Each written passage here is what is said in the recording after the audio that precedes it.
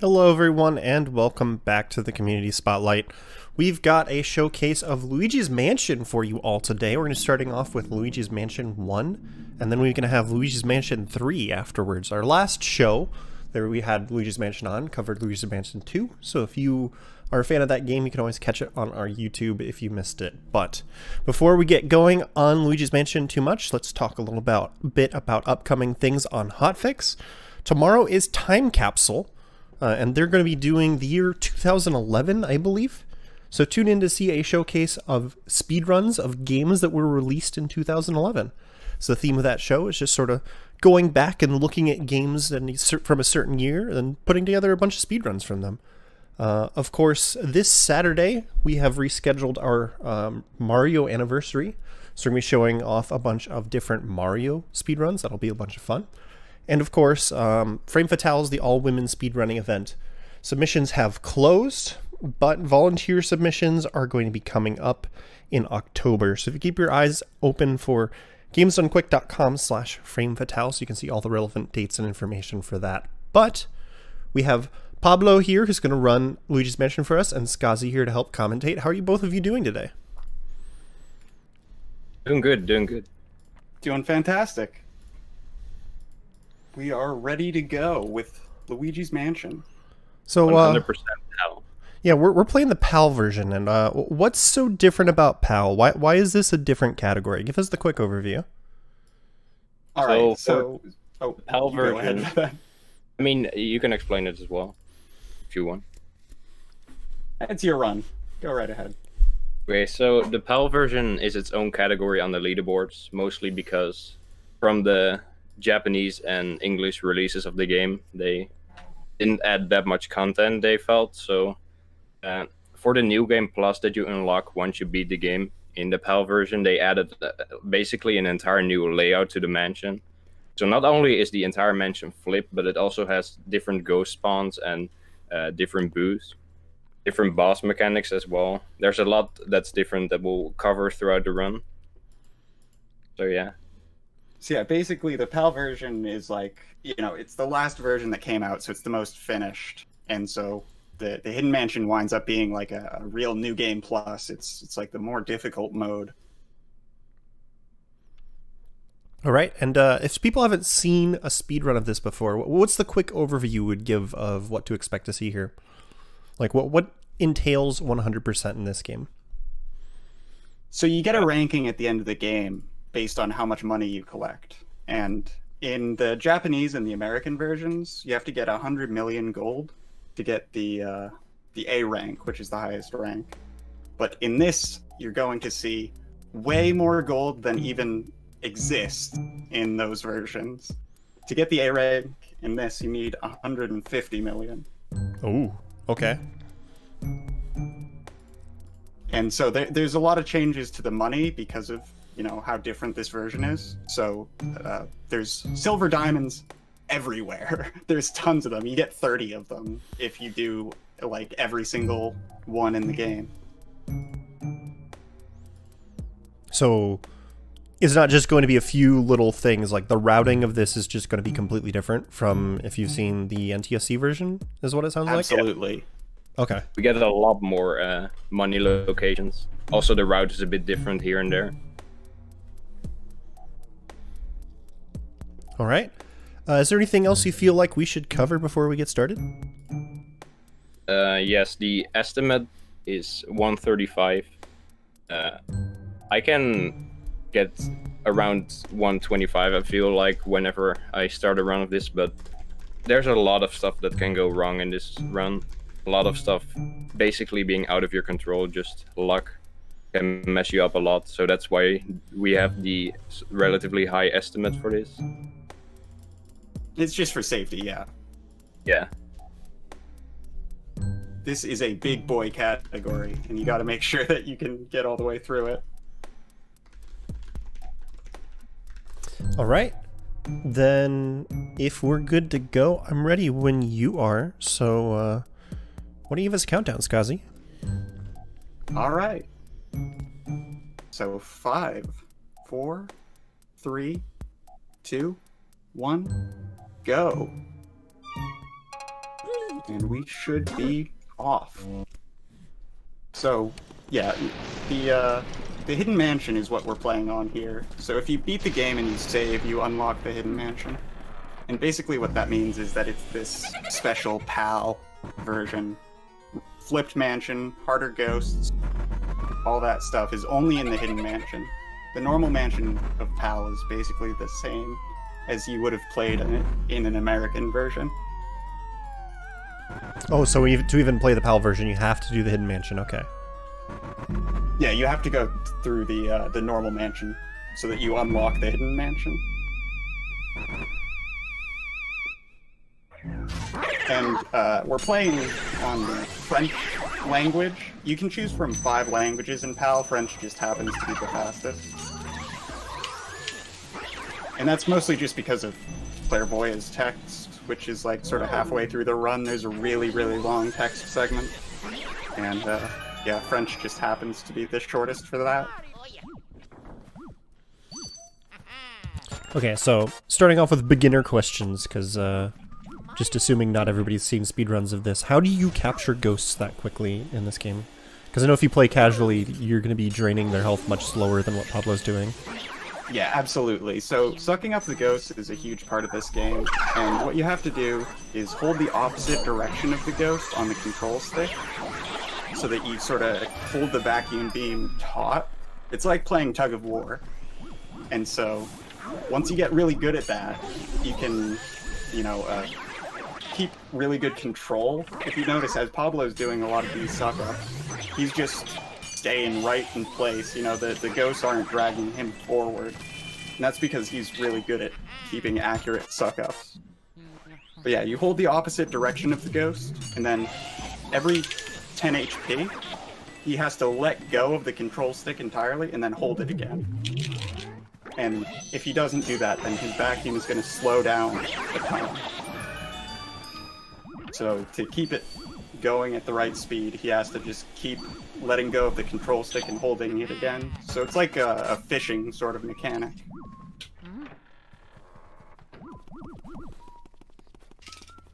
I could not even imagine how difficult this would be if it were the same vacuum speed as normal mansion. Yeah, yeah. It's the the hidden mansion vacuum is is quite a bit faster than normal mansion, and it, that helps out a ton. Is that because this is essentially a new game plus mode, so you have the better vacuum to start with? Exactly, yeah. So here we have the first portrait ghost, although Pablo's gonna ignore him for a moment to get some extra money. Dang, I missed the cycle. I'm still gonna go for the chest cutscene skip though.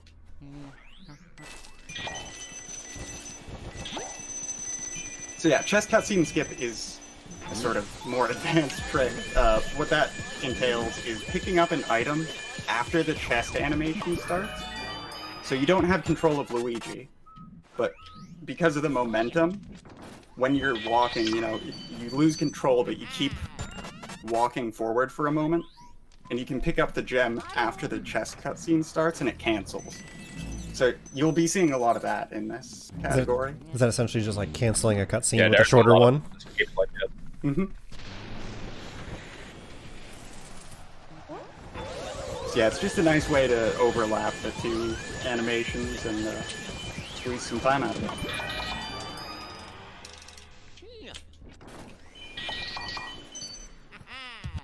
And you're seeing that uh, Pablo is getting all these pearls from each of these portrait ghosts, right? And when you do the portrait ghost in one cycle, if you get 90 HP in one cycle, then you get the large pearl, and that large pearl is worth a million gold. So it's very important to uh, to get all of those. They wind up being a large portion of the total money that you need.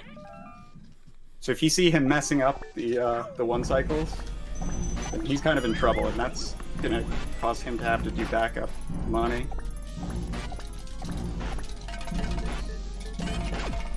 Yeah, that's the thing with this category though. Uh, there is backup money that you can get, but because you already get so much anyways, it's it's not much backup money. Yeah, so, So- in the the NTSC version, it's just a matter of how slow the backup money would be. In this version, you actually wind up down to the wire, making sure that you have enough money to even finish.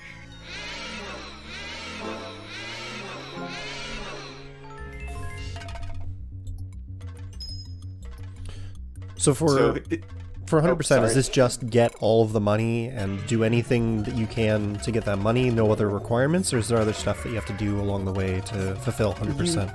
you also have to get all of the boos and portrait ghosts. Sounds like but portrait that- ghosts are a big part of your money routing, though. Yeah, both portrait ghosts and boos actually, because you get a uh, a golden diamond for catching all the boos, which is worth uh, twenty million, a whole lot of money. So you know, I was saying that the large pearls are worth one million. So those golden diamonds are worth every large pearl that you get, and then some. So there's two of those in the game. One of them comes from catching all 50 boos, and one of them comes from watering the plant in each area.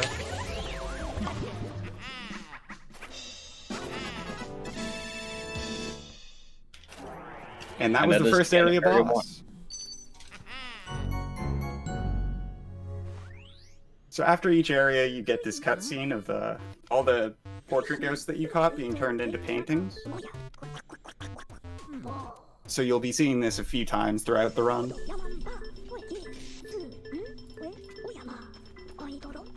And it's kind of silly on this version because the entire camera flips around at the end of the cutscene because the way that they reverse this uh, doesn't actually like work properly. So it, when they when they go to show your like money count and stuff, they have to flip the entire game so that it's not backwards.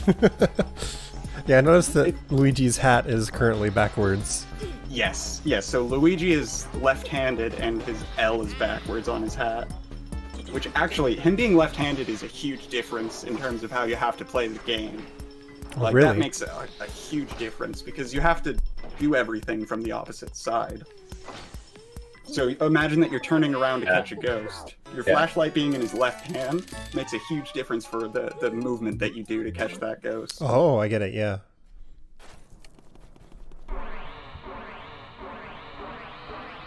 So there's an enemy in this in this hallway up ahead called Sparks. If you hit one, you get blown up and cannot do anything for like four seconds. Sometimes it can be almost impossible to react, so I'm gonna try to get past them. That was one, but we're good. So Yeah, Pal there you go. So there's a lot of sparks in this version. There's only a couple places that they spawn in NTSC, but in the PAL version, they're kind of everywhere. And we uh, we like to call them Dora the Exploders in the community. That's fantastic.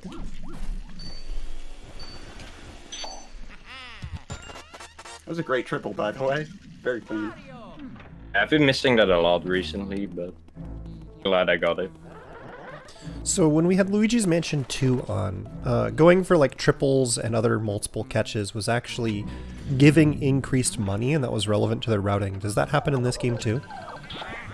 Uh, no. So in this game, you don't actually get money for catching any ghosts that aren't portrait ghosts. Um, the way that the game rewards you for catching ghosts is by giving you a chest when you clear the room. So if you're clearing extra rooms, then you get money, but actually catching the ghosts doesn't give you any money at all. So it's just purely go as fast as you can, get the, the multiple catches because they're faster, sort of thing. Exactly. Okay. Exactly. And there's actually some places in this category. There's so many ghosts that spawn in some rooms where you can't group them all up, and so you'll see sometimes that when there's too many ghosts around, it's going to be too much of a pain. And so once you get an element, then you just start spraying like crazy, and that's just the way you deal Yeah. with ghosts. especially in like uh, rooms like tea room that are very very wide like there's no room to set them up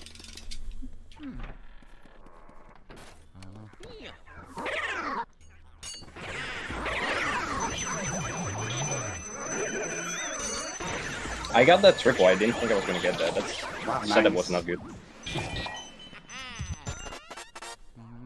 I use a very specific input there to kind of delay the top ghost from spawning to get that triple. I messed it up, but I still got it.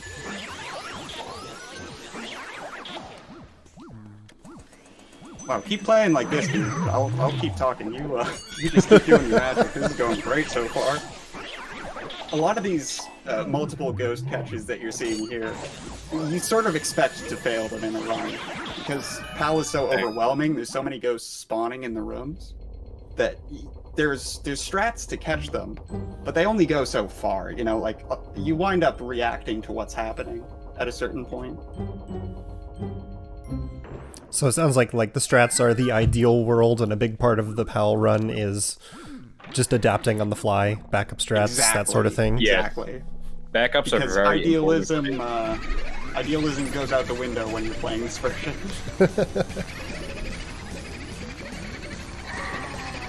So now we're gonna have to deal with boos. And the first one that we're gonna get in this category is actually probably the most difficult and reset heavy uh, boo in the run. yeah, so the first boo that you encounter in this version is harder than pretty much any of the one cycles in the NTSC version.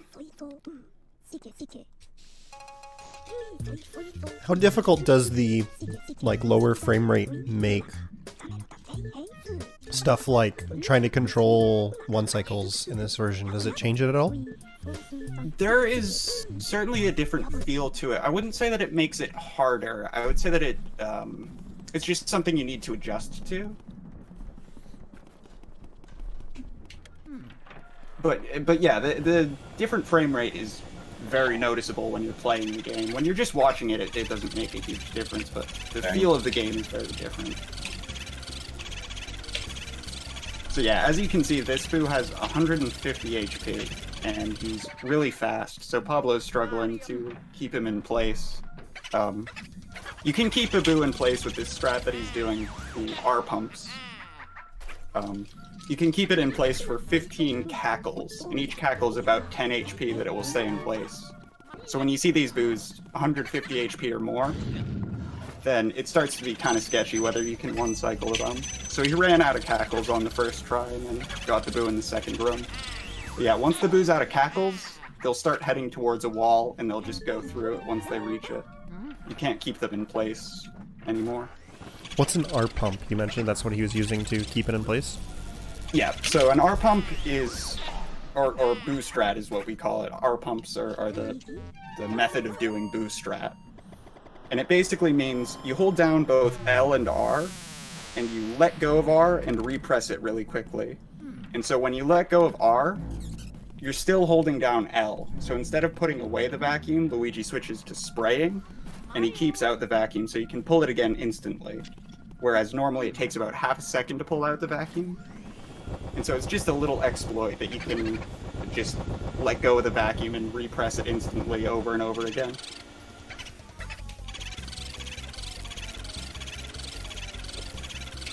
So yeah, if you watch his vacuum, it sort of goes up and down really quickly every 10 HP. That's him doing an R pump.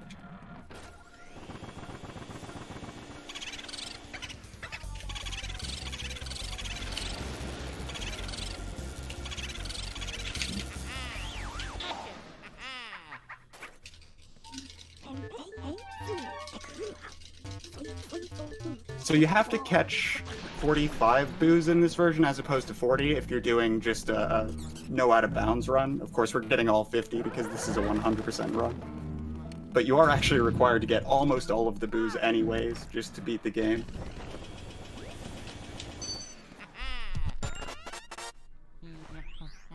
What causes the I do not like this uh, money so far. And uh, so what he did there is he scanned a mirror with the camera, and that teleports you to the lobby. Anytime that you scan a mirror, it just brings you right back there. So that's often faster for routing.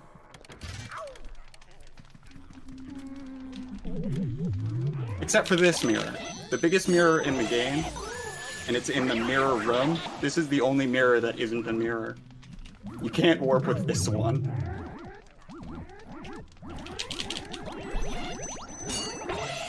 It's, yeah, this room is full of invisible gravity ghosts that he has to get crazy strats on. That was a really good quad. Yeah, well, it was pretty good.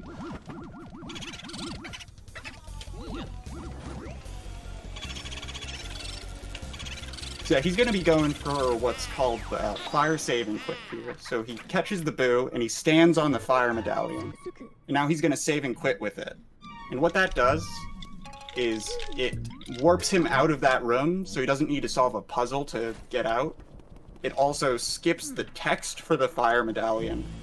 And it resets the butler cycle because the butler is already in the hallway walking back and forth. And so when you reload the mansion, he goes to a specific point in his cycle. And that so means when you. gets Sorry, go ahead. so when he gets to the butler, he's going to be in the exact spot that Pablo wants him. Yeah, so that's that part's just a nice bonus, just so like it's a known quantity on where the but- butler is going to be. Exactly, yeah. So right as he gets around this corner, you see the butler's right there. So normally he just walks back left and right in that hallway, so he can be all the way down the hallway and it's like 12 seconds away. Ooh. Oh jeez.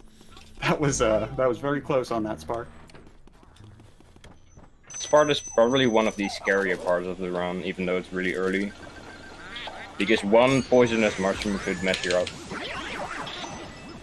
Oh yeah, it is worth mentioning as well that there's twice as many poison mushrooms in this. Poison mushrooms are everywhere in the PAL version. Are those just traditional poison mushrooms from Mario? They hurt your health instead of helping, sort of thing, or what? Actually, they in this game what they do is they shrink you down. So for like 10 seconds after you get hit by it, you're tiny. You can't do anything. You just lose all of your like controls and stuff, and uh, you take double damage. So it's really bad in speedruns because you know if you're trying to suck up ghosts or whatever, you can't use your vacuum, so you're just stuck standing around for 10 seconds. Yeah, basically just stuns you for 10 seconds. Mhm.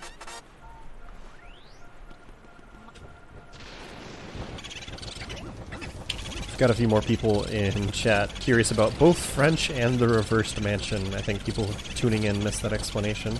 Yeah, so I'll, I'll go back into that. Uh, the reversed mansion is because this is the PAL version.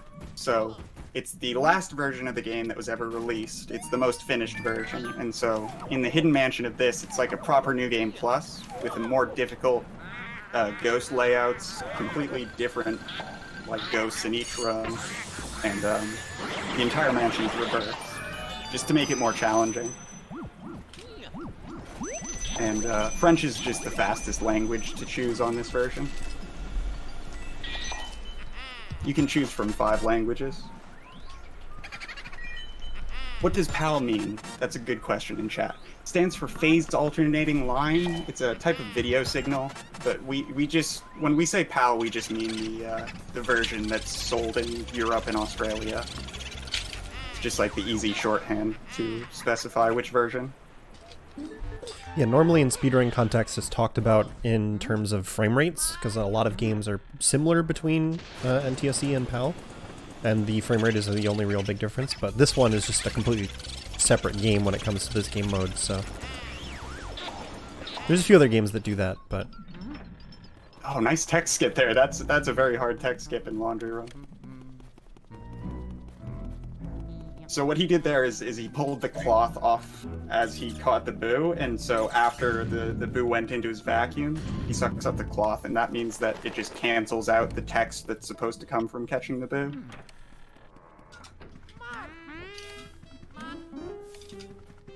So I went out of my way there to spawn a gold mouse, but it didn't spawn. So I'm just gonna have to hope that I get it later. In the blackout. Yeah, so I should explain that um, in certain rooms of the game, there's uh, there's a chance when you enter the room that a golden mouse will spawn, and those are are just random mice that give you a bunch of money if you suck them up. They're a one-time thing, so he's really hoping to get a couple of those to smooth out his money.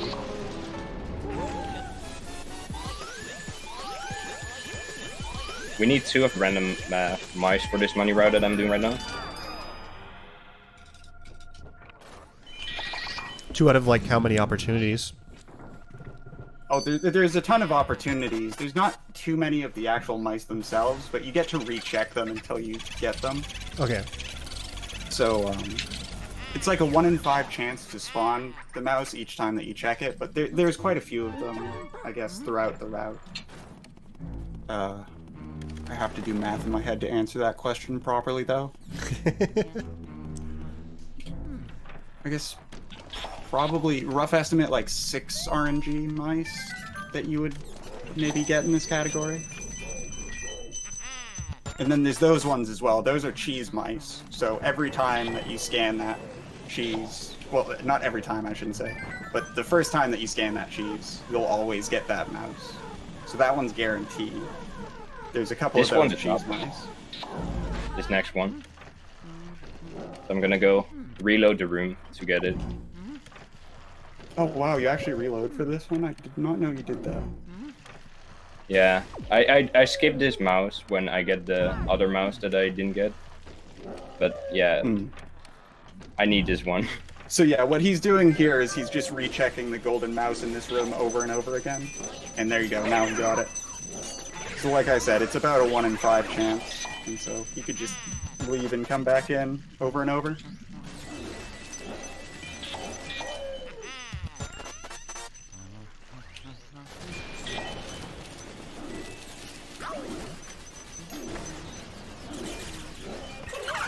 So yeah, right now he he uh, he activated Luggs, but he just walked away. And the reason why is because Luggs takes forever before you can actually like grab his heart. He just shoots fireballs. I think he shoots like 14 fireballs in a row before you can grab his heart. But you can just walk away and do this run while he's doing that, and then when you come back, he'll be done.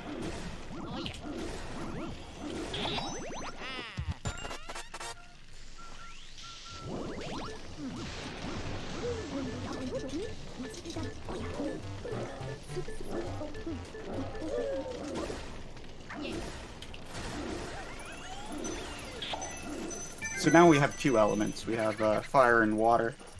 And so those are pretty useful. Um, a lot of the times when you're fighting ghosts in this category, you'll actually wind up using element. Like I was saying earlier, it's super helpful for rooms where there's a ton of ghosts that you can't group up. Because whenever you hit a ghost with element, they freeze in place as they take damage. And so it just gives you that, like, sort of calm, safe moment to recollect yourself. I'm missing one. There we go. Dang it, switched. Okay, that's good. Yeah, and he's not worried about getting that boo in that other room because he's gonna go back through here a bunch of times in the run. So he'll get that later.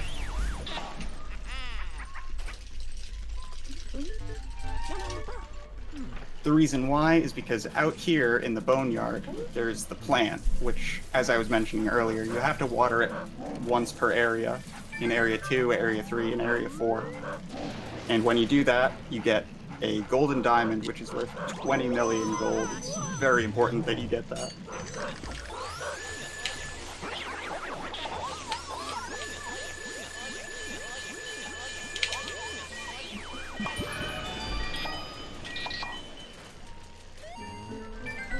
And here, at the graveyard is crazy in this version. We'll see how he does with it. It spawns five skeletons at once, so it can be very uh, overwhelming.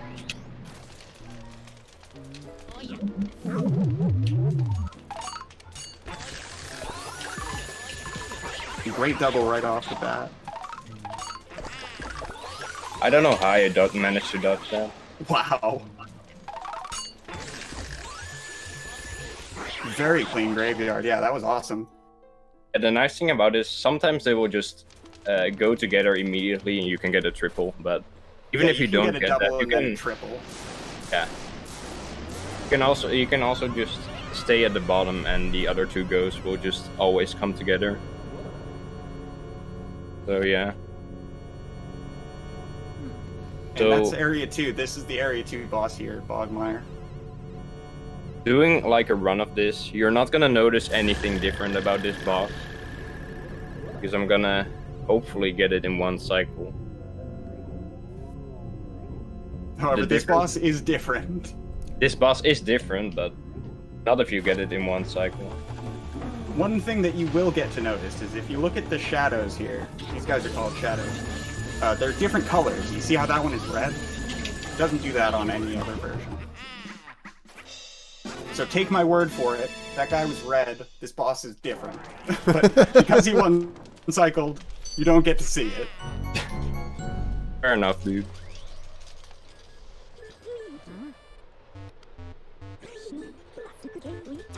Yeah, that was that was a great Bogmire. Really good area too in general. Although you're saying that the money's not too great.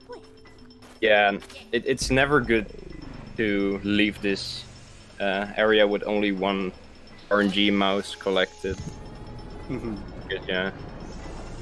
I'm gonna get the one in Tea Room, and then I basically just have to hope that I also get uh, another one. On there's like three more tries after that. So yeah.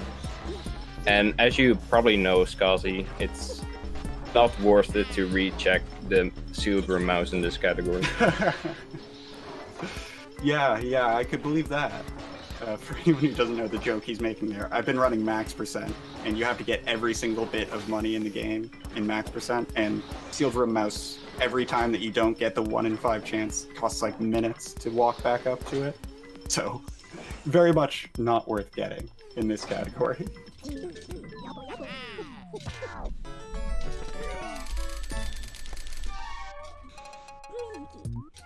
So you do have you have 40 million. What what's your your average sort of money pace at that point? Uh, usually when I have two mice, it's 42 million. So this is still a pretty good money pace for only having one, because every mouse is like around 2 million. But uh, getting only two RNG mi- mice throughout the entire run, the rest of the money has got to be pretty tight to still make the 150 million. Gotcha, yeah. So But it um, should be okay, because I'm I have some backups in mind already. there you go. You're ready. You're prepared. Oh yeah, I should mention. Um, after you do this cutscene, there's a hanging ghost that spawns, and in the NTSC version, it's basically the least intimidating enemy in the entire game. But in this version, he drops a bomb, and then he can drop a poison mushroom when you suck him up. Both of which he can't do in the normal version. But there's a very easy solution for that. Which is water. Water is the solution. He is very weak to water, that guy. Yeah, the water makes it so that they can never spawn a poison mushroom. So they're basically just safe. It's a tiny bit slower, but it's definitely worth it. Yeah, so the thing about it is that hanging ghosts have zero HP. What? So once you grab them, they, they just instantly go into your vacuum. But if you hit them with water, then they have to do the damage animation, and then they despawn slower. So it is a little bit slower to kill them with element, but it means that you don't suck them up and spawn the poison mushroom.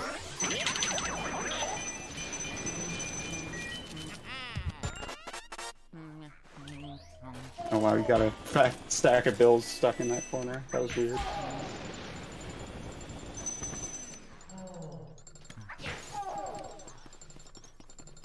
So there's a bunch of multitasking during this boss. Um, Biff sort of takes a while Dang to dude. take damage, and so you can, yeah, grab this key, grab some money as as he's taking damage. You could also take damage yourself. That's also an option. I just need to mention. I, I Sorry, go ahead. couldn't get that. Tried to set up another cutscene skip there, but I couldn't get it. Uh, I was just gonna say that it's impressive that Luigi is casually punching those punching bags and they're going flying that that far. Like Luigi is buff. Yeah, Luigi is a powerful man. this might be Oh, really bad good. if this thing just spawns. Yeah, Yeah, so he has to good. wait 10 seconds here. He can't pick up this gem right now, and it should be totally fine. Oh, Yeah, really? totally fine. Not a worry in the world. What do I do from here?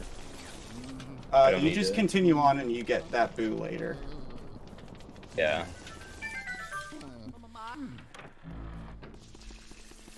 Yeah, that's one of the reasons why the estimate is so high for this. Yeah, stuff like that can just happen, and, and he didn't make any real mistake there. It was just kind of unlucky.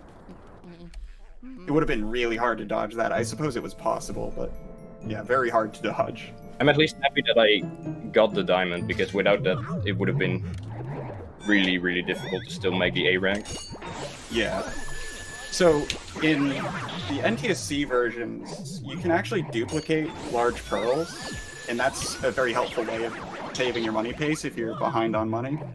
But that is patched in this version. You can't do pearl dupes. So you have to get legit money for everything.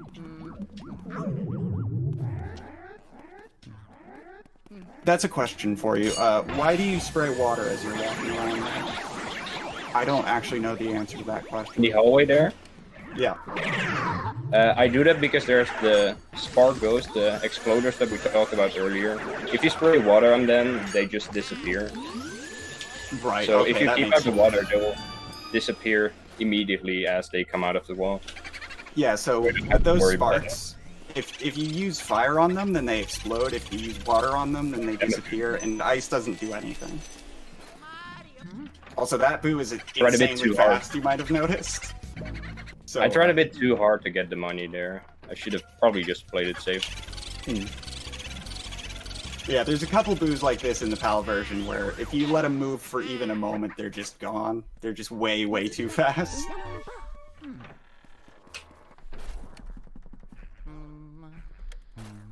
And I mean, he's like something crazy like three times faster than any of the boos in NTSC. Maybe two times, three times faster. And he's not even the fastest in the game. But the fastest boo in the game is not that hard in this category because the route has ice, so we can just freeze it. Yeah. Yeah. So the the nice thing about that is that he also has very low HP. He's got what, like 60? 50. 50. Yeah.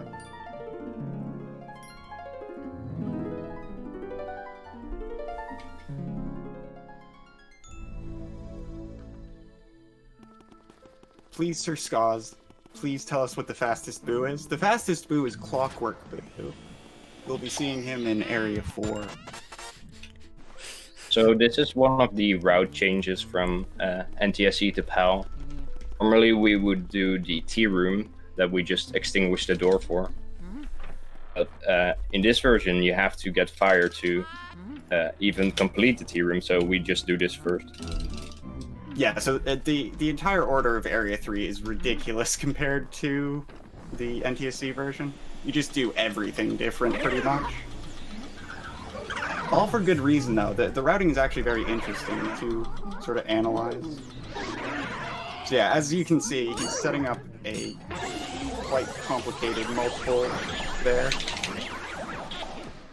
Um, this is one of those rooms, like we were saying, where there's tons and tons of ghosts, very spread out, and so it's hard to actually get everything the way that you want to. And now he's rechecking for the golden mouse in this room.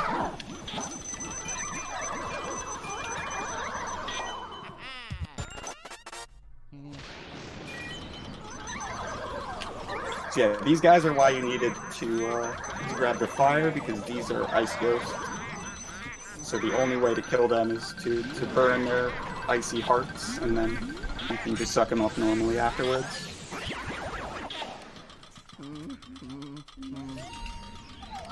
What? Yeah, the cheese oh, hitbox Oh, that's of very Prime behind strange. that diamond. This is not good. Okay. No, don't leave. Thank you. Ooh, nice. Okay, so he had to do like a really clutch backup there because that mouse almost got away. But he knew the path that the mouse takes, so he was able to cut it off. This is not good health. I'm just gonna burn them. Hmm. This is not good. Oh no, Pablo, buddy, please don't die. I'll save on this boo. Good idea. So yeah, this is the danger of PAL, is it's so hard, and there's way less parts than in other versions, and you take double damage, And so all of that put together, it's it's quite possible to die during runs. Wait, you Whereas take you will damage? never you will never see someone die by taking damage in an NTSC J run ever in your life.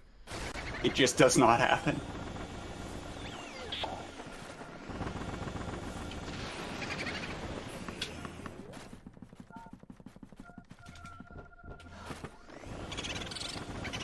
Wow, that was quite rude RNG from that boo. So I'm just gonna save on this boo and play it very safe.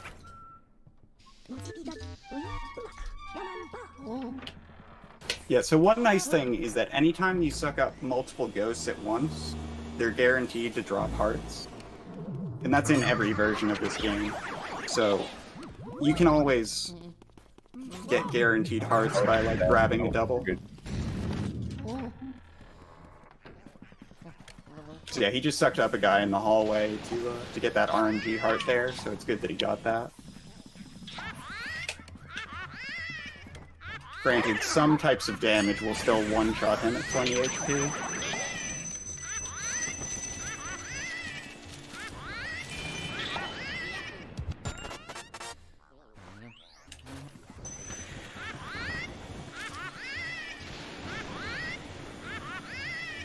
Can even activate this? Apparently not. What was going on there? Did it like activate? I don't know, I early? could not.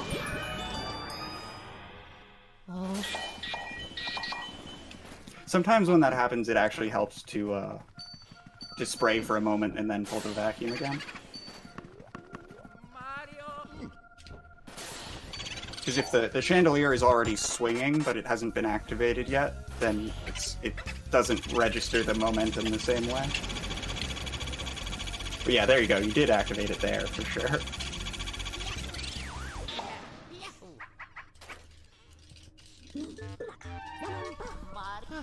So yeah, as you can see, when he has ice and he's getting a boo, it actually keeps the boo in place better than just normal uh, bar pumps do. Is that why the boo's cackle was different? Because he's like cackling and then getting frozen? Yeah, or- so the the sound that he's making there is every time that uh, Pablo R pumps, the boo freezes and unfreezes, and so it just repeats that annoying sound over and over again, as opposed to the normal cackles. I'm gonna go out of my way to collect another pearl here because my money pace is not good at the moment. Just want to make sure.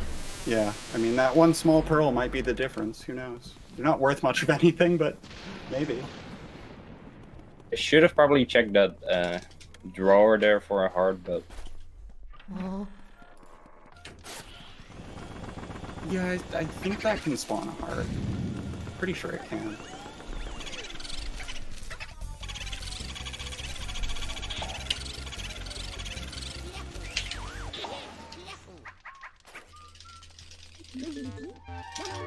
this twins thing is gonna be really hard to activate. Yeah, yeah. yeah. So uh, you have less of uh, an angle that you can raise your vacuum at when you have critical health in this game. And so you can't aim all the way up to do that properly. That was actually really clean, though. Yeah, I'm surprised that went so smooth.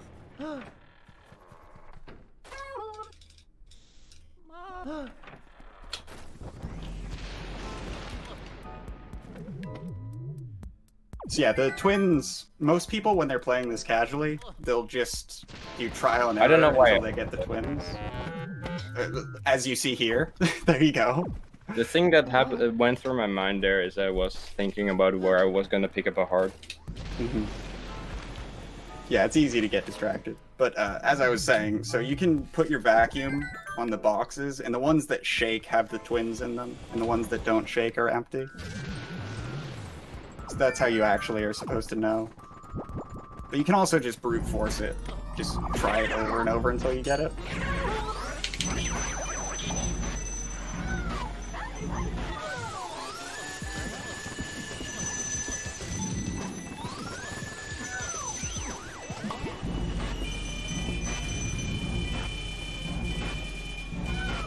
I missed it, dude. Oh my god. I could not grab it That because of the is high angle. not good. Yeah, so he couldn't pull down that diamond until it was too late, and uh, that is a lot of money that he just lost there. So he's gonna have to back that up.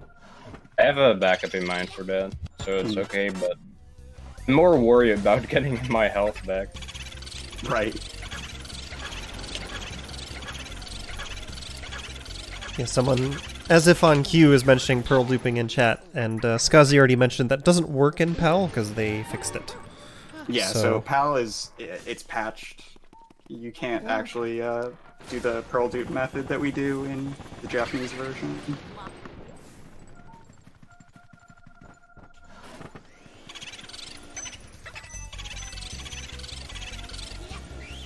Just gonna check this again for a heart. Hmm. Yeah, not a bad idea. It's not too far out of your way.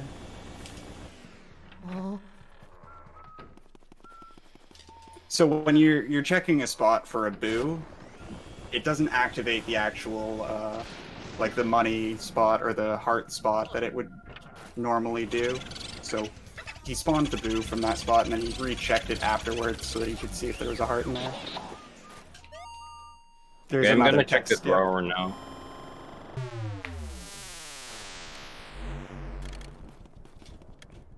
There we go.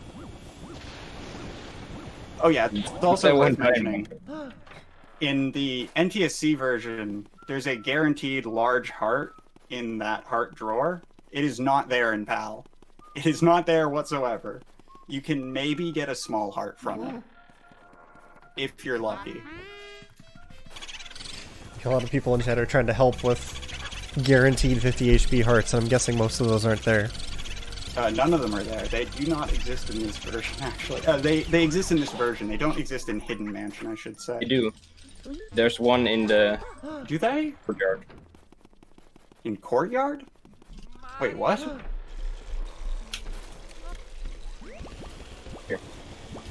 I had absolutely no idea that was there. There you go, chat. I don't know anything about this video game.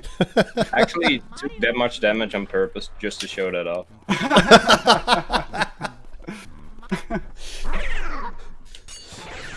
Pablo is a man of the people. my god, I, that just blew my mind. That's not there. Is that there in the NTSC version? I think so. I don't know for sure. Before the stream started, we were talking about like how interesting it is to also show the backups for when something goes wrong. Like whenever this would happen to me in an actual like record attempt, I would just reset. So it's it's very hard to keep going with some mistakes in this category because some of them are just very hard to recover from. Yeah, like the, the mistake of losing that silver diamond, of course, is pretty brutal. Uh, that that's definitely the thing that's sort of a lot of pressure here. The money routing is going to be tight. What?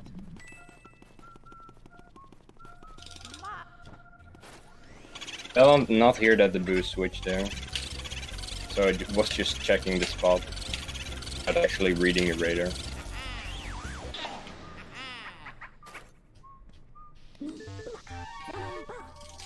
So this is another one of those rooms where there's just way too many ghosts in it.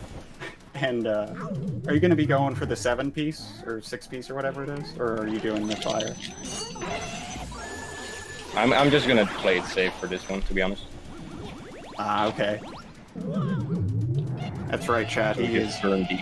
he is bailing out on the cool strat, being lame, safe. Actually, cannot bail out of it because I don't have any fire left. But there was a quick backup. Yeah, that backup was great. Actually, that worked out well. And it also got you a triple for some health at the end, so Ooh, yeah, and this is a really fast boo as well, um, as you can see. And you're gonna have to two cycle him because he has 200 HP. So you just let him leave, and then you get him afterwards. So anything above 150 is just not possible to two cycle based on what you talked about Oh, you- earlier, you, right? can definitely you can definitely one cycle boos that are above 150 HP, but not boos that are that fast above 150. Oh, okay. Because if they're slower, then you can, as they're going towards the wall, you can follow them with the vacuum and get some extra damage. You can only keep them in place for like 150-ish. Okay, that makes sense.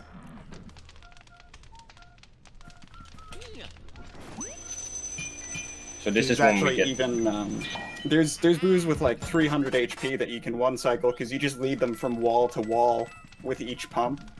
Instead of like doing all the pumps in a row, you do one pump and you let it go all the way to the wall, and then you do another pump and turn it around and it goes back to the other wall. And you just go back and forth, and you can get like 300 HP in one cycle.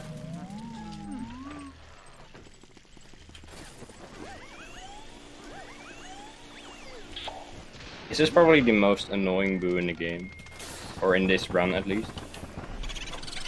You think? I'm surprised to hear you say that. that. Right, yeah. I mean, he is annoying. This this boo is very annoying, but yeah, I, I would disagree with you. I'm gonna straight up disagree with you, Pablo. This is not the most annoying boo. Okay, if you I if you're dropping say- that, which one's your most annoying? I would say that the most annoying boo is. There's so many of them though in this version. uh, the most annoying Boo? is Weston Boo, who has an insane amount of HP and he's like three times as fast as any boo in NTSC. So you have to get. You can two cycle him technically, but you're really likely doing like five cycles on him.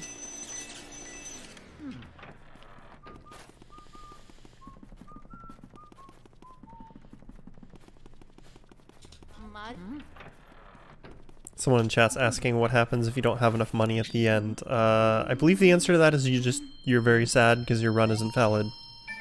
Exactly, yeah. If you get to the end of this run and you don't have enough money, you did not complete the run. And then you go home and you try again. So yeah, this has not been a very good area three so far. It was mainly just the fact that in the tea room got hit so much that the low health. I was mostly focused on not dying, so that made me kind of distracted from doing the rest good. Yeah, so a lot of the times in this version of the game, you sort of you can spiral. You know, it, if you make a couple of mistakes, it tends to affect like the rest of the area because you don't get your health refilled all the way until you complete an area. That's the only time that the game actually heals you all the way.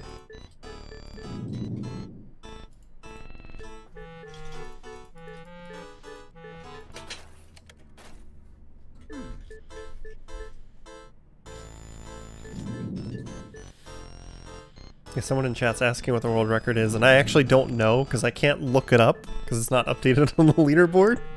Oh right. Because Pablo yeah. just said it.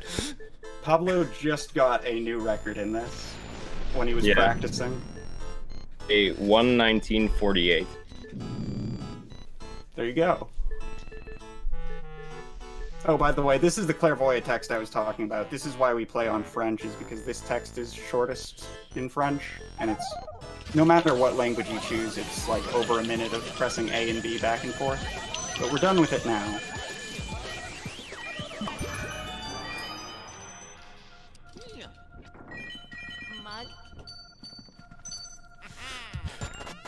Yeah, it's funny because Grove is also in chat, who set a world record for Luigi's Mansion 3, I think two days ago, while practicing for the run coming after this. So, Yeah, so you guys should look forward to uh, after this world record holder shows off this game. We've got Grove, the world record holder, showing off Luigi's Mansion 3. A great showcase going on here.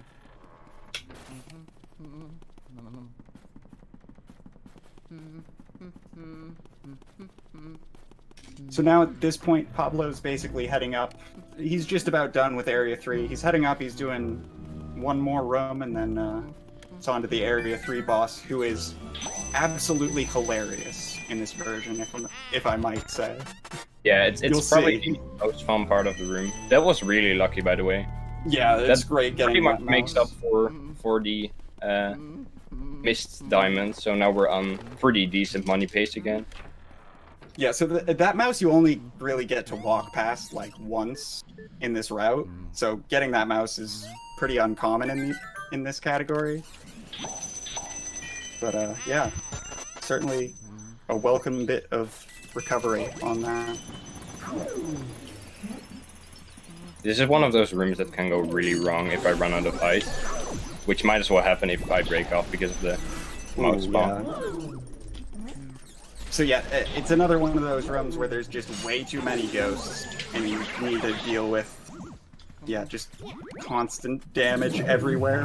The mice being on the ground is a really nice added bonus to how hard this room is. I should be good though. On ice at least.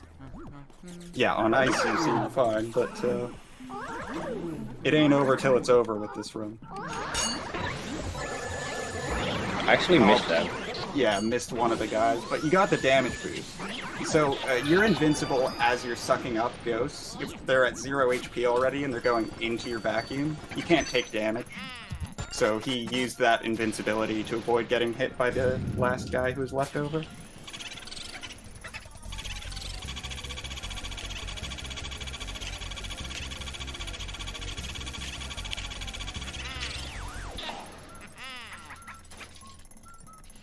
I like the sound.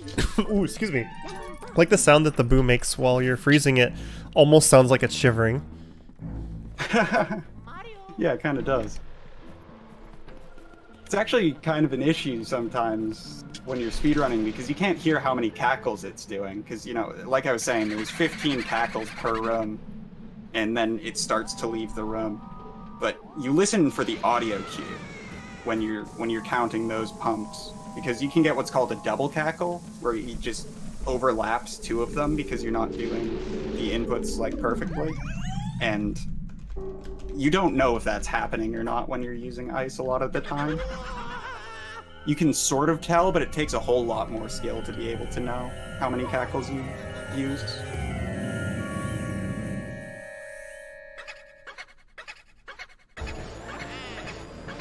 Yeah, this is Boolossus. In the PAL version, you ride the vacuum.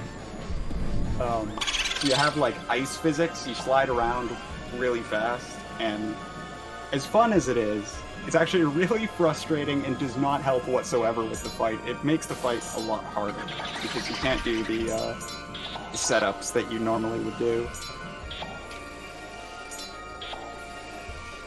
Dang. Ah, Just so no one cycle, but still a very good uh, Boolossus. Like I'm saying, PAL is, is harder for this fight, so you don't necessarily always get the one cycle. Um, that's a huge mistake in NTSC if you're at high level missing the, the one cycle. But in this, it's it's sort of to be expected. Sometimes you won't get it. Yeah, the, the thing that went wrong there is that uh, the way I do this boss fight is I try to line myself up to face straight to the left to make the angle easier, but uh, my angle was just slightly off at the beginning, and adjusting it is a pain because you kind of slide around when you do it instead of just turning.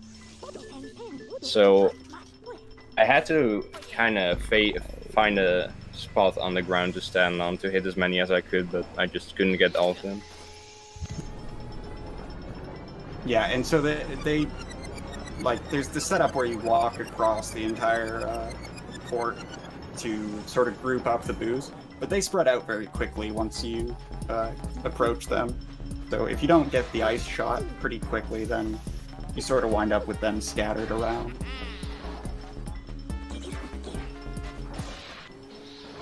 But yeah, that's area three done, and there's just one more area. It is the longest area, and uh, particularly in this category, it's sometimes excruciatingly long. Yeah. Yeah, it's funny because you, you look at the first three areas together, it's like under an hour, and the estimate is an hour 35.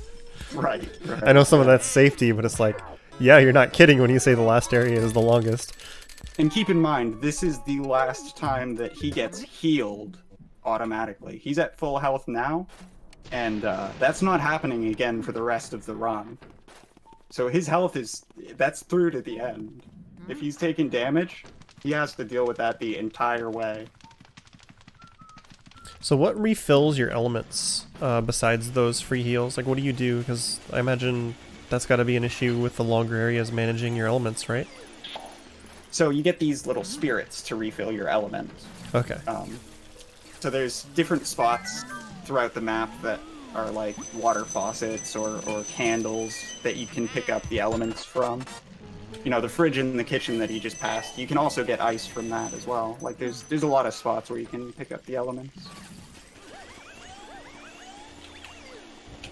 So yeah, he's gonna grab that ice instead now because he wants that for later.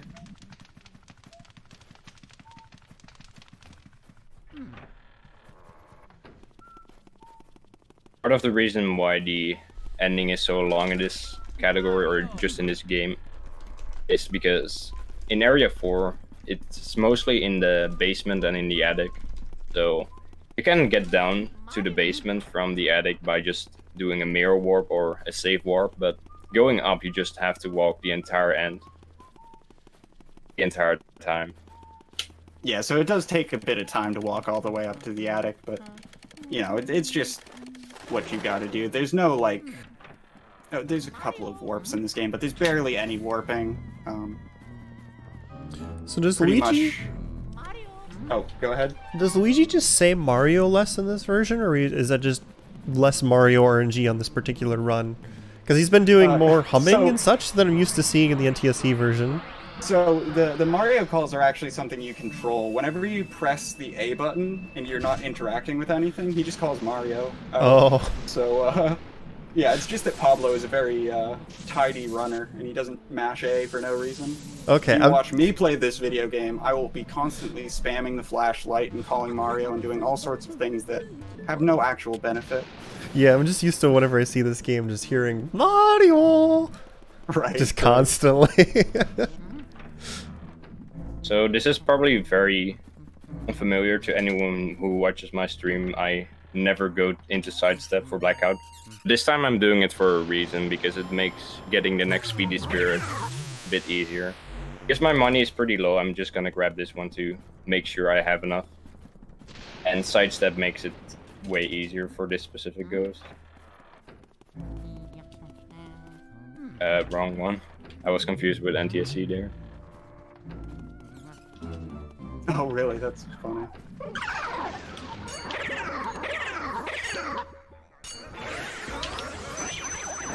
So in max percent, you have to get all the money. So you just make sure there are no ghosts in the way. In this category, I kind of always YOLO it. Yeah, yeah. You can you can just sort of grab what you can and get out in this. The- A lot of the times in this category, you sort of you don't worry mm-hmm. too much about getting every bit of money that you spawn. You leave a lot of coins lying around.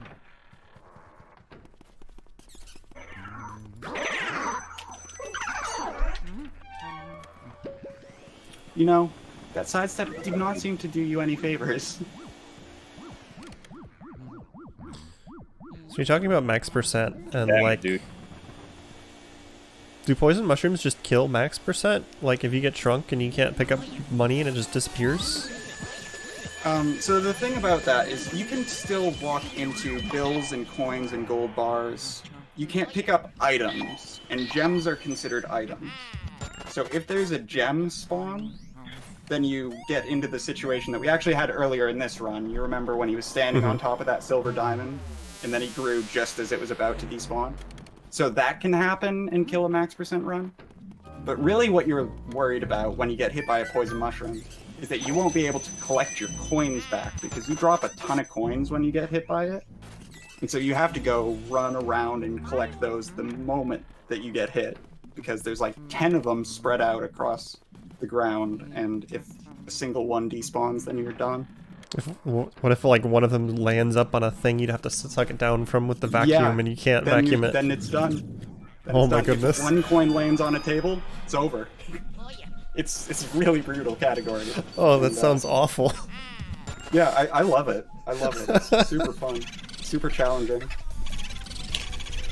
So this So I is got one another- of the, uh, the few boos that's actually way easier in this version compared to NTSC.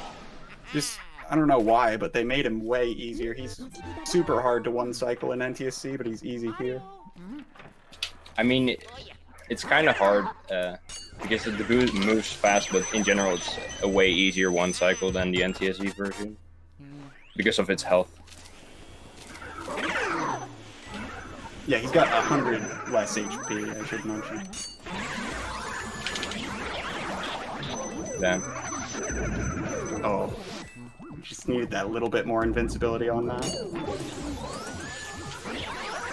So that's one of the oldie situations, actually, ironically, where, where you want a slow suck-up animation in this game. A large part of optimizing the ghosts is uh, manipulating the animation as they go into your vacuum. Once they hit zero HP, you can sort of squeeze them into the vacuum quicker. But uh, you want nice, slow animations when you're using their invincibility so that it lasts longer.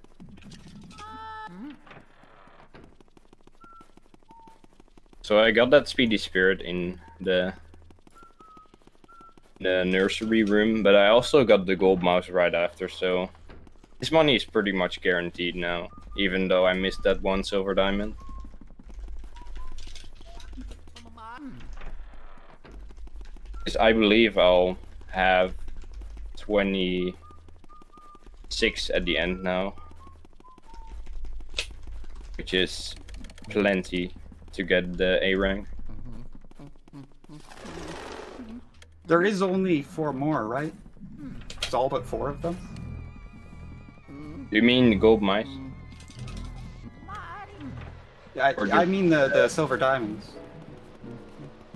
Uh, yeah. There's I four that I... there's, that there's Good. 30. Oh, is it 40? No, there's... I mean, there's like uh, four that I haven't gotten yet. Oh, okay. Gotcha.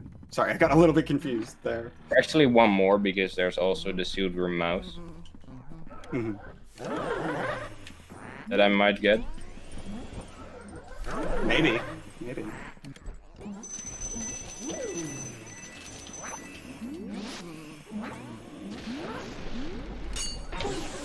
This room is always a nice room because it's not that hard, but it's still fun.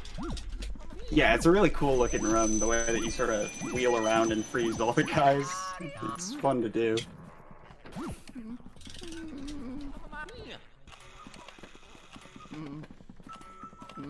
Are we gonna see a clutch double here? Maybe? Or do you Maybe. care about the money pace too much? Because I wouldn't blame you. Maybe. You'll see.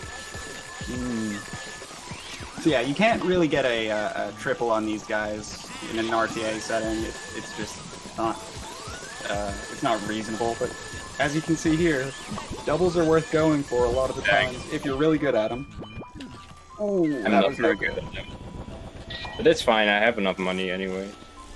Yeah, I sort of talked you into it. It's my fault. no, I was gonna go for it anyway because I got that extra mouse, but yeah. I do have to be a bit more careful careful from now on. Oh, hey, here's the fastest boo in any version of the game. It is ridiculously quick. So he's going to be very careful sucking this guy up, because if he gets away for a couple frames, he's out the door.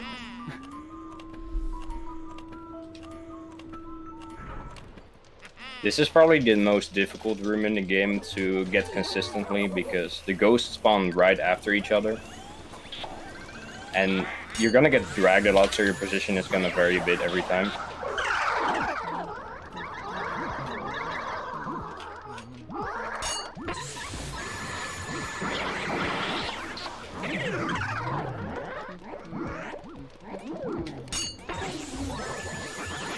Wow, that's actually a really nice setup. I haven't seen that before. I like that, uh, that quad. Well, I didn't get that before these spawned, but I can just burn it. Okay, I got that. Wow, there you go, nice. That was a good rooftop. Pretty good, yeah. Yes, so like he was saying, like that can go very wrong, that rooftop. Uh, that was nice and clean.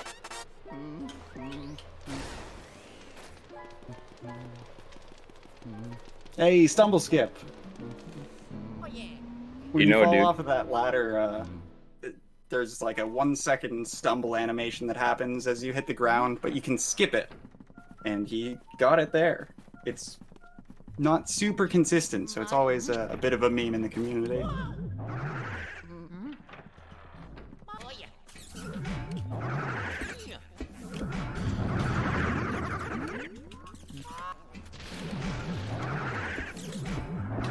This room is is one of the ones that is just a completely different experience on PAL. It is nothing like the NTSC version.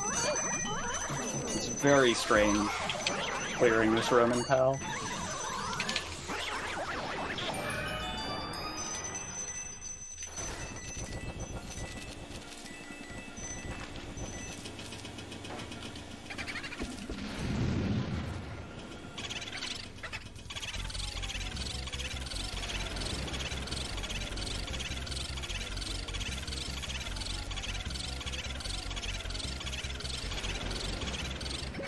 This is gonna go to the left, and I'm gonna try to hope it goes left, but if it goes right, it's not a big deal, depending on where the boo respawns.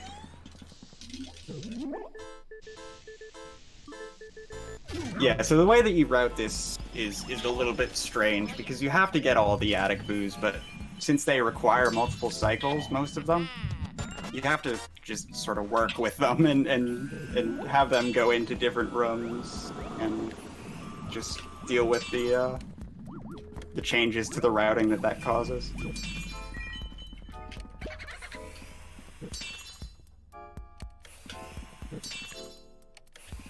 Now, a lot of the boos you can actually manipulate which direction they're going. You know, you have a lot of control over the way that you're sucking them up causes them to leave a certain way. But especially with the ones that are super fast, you tend not to have quite as much control over them. And some boos actually, each boo has a, a unique AI as well. Like they, they respond differently to your movements. So some boos are really aggressive. They'll try and attack you the moment that your back is turned. Other boos are really sheepish and will just run away from you if you get anywhere near them. And so you have to take all that sort of stuff into account.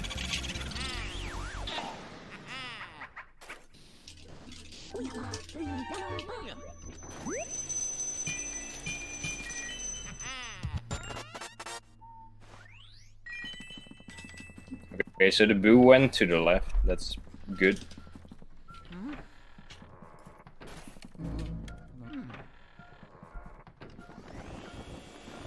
So this should be the armory boo that we just made leave to this room.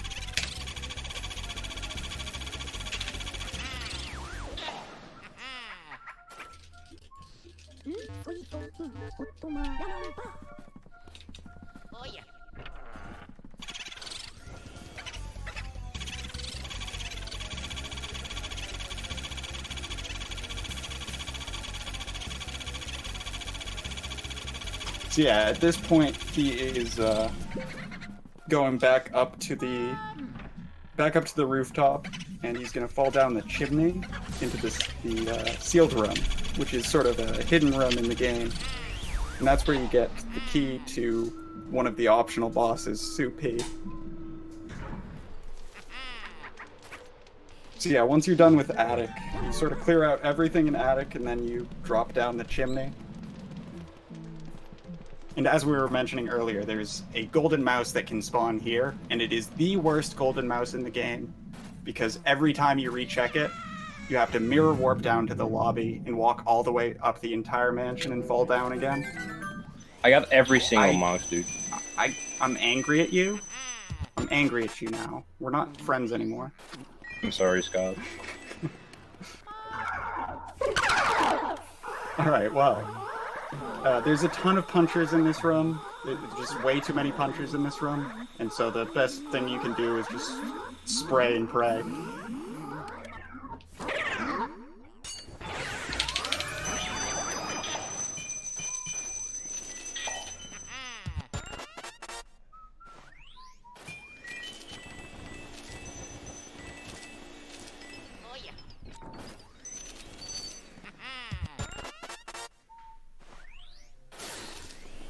Just getting uh, a lot of his money just to make sure. Yeah, good to be safe. Does not cost that much time to get. And of course you get the gold bar too. You don't even pick it up. Alright, that's enough of my complaining about max percent. We're here to watch Pablo. And uh, Pablo's heading into the basement now. He's gonna clear out the basement. And Pipe Room is quite rough in this version. Pipe Room is a real run killer.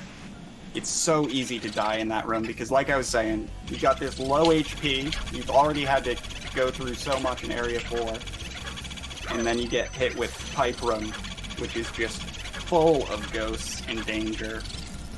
And there's flying fish coming at you, and there's the ice spirit that can hit you, and it- just too much going on. So I had to step I out for a second, and it looks based on chat that he got the the mouse you were joking about earlier. Mm-hmm. Yeah. Oh, yes, he did. yeah. Mm-hmm.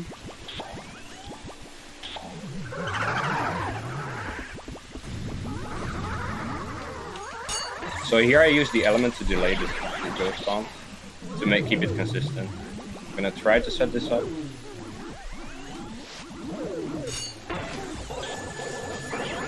Very nice five piece. That was great. So you know, I'm talking about how hard this room is. He just made it look easy. Made it look easy. He's one of those boos I was talking about where he has really high HP, but you can still one cycle him because he's really slow. And you can just lead him back and forth. Damn. Ah, It's fine though. I uh, still have to watch this animation. The boo has time to hide.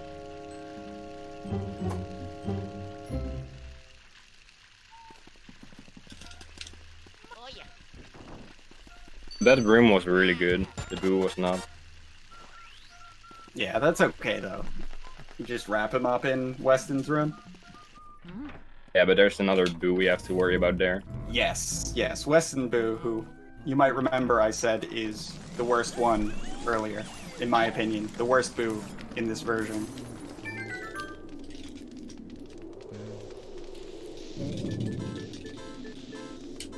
So you'll get to see that in just a moment here.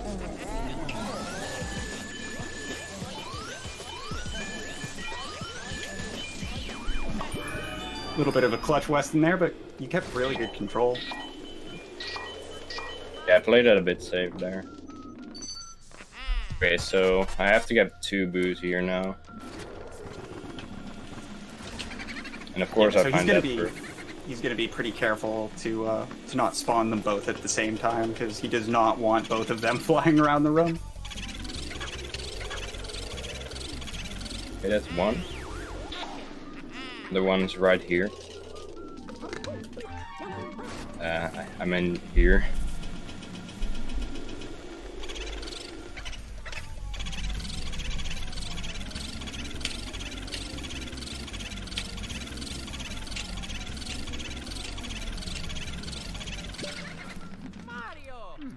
Oh wow, he just zoomed out of there. Yeah, yeah. He is so fast, and he's got 300 HP. So, I mean, that was a that was a good first cycle. He won't be two cycling, of course, but you don't really expect to two cycle this guy. There's a couple of times that it's happened for sure. If you're really good, you can do it, but yeah, not something that you expect to happen every run. Yeah, I'm not three cycling as well, so I'll take the four cycle.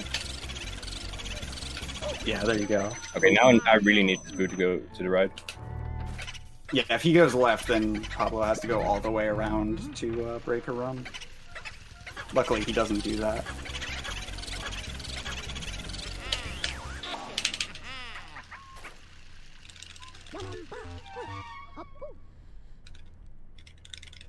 So we're coming up to probably the most unfair and evil room in the game.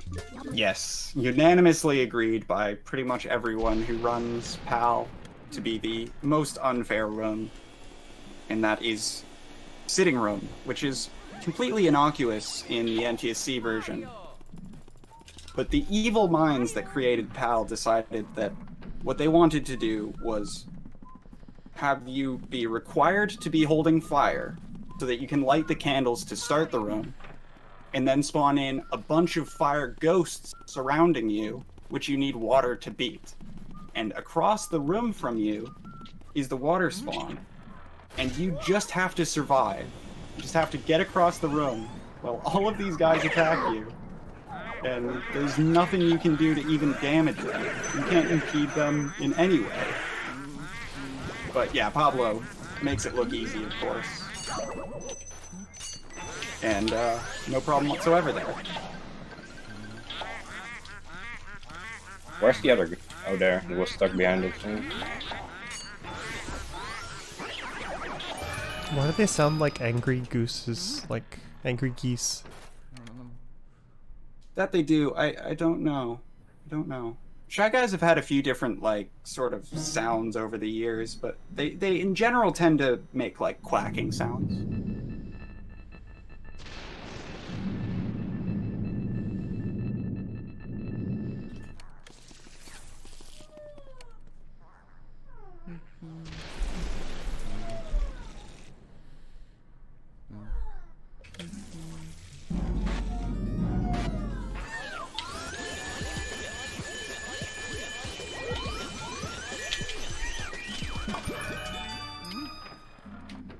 Nice job on that. That was super clean. Mario? Thank you.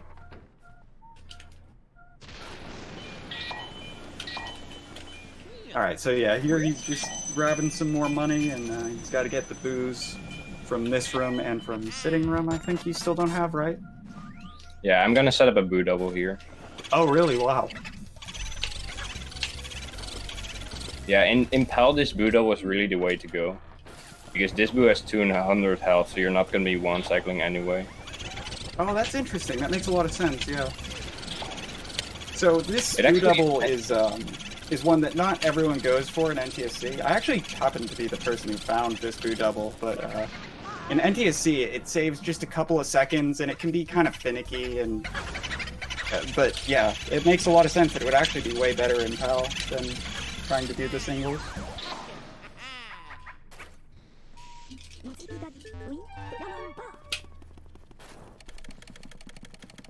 Yeah, beautiful. Oh, that's pretty good.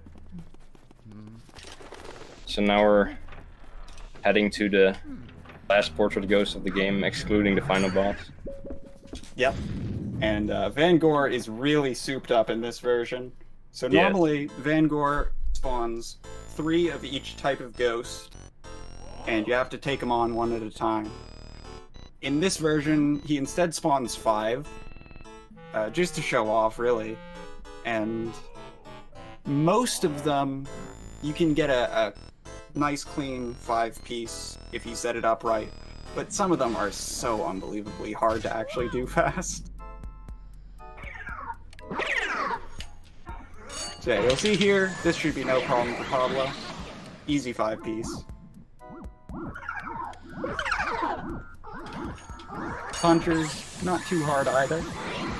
Actually, sometimes even easier than the Golden Ghost, just based on the positioning. It's so rude that you're getting these five pieces and it's spawning hearts, but the cutscene makes the hearts time out. Yeah, yeah, yeah. Now so you can one- do a five is feet on these, but it's Hmm. it was so hard to do consistently, so I just prefer burning them. Yeah, uh, no shame in that, I guess.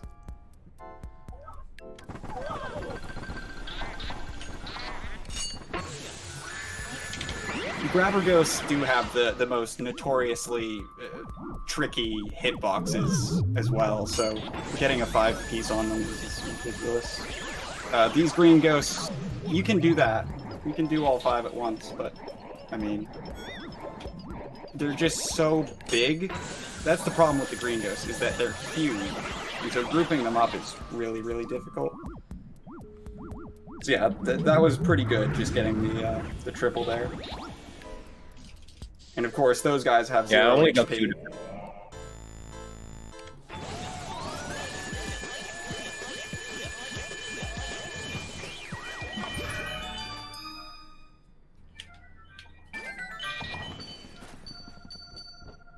So I'm gonna be trying to go for the uh, safe warp here. Yeah, so on the 50th boo, you get a golden diamond that spawns, and what that means is it pops out of your vacuum when you catch the boo, and so you get a save prompt immediately after catching the boo, so you haven't picked up the diamond yet. But you can do a tricky little strat to make it so that the diamond lands on you as the text pops up, and then you save and quit with the diamond in your hand, so you still collect it. Oh, nice. Yeah, you got it. So yeah, he gets that save and quit. Save and quits are always nice.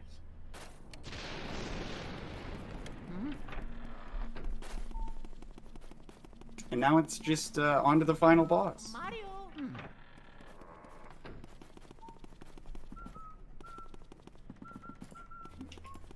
Actually, uh, didn't two cycle King Boo in the new uh, record that I got. So I hope I can change that now and actually get it.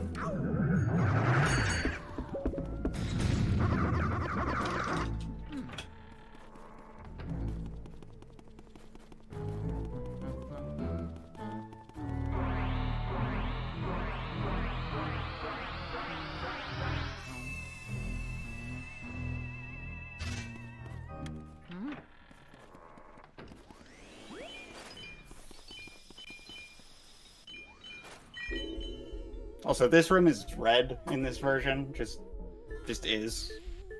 So that's kind of cool.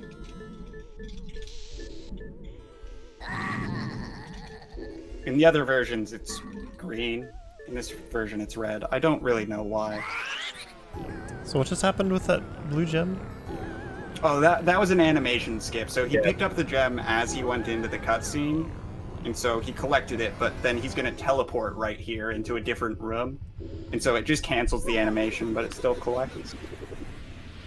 So yeah, it's just floating there. You can see, and now he has it in in his inventory, but he doesn't get the animation. Nice.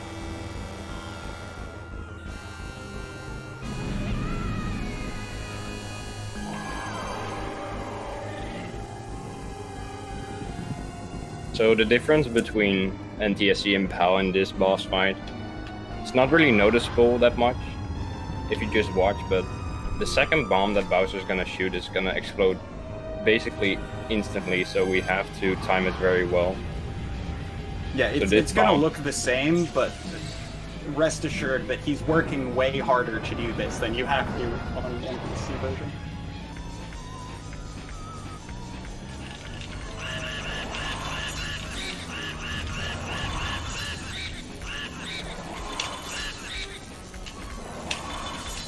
That's Yeah, not ideally we see a Q cycle here, but yeah, that's pretty high HP, so you gonna back out of it? Yeah, Yeah, no shame in that. So a fast three cycle is only, I don't know, 20 seconds slower, right?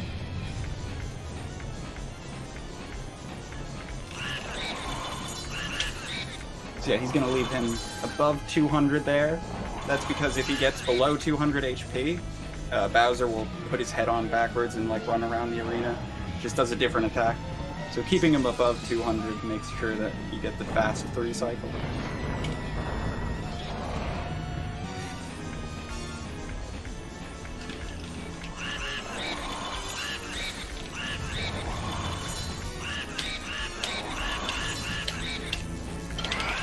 time. Oh. There you go. That's the run. That's the run. That was a, actually quite a clutch uh, three cycle there. that almost looked like it didn't Yeah. work. I thought I was gonna get crown theft too, at one point. Oh wow.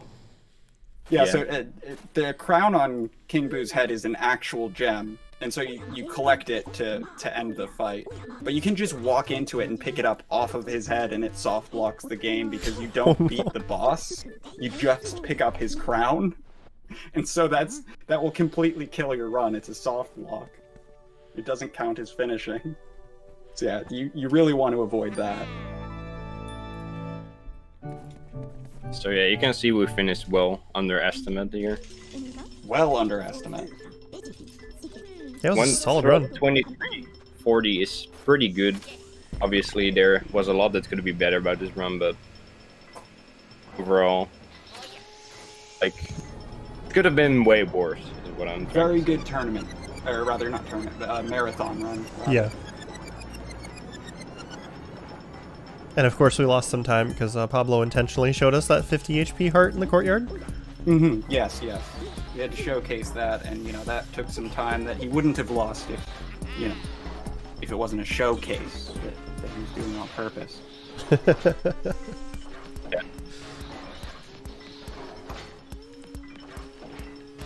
And he also, you know, he lost a little bit of time getting a sealed mouse first try. You know, you- collecting that money takes a lot of time, and uh, Are you okay with this, Skazi? You sound a little upset. you, you don't know the pain of max percent. Okay, you don't, you don't understand. You don't understand how bad that mouse is. I have sat for 15 minutes just rechecking that mouse over and over for one run. So now, the moment of truth. Moment of Need truth. 50 million total.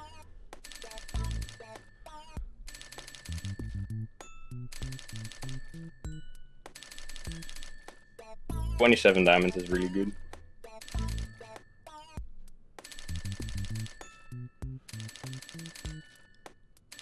Yeah, I was gonna be surprised if I didn't get that with all the RNG mice in Yeah, the world. absolutely, absolutely. Solid run. Yeah, my goal run. for It's over 150 million.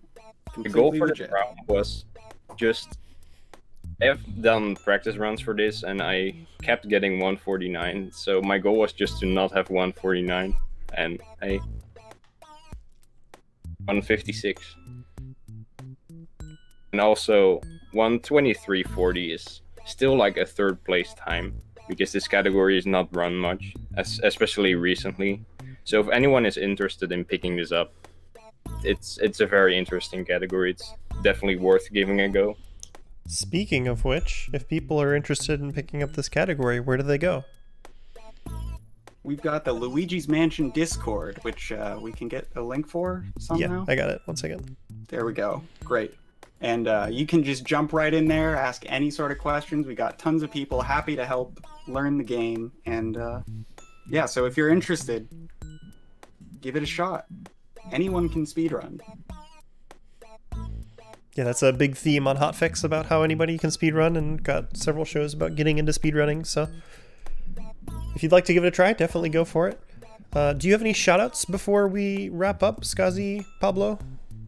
I would like to give a shout out to Blue Hits, who is the uh, the no out of bounds world record holder in this game, for you know being a, a big representative of the community. Shout outs to HD for being the uh, the head mod and, and organizing a lot of stuff for the game, and um, yeah, shout outs to all of you for watching, you lovely people. How about you, Pablo? Anything?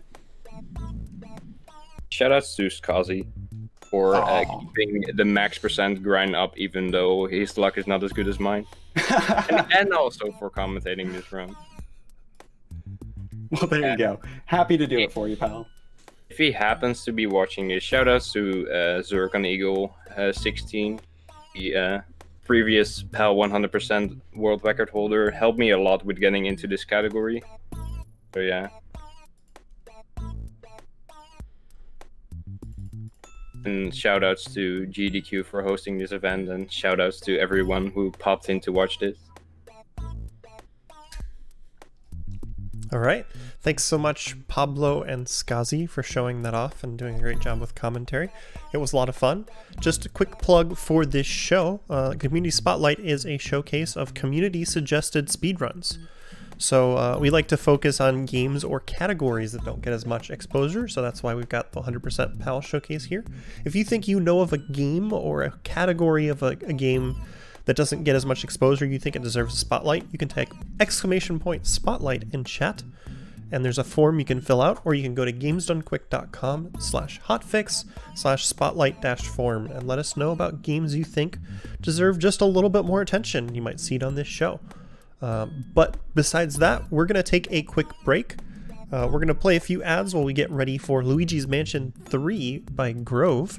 Uh, and if you are subscribed, you of course won't see those ads. If you got Prime Gaming or, you know, want to take advantage of September, you can avoid seeing those ads. And of course, Hotfix is funded in part thanks to your subscriptions and bits, so we would appreciate it if you consider subscribing. But we'll be right back with Luigi's Mansion after just a few minutes. Oh, Luigi's Mansion 3, excuse me.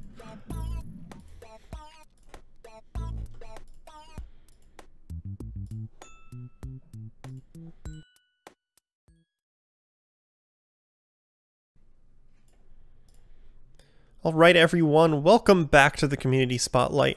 We just finished up our showcase of Luigi's Mansion 1 100% PAL, and uh, now we're showing off Luigi's Mansion 3. So this is kind of what I was talking about, showing off games or categories don't get as much exposure.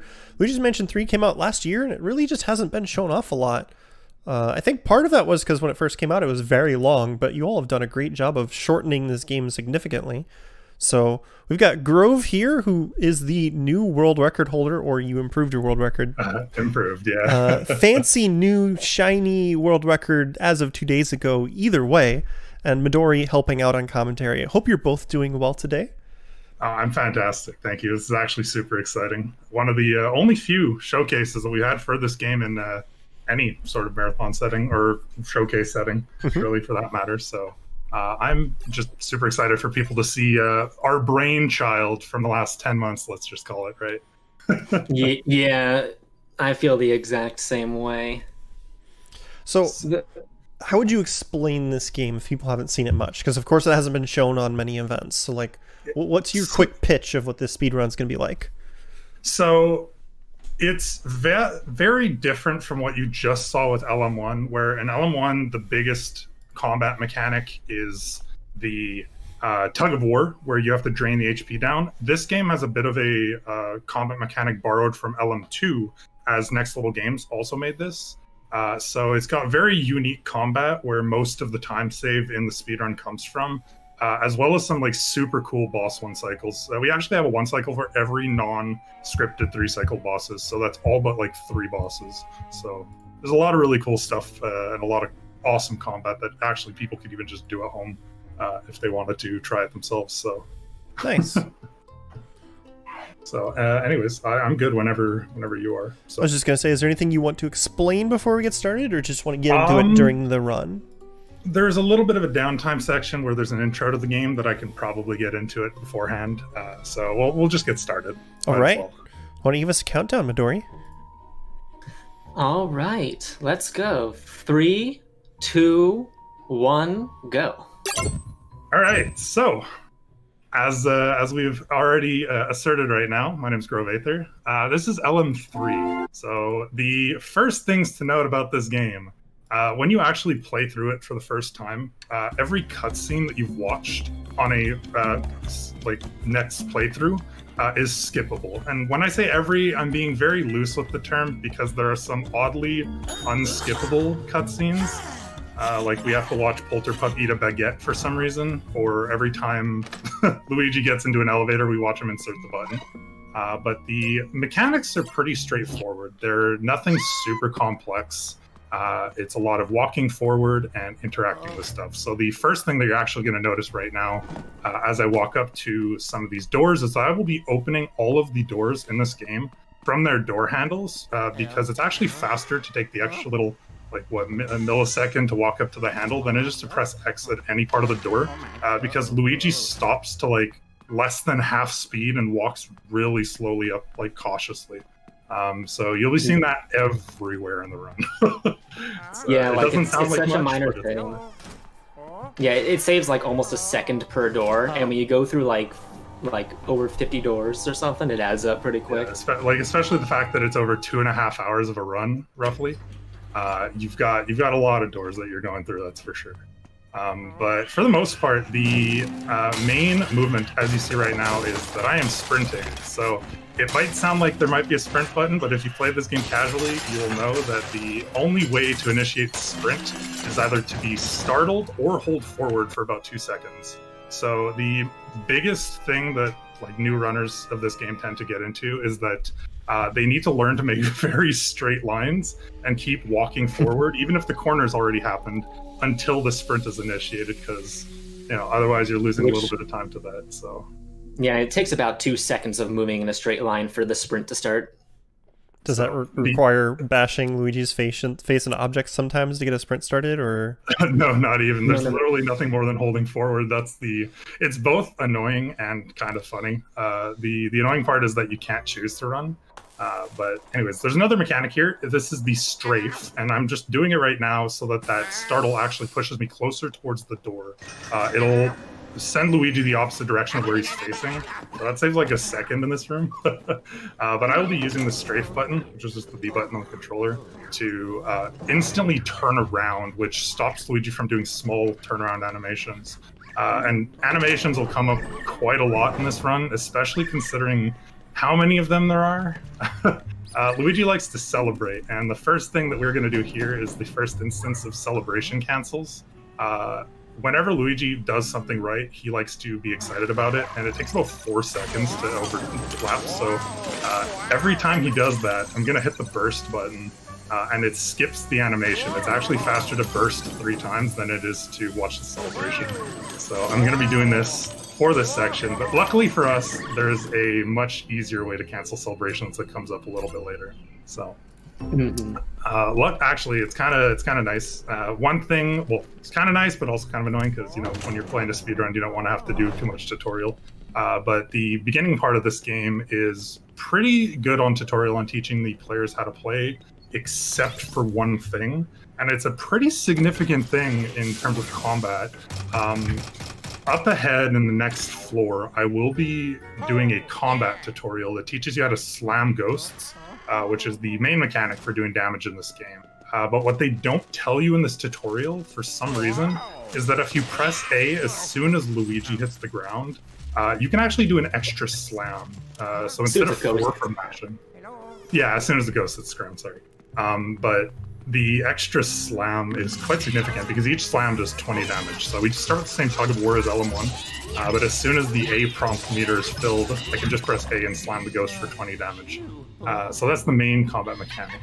Um, right here, uh, Goobs and all ghosts for that matter, when they actually spawn into the area, they're invisible. Uh, so moving in a specific way, uh, I can actually manipulate where they're going to go and get a double tether, which lets me drag them all the way over to the uh, desk where we have to get the key. Uh, and I'm going to overlap an animation of the burst with the start of the cutscene, so it just saves me having to wait to land. Uh, shout out to Structural Mike for his wonderful one second time saves. Every time I thought that this split was done, he'd find another weird one second. So, oh, also shout out to Midori for ruining my experience with RNG keys. So it pointed out to yeah. me a few months into running. if you want to explain how much time that is. Yeah. So in this game, for some reason they uh, they thought it'd be cool to have multiple key animations that Luigi can cycle through whenever he picks up a key. There are three key animations of varying speed. Uh, the first one takes about two and a half seconds to go from picking up the key to being able to control your character again, and the slowest one takes four and a half seconds. it's like quite a bit of RNG. We actually have a meme category called putt putt percent, which involves from a fresh file going all the way to score a point on a mini golf set on the fifth floor. Uh, and the only difference between first and second place is a singular like 0.5 seconds of key RNG. also, what Grove just got now was the slowest key animation. Yeah, which doesn't make too much a difference considering what the uh, problems are. But this is another one of those instances of being able to manipulate where the ghosts go. Uh, once I get to the later floors, it won't be as simple as manipulating these ghosts because as soon as there are over three, uh, it becomes a little spicy for the most part. Um, what I was saying in the earlier room is that ghosts, they're actually in the room even if they're invisible, and they have almost completely random AI, uh, which means that like at any, like let's say you miss a ghost, it has a chance to go anywhere inside of that room.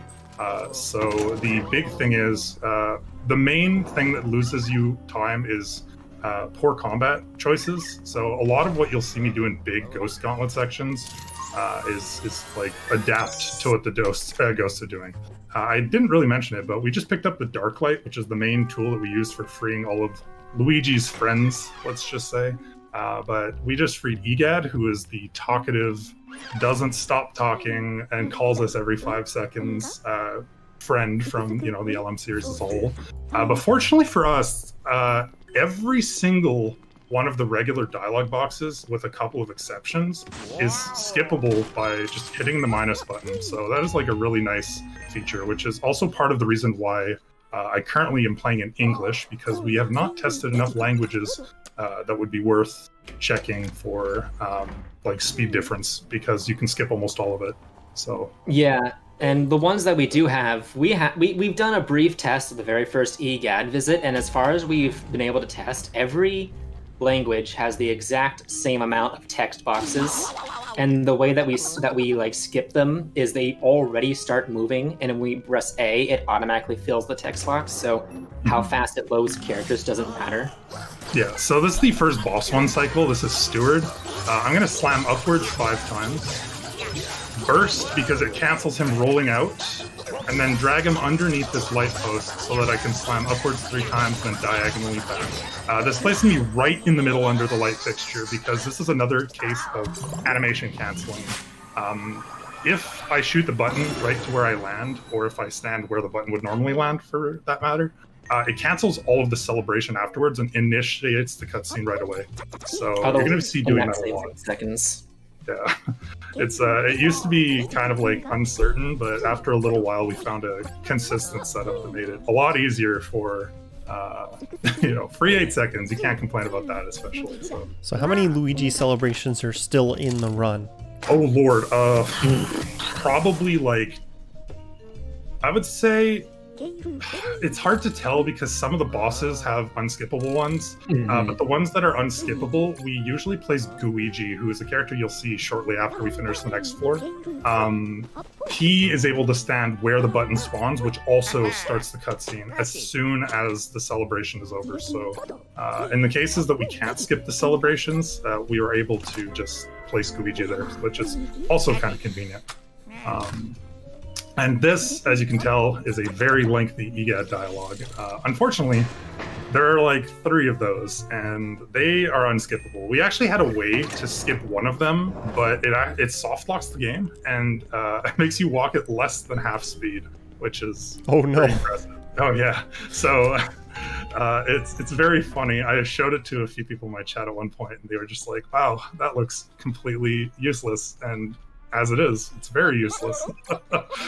The even sadder part about that, though, is that the game doesn't progress when you do that. It, Oh, it'll which just is- refuse load the future story events. Yeah, it's a really good point to, to make. The game has incredibly strict uh, story checkpoints, where if you don't do certain things leading up to the like the actual story element of the game, it won't progress that game, uh, the game up to that point. So let's say you skip the beginning portion of a fight, for example, in some of the areas, uh, you actually can't spawn the boss. And we've had a few things, uh, like theoretical time saves that would have been like over 10 minutes of time save, but because of that strict uh, story checkpoint, um, I guess not. I guess it's a flaw. Um, it just makes it a little bit uh, unfortunate. It would, it would have been it would have been a much shorter speedrun. So, uh, but yeah, we are moving up to the fifth floor. As you see, this is a wonderful elevator. I can move and call Mario in the elevator, but unfortunately, they're cleverly masked loading screens, so there's not much that we can do to speed those up. Um, and every floor introduction for the first time has a little bit of a mini unskippable cutscene. Uh, so these are two of the things that I was mentioning where sort of all of them are unskippable, but not really. um, so this is the introduction to the next combat mechanic. This is the plunger, uh, and the plunger is very useful for a lot of things. It lets us do some of the puzzles, but it also um, is the main way that you can skip celebrations. So luckily for us, holding out the plunger during any time that Luigi would be celebrating for a ghost fight completely skips the celebration. Uh, unfortunately, I didn't get early rat Midori. Feels bad. Aw. it's, a, it's a completely random thing where an object can fall off the cart and saves a second because it startles the rat early. Does that mean that the rat doesn't startle Luigi there, or Yeah, so it actually it, because the cart objects are rely, uh, tied to the physics engine. Uh, sometimes it can just roll off at the exact right spot uh, and startle the rat instead of having to have Luigi walk up to it. Um, so also, as you just saw, I can also skip celebrations by entering doors. So I'm going to be prioritizing doing that over holding out the plunger because obviously, uh, if I hold out the plunger, I have to watch the animation of firing it, which is slower than just entering the doors. Um, right here, we are onto Chambrea. This is another one of the boss one cycles. Uh, normally, you're supposed to slam her three times and then follow her to one of the other rooms that she goes to. But we're just going to stun lock her into the corner by slamming her over and over again. Uh, because they didn't realize that they added just enough time for you to retether and re-grab the boss. Uh, so fortunately for us, we can just do this over and over. We actually have two other methods of doing this, uh, but this is the most consistent. It's only about a second and a half to two seconds fa- uh, slower than the fastest version, but significantly easier to do. And Chambrea is probably one of our hardest one cycle tricks in the, in the game. Which is great because uh, the ones later on, those floors have some other shenanigans that are less than pleasant to fail. so, and almost all of it's combat related. So, um, anyways, we are done with this floor, and I will take this moment to briefly explain what we do before a run because it is very important to this, and we were getting up to the first example of it. Uh, so this game's RNG, to our understanding, and its physics engine are tied to an RNG seed value on game launch. And it sounds as weird as it is, the physics are tied to a seed uh, on game launch. Uh, and the reason why it's important is because Luigi, when he is startled by uh, like uh, flashing him with Luigi, which you'll see shortly, um, counts as an object in the physics engine. So uh, what this seed does is it makes objects fall off of carts differently. It makes coins bounce more or less.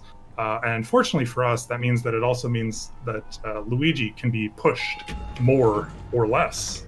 Uh, and you'll see very shortly, like a couple of seconds, what that entails. Uh, but it is the main mechanic and what ended up lowering the uh, time from like a just sub two hour, uh, sub three hour to like a two forty something. Uh, so I'm gonna put Luigi in this uh, there and Luigi in the corner, turn around, flash him, and push him out of the cage. Yes. Uh, Luigi can phase through objects. Um, it's not quite clipping. It's more he's squeezing into small gaps uh, in object collision.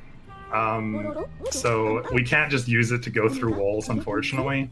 Uh, but it is handy because there are quite a few things that have gaps in their collision.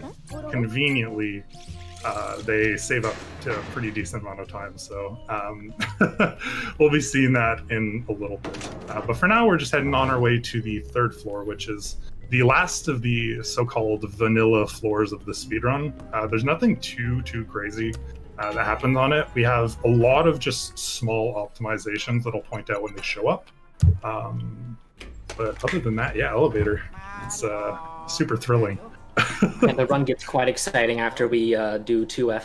Yeah, I like to. I usually like to say that the tutorial for this game lasts until this at the end of the second floor, even if there's nothing really taught on the second floor. It's because after that, from fourth floor onwards, it starts to get uh, very visibly uh, non-intended, or at least a couple of the floors. Uh, at least a couple of the floors. So, um, for the most part, go ahead, Vidor. I'm gonna, I'm gonna say to the point where uh, um, you can't really see it right now, but we are playing on patch 1.0, which is the vanilla version of the game. Because in the current version of the patch 1.4, they've actually patched out a couple of our tricks. And made the game uh, a little jankier, which I didn't think was possible because this is a Fiesta most of the time. Um, the biggest thing is that on 1.4, sometimes slams don't do damage, which. Uh, Wait, what? Yeah. Isn't that so like one of the main mechanics of the game? Is the? Exactly. we, our thoughts exactly. So slams on 1.4 sometimes don't do damage, and they for some reason made one of the boss's hitboxes invincible uh, when they didn't need to, because it's already a pretty tough boss casually for new players. Uh, but now it's like completely RNG on 1.4. Oh, that was a weird turnaround. So Yeah, this it is feels the like first. Oh, sorry. Uh, this is the first unintended thing. I'm gonna walk around this table. It skips checking if that was the right door, and then I'm gonna drop Luigi. Uh, for some reason, Luigi standing in front of that one skips that. So we just don't check which door is the right one because they just don't trigger. Uh, next, this is another small thing that is kind of nice. Hopefully, it works. Uh, I'm gonna hold out Dark Light and walk backwards into this cash register which it did not work this time. Sometimes it spawns the ghost right in front of Luigi, which is convenient. It just takes a couple of, like probably a second at least. uh, so nothing too major. As I was saying, this floor is pretty vanilla in terms of the tricks that we use.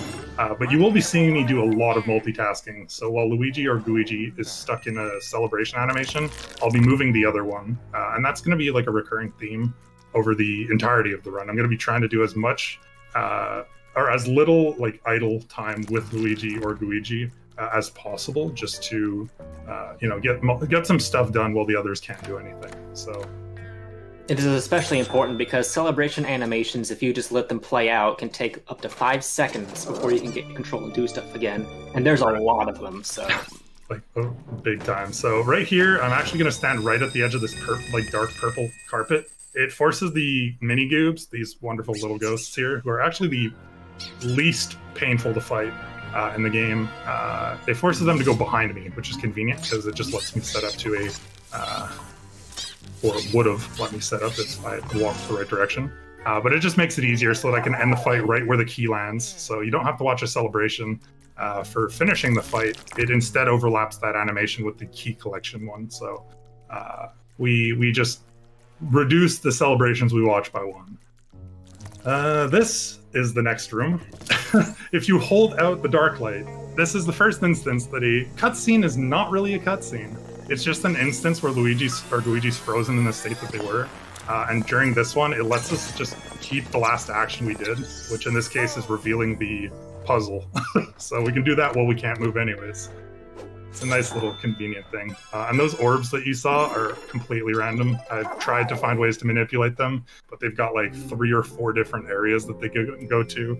And uh, it's no matter how many times I try, it's just reaction based, where, you know, story of my life for this game in a lot of situations.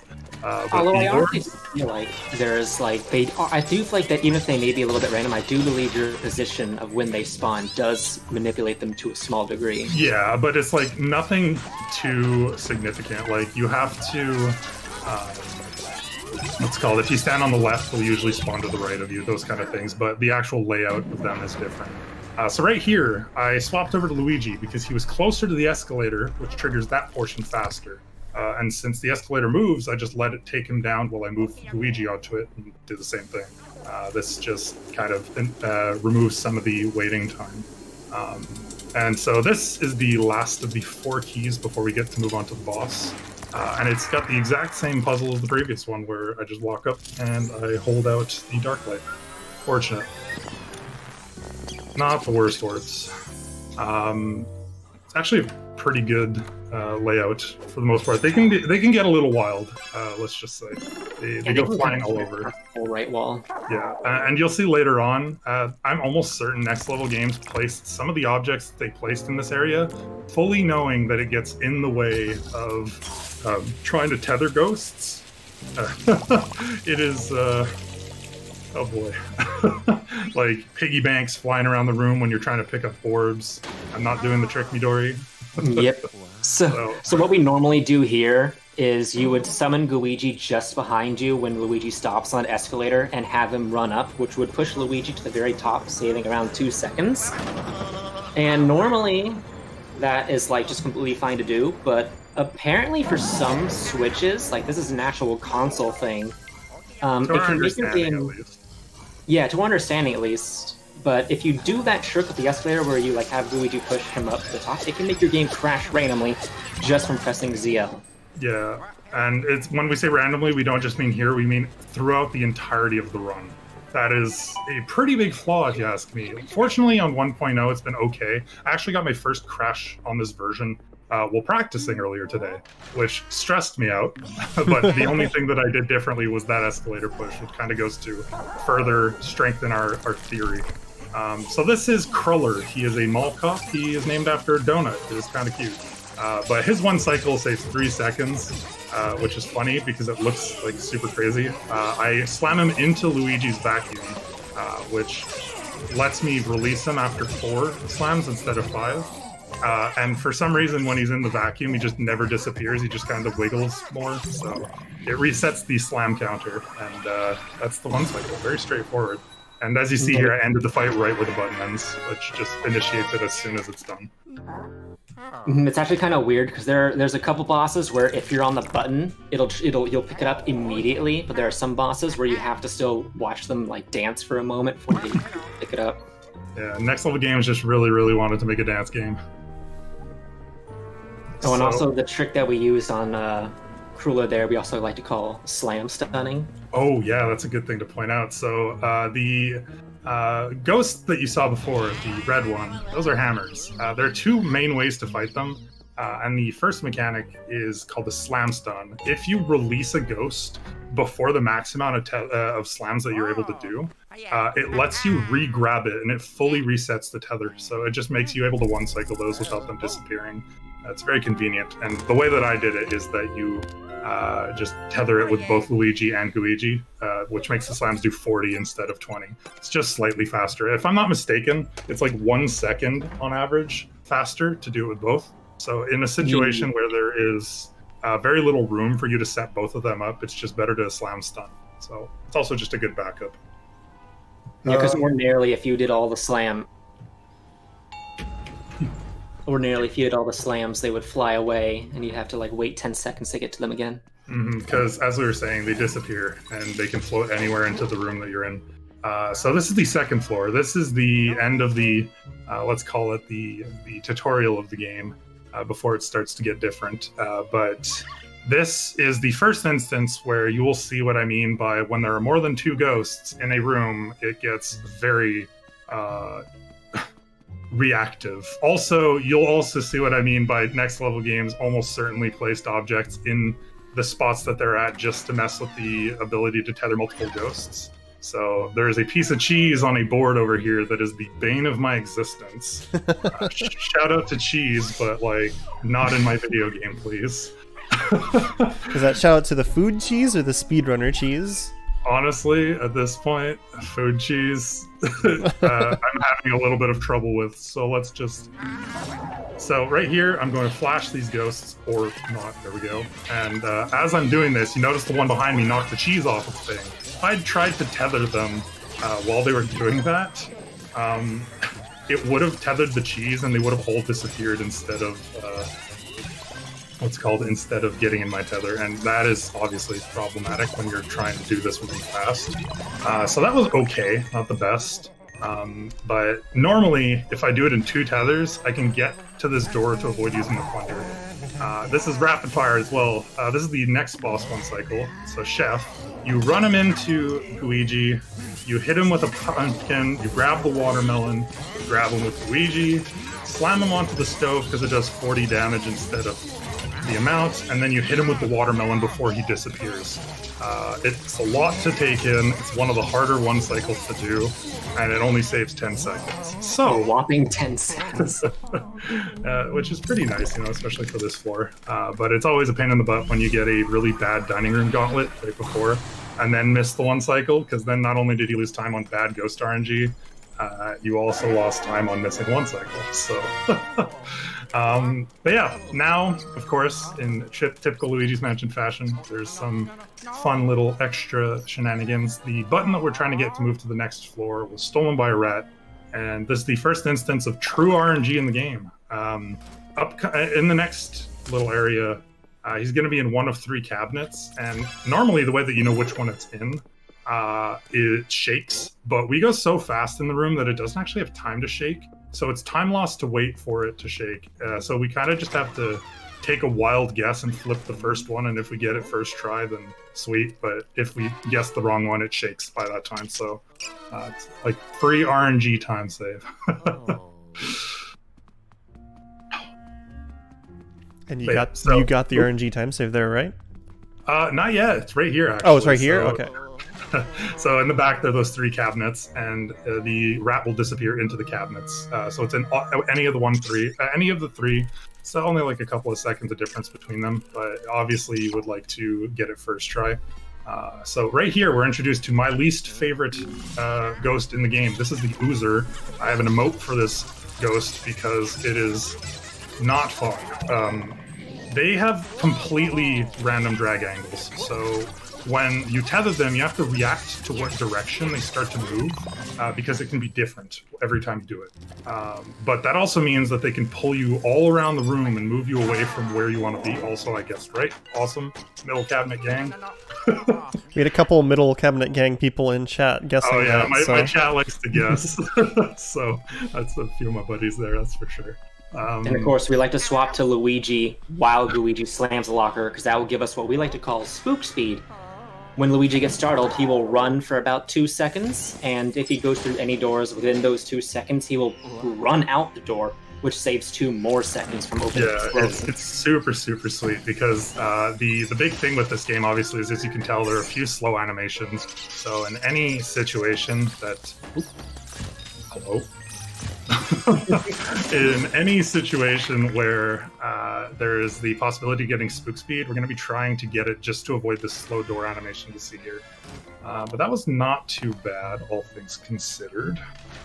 It's actually been funny because a lot of our optimizations and speed the last couple months for this game has just been finding spook speed spots. Yeah, so fun little tidbit while we move to the next area. Uh, the world record for this game at the beginning of this year was just sub two hour and 30 minute.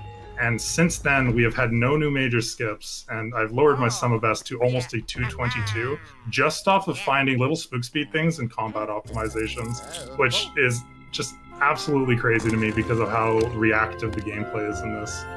Uh, so we are moving to the fourth floor now, but before we do that, EGAD wants to teach us that if we are Weenie Hut Junior Strap people, we can buy gold bones to. Uh, it's like the one ups in this game, but uh, unfortunately, you have to buy this one. There's no way to skip it. Uh, which is, you know, right now it's handy, gives us a bit of a safety blanket for the final boss of the game. But if we had a way to use this that skipped something, uh, you already know that I'm throwing that away at the, like frame one.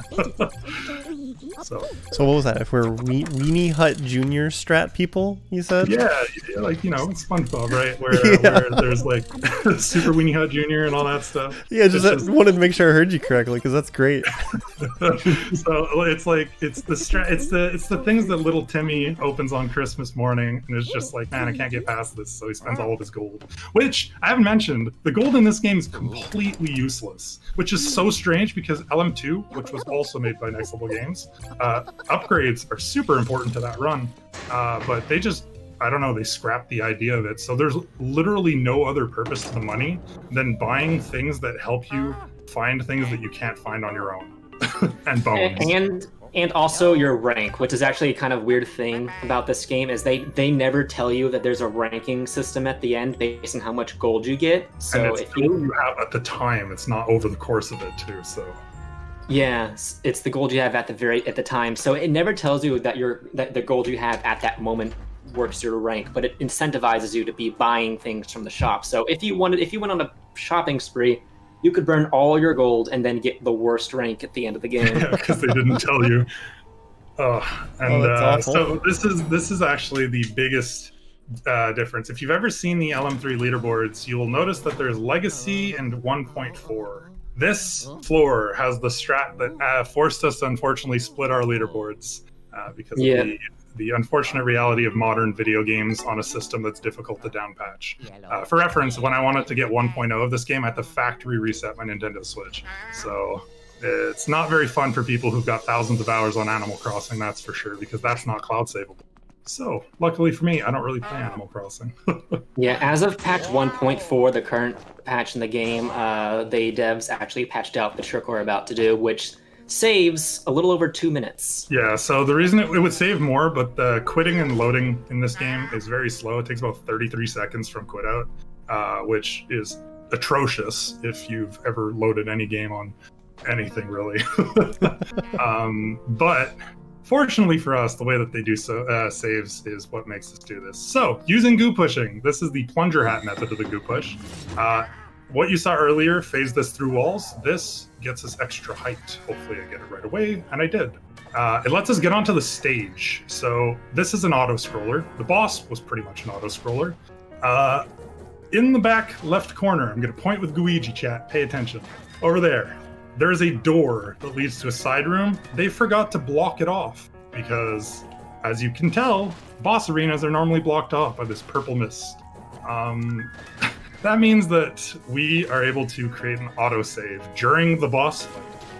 Uh, the game doesn't really like that at all, um, for that matter. uh, so it just doesn't really know how to deal with it, and it kind of creates a little bit of confusion. And you'll see what I mean when it happens. Um, It's very entertaining. So for now, I just have to wait for these chairs to all go away, and I'm gonna stand in a very specific spot to manipulate where the goobs go. Just it's the easiest way for me to set up for the trick after. So I'm gonna stand right here, skip the cutscene, burst, which reveals that oh, auto target. Thank you. Another wonderful feature of this game. Yeah, for some reason, uh, if you're near uh, a, a ghost or any kind of pest or anything that can react to you flashing it, um, if you're close enough to it, you could be facing like to the side of it, but the game will automatically make you move to face it and flash it. All right, hold on a second.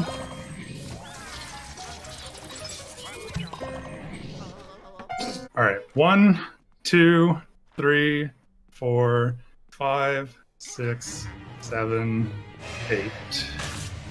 Oh, that. Oh, I did it. Okay, I thought it was a second early there. So you heard me count to eight. Uh, I have to do it out loud because uh, my chat will also concur. Uh, I am terrible at counting.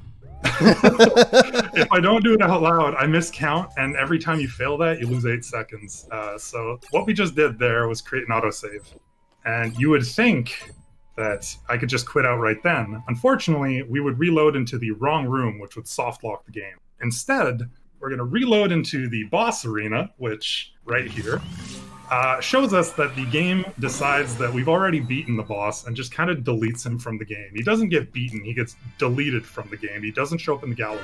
So uh, the game thinks that the only way you could have actually fought the or quit out of the game there and save the game is after fighting the boss. So it assumes that you've already beaten it and gives you the button for free. Um, that saved two and a half minutes, believe it or not, because otherwise you're standing in a corner waiting for it to be your turn. Uh, now I'm less stressed because if you fail that, you hard lock the game and lose the seed. So Yep. You have to. The only way that you can get out of that if you uh, hard lock it, which is if you enter the room too late, late. I believe. Yeah, I believe late, and uh, oh no, early, early because I believe. yeah, yeah. You're right. Uh, late starts the boss as normal. So But if, if you mess it up, then the game will soft lock because we skip the cutscene. We have to skip it before Luigi completely enters the next room. And if he does, it will deload the cutscene. And if the cutscene is playing during that deload, then it just freezes, and you have to quit the game completely to get unstuck. you got a sick view of a of a beige wall until you quit out. so fortunately for me, this that trick was the one reason my estimate's so high. Chat, that's for sure.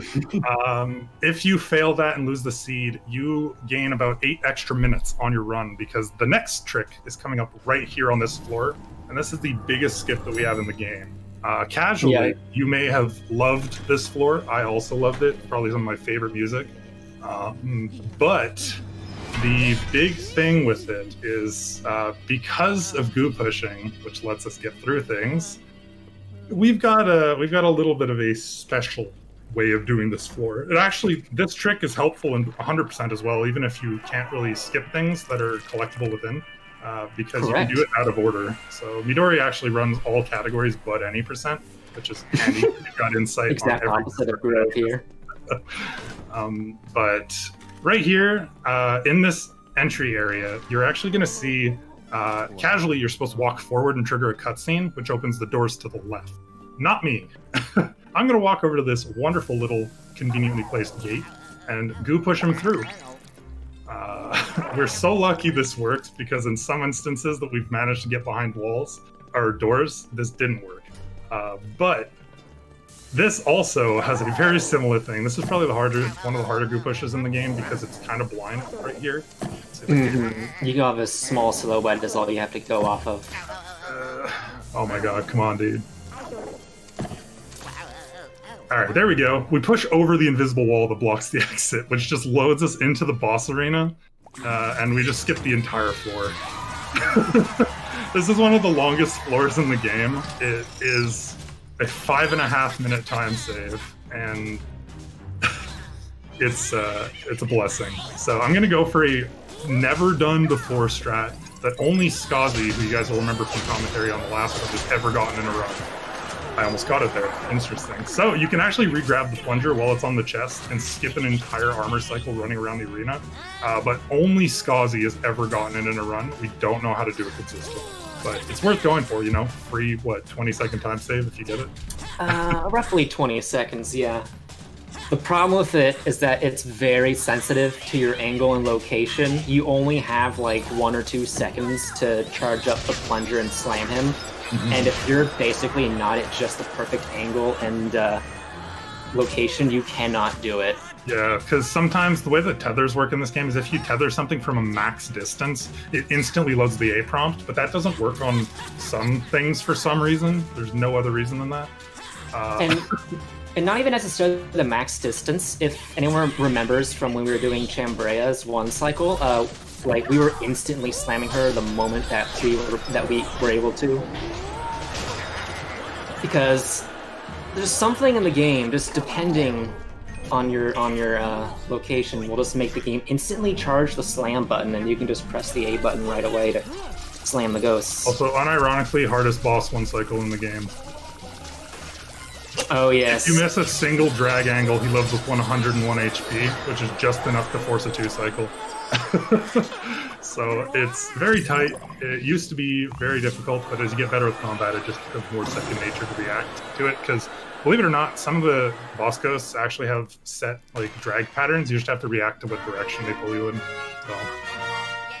Anyways, I placed Luigi at the end there. As you saw, that's another instance of me instantly triggering cutscenes after a celebration uh, which is nice. But yeah, that was the entire sixth floor, and we did none of it. this uh, this was the trick that pushed us almost sub Dark Moon, which was the meme for the beginning of the game. As you always wonder which which game's going to be faster, if the new one's going to beat like the predecessor. Uh, and this goo pushing and this strat specifically were the one that got us real close. And as of right now, we are sub Dark Moon. So shout out to And the Dark what's- What's actually funny about that whole thing we just did of clipping through the gates is that for the longest time, when we did 6F normally, there was this one trick that was really hard and inconsistent that we call the spike skip, where there's a oh, set of Oh, spikes that we have to try and hop over by damage boosting. And it, Can I just just could never interject real quick? never HG get found a consistent strap for it, and 15 seconds later, it was invalidated by that skip. yeah, we finally got it to work consistently all the time. And like that same hour, we found a way to skip the entire floor. Oh no. Yeah, so it was originally theorized. Shout out, first of all, huge shout out to Rubber Toe 64, who actually found like a ridiculous amount of things. Him and the Hunter Hack, was a previous runner of this game and uh, one of the older world record holders, they accidentally found goo pushing when Rubber told him to try something and Hunter misunderstood and tried something completely different. So shout out to those two because they accidentally discovered the one thing that made this game no longer just a fast casual playthrough. um, And then a little bit later, that's when we found out that that goo pushing trick relied on the seed because Hunter kept saying that everything he was doing with it was completely easy and free, while others said it was hard or impossible. And then the next day, he couldn't get it a single time in a seven-hour period of time. And the only thing Mm-hmm. he'd done was launch super. Uh, was like I think he launched like Mario Maker or something, and that was the only thing he'd done differently from the day before. So, So how do give you us an idea. How do you control which seed you get? Uh, unfortunately, uh, we don't actually know what generates a seed. Uh, we've had a couple of people try to figure it out, and I've personally done a lot of stuff trying to figure it out. But right now, we have to brute force it. So that crash would have been run ending in any other situation, and that's why the estimate's so high. Because uh, the seed, the only way you can do it is by trying out one of the tricks until it works, and then when it works, you know you've got it. It Oh, sounds as bad as it is. So you just But- have like a save for- that's made for that, and you just test it. Yeah, so there's a couple of spots that the tricks 100% of the time don't work unless you have the seed, uh, which fortunately for us means that I just need to keep doing it. Uh, but another nice thing is, so long as you don't close the game to the switch menu, like the switch home menu, uh, you don't lose the seed. You can sleep your switch, can do anything. So you can prep it way beforehand. Uh, but that was also part of why I was so stressed out before this run. I crashed earlier today, which means that I lost my seed that I'd been sitting on for about a month. Because I don't play any other Switch game really. Um, and that meant that I had to hunt for one, and it took me 40 minutes to find it. Oh no. Yeah, the seed can take anywhere from two minutes to like two hours if you're really unlucky to get So to. Oh, it's, no. it's so unpleasant for some people that we ended up making a no major skips category, which just bans the tricks that use goo pushing. So if anyone ever wanted to not deal with that, we do have a no major skips category, and I set a record for that yesterday, which is hilarious because both of my practice runs this weekend PB'd and got new records. So I'm telling know you, you real, also the got a good luck. I'm telling you. I didn't know you also got a record in a different category this weekend. What? yeah, so I, I was like, you know what, I should probably do. Oh, well, that's a mistake. Nice. Oh, Uh. I was like, I should do some practice for the other category just in case, you know, because if I crash, I need to know how to do the other floors that we normally skip. Uh, fortunately for me, I didn't. Uh, but in that practice, I ended up PBing by like two and a half minutes. So, okay. All right. Well, I will show you slam stunning because I keep spaghettiing everything. So I'm going to slam three times, press ZL to release, uh, and then re-grab him, and that's as simple as that. He just never disappears. And that's it. Normally, I go for a double tether strat, just saves like one or two seconds over this, but uh, unfortunately, I despawned Gooigi. Oh, which is another thing to note. Nintendo added system-wide button remapping. Oh my god, the biggest blessing for this game. So the original hotkey, or I guess keybind for uh, spawning Gooigi and swapping to him is pressing down on the right stick. But Oh, the no. problem with that is the second you press a directional input on the right stick, it stops you from sprinting. Uh, so if you tried to spawn Gooigi while moving, there were chances that you lost sprint speed, which was just enough to like be a, super annoying. So with button system-wide button remapping, uh, I've actually just got Gooigi sitting on my left bumper, which makes it so much more comfortable. Of course, like play is comfortable for you, but I 100% recommend anyone trying to pick up this game to not use the right stick. Do it for your sanity's sake. Um, so right here, I'm gonna actually manipulate the ghosts that spawn. Uh, I really hope I don't get the gas cloud, and I did. So this thing is completely RNG. At least I get to show you guys. Uh, I am panicking a little bit on this. Uh, completely randomly, the game can spawn a like gas or dust cloud that breaks tethers, and in small rooms. If it breaks in the middle of the room, you literally cannot tether ghosts until it's gone, and by then they've disappeared. Yeah, it causes Luigi to sneeze. Yeah, and the, this trick, this room is like the first instance of it being annoying. But later on, uh, on one of the bosses, uh, she, her like the things that she throws at you actually have a chance of spawning it, and it's like a ninety percent chance. So if you don't uh, hit her before she throws something, as soon as you hit her, a gas cloud will spawn. And you have to react and spawn Luigi because he can tether people during the dust cloud. Um, but speaking of uh, annoyances, this trick up here that is coming up is aptly named the Kobe Soft Lock. Shout out to Kabasco in the chat. I know he's there. yes. It is nicknamed the Kobe Soft Lock because when he showed it to me, it was just enough time save to be worth going for regardless. But if you screw it up, and it's pretty much random, uh, it's, well, it's not actually random. It's semi-consistent, I guess is the easiest way to say it. Um, you slide off of an invisible wall, and the camera doesn't pan, which means you can't enter doors. So I have to quit out and reload it from the save. So hopefully that doesn't happen. But it is fun to watch. It's a very clearly unintended strat. Uh, as you see here, all of these vine swings, we are going to hopefully skip every single one of them um, because they're slow. So first thing first, lower this. I'm going to lower more for good measure. And then I'm going to goo push Luigi over this and not soft lock, and then walk on an invisible floor and fall into the death plane revive for the Venus flytrap. that saved And- like 15, 20 seconds when we found it, which was nice. And the reason why we pull that leaf at the start there is because if you try to open up the Venus flytrap without doing that, for some reason the cutscene just never plays and you soft lock. Actually, we debunked why that is. This game, this floor specifically, there was a strat that almost saved four minutes on it. But unless you watch every single cutscene in this game, uh, which includes lowering that vine for some reason, uh, or in not in this game, in this floor, uh, it actually just doesn't load the final cutscene, which is the one that spawns this boss. And it's Yeah. super sad because we can skip every single one of the cutscenes leading up to the top of the floor, but because you need to watch all of them, it doesn't actually save any time. Yeah, for some reason this floor is really sensitive on the order of Ooh, is events. this gonna work? Oh, thank you. Okay, so if you let Potter break free on his own, he just doesn't disappear. That's the other boss one cycle. I was yeah, I was too heated in the discussion about the soft lock that I just realized uh, that I forgot to explain this. But Potter's one of the most annoying bosses casually. He's got just really annoying mechanics. We don't have to see any of them because uh, he just decides to forget to run away after we let him break free. what the heck? Yeah. That's so Uh, weird. this was actually found by Banana Nana, who I believe ran LM2 for the last showcase that we did. yeah. And when he sent it to us in Discord, I was like, wait, you mean all I have to do is hold the right trigger and just wait for him to do his thing? And he was like, yeah, that's pretty much it. So that saved 40 seconds, believe it or not. Sounds like a real hard skip. Oh man, it's one of the hardest, if not, it might be harder than the, four, the 13th floor, right, Midori?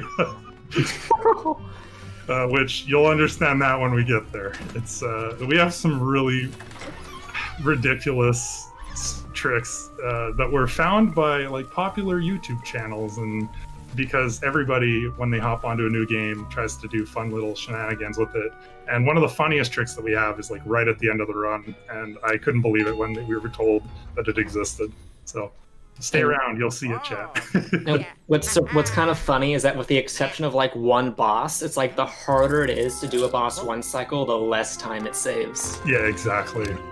Which is super weird. Uh, also, a fun little tidbit about boss one cycles every single one of them is different.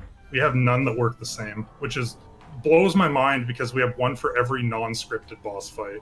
So the fact that each of them has a way to, uh, like, I guess, s- not necessarily sequence break, but just like doing an un- unintended boss fight mechanic. Uh, the fact that none of them work the same is the biggest mind boggle.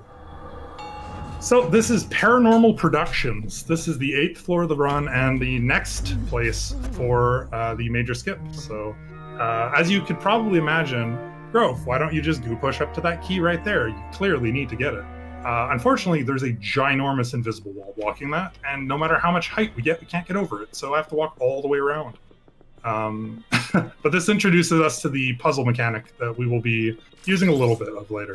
Uh, so entering these TVs brings you to the exit portion of the TV, uh, and that will be used for the next puzzle. So uh, casually, you're supposed to get a bucket, fill the bucket with water, bring that bucket of water to another scene, grow a plant, you know, yada yada, and story goes on. Uh, but fortunately for us, uh, Next Level Games forgot to add a cooldown to the recoil from shooting a plunger, which means that if I hold the right trigger, uh, it'll actually just suck with the vacuum vertical straight up, which lets us like sequence break half of the puzzle. So right now I'm just setting up for it, and hopefully I get it first try without any difficulty because it is a trick that is a little daunting for new runners, uh, and it's kind of one of those things that you need to have a feel for, otherwise you will screw up a lot of the time. And the backup for it, ironically, the backup is like the beginner method, and I've never learned it because I discovered the way that I do it uh, and never learned the original method.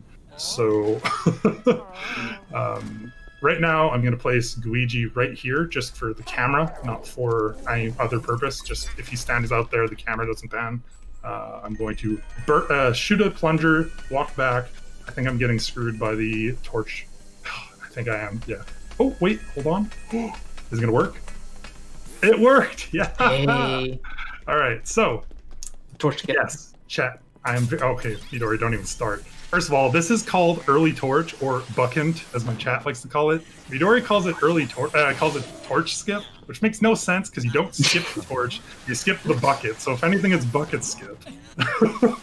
Anyways, uh, what happened is the torch got stuck on a little piece of collision on the floor, And uh, the failsafe method for this game, when it's with like key items that are required for the puzzle, uh, it just warps it to the closest ground, and the closest ground supposedly is right next to where Luigi's standing. So it just teleports through the floor altogether. Um, uh, that's Yeah, the reason why- two and a half minutes. Yeah, it's a decent amount of time, and it seems to happen because, like, if, if you ever try to, like, push the torch out of bounds, it'll always warp right next to you. So it's like that spot that I get stuck in seems to just count as an out of bounds area that is impossible for you to get. So the game just throws it right next to you. So this is one of the couple of uh, longer sequences of fights on this floor. Uh, the th- reason the skip that we did before saved so much time is because there are two other sequences like this that I have to do uh, otherwise. So fortunately, this isn't one of the tricks that requires the seed. So if I had, for example, crashed and lost it, uh, I wouldn't have lost all the time. Um, but it is still like there's there's so much weird time save that doesn't actually look like it would save very much, but in retrospect actually saves a ton, and that's one of them. Um, so next up, we didn't really explain it, but uh, the whole purpose of this floor is Morty. He's the boss ghost. He doesn't want to fight us. He just wants to make the sickest movie he's ever seen. Uh, problem: he lost his megaphone, and what kind of director is a uh, is one without a megaphone? So our whole purpose on this floor is to get it, and there it is. Um, there's a trick that I used to go for that launches this across the room, launches the megaphone across the room. The problem is, uh, it got stuck on top of the roof once, so I no longer go for it. Yeah, uh, Like inaccessible stuck? yeah, like inaccessible stuck, and it takes like 40 seconds to despawn, which is so long to wait for it to just land.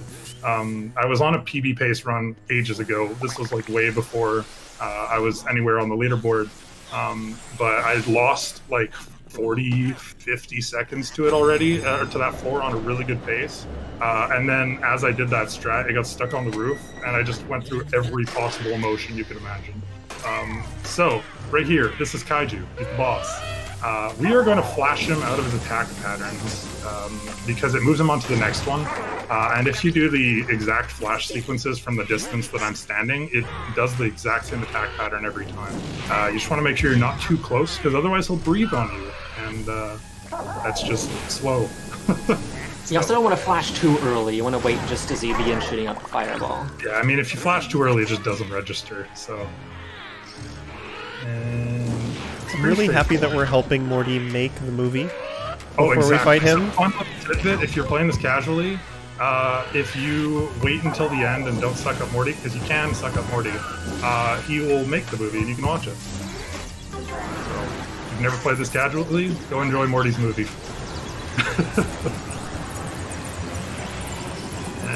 and also, I'm not sure if mashing actually does anything here because I've tried mashing as hard as I can versus just pressing it leisurely. Save your stamina. I'm pretty sure it does nothing.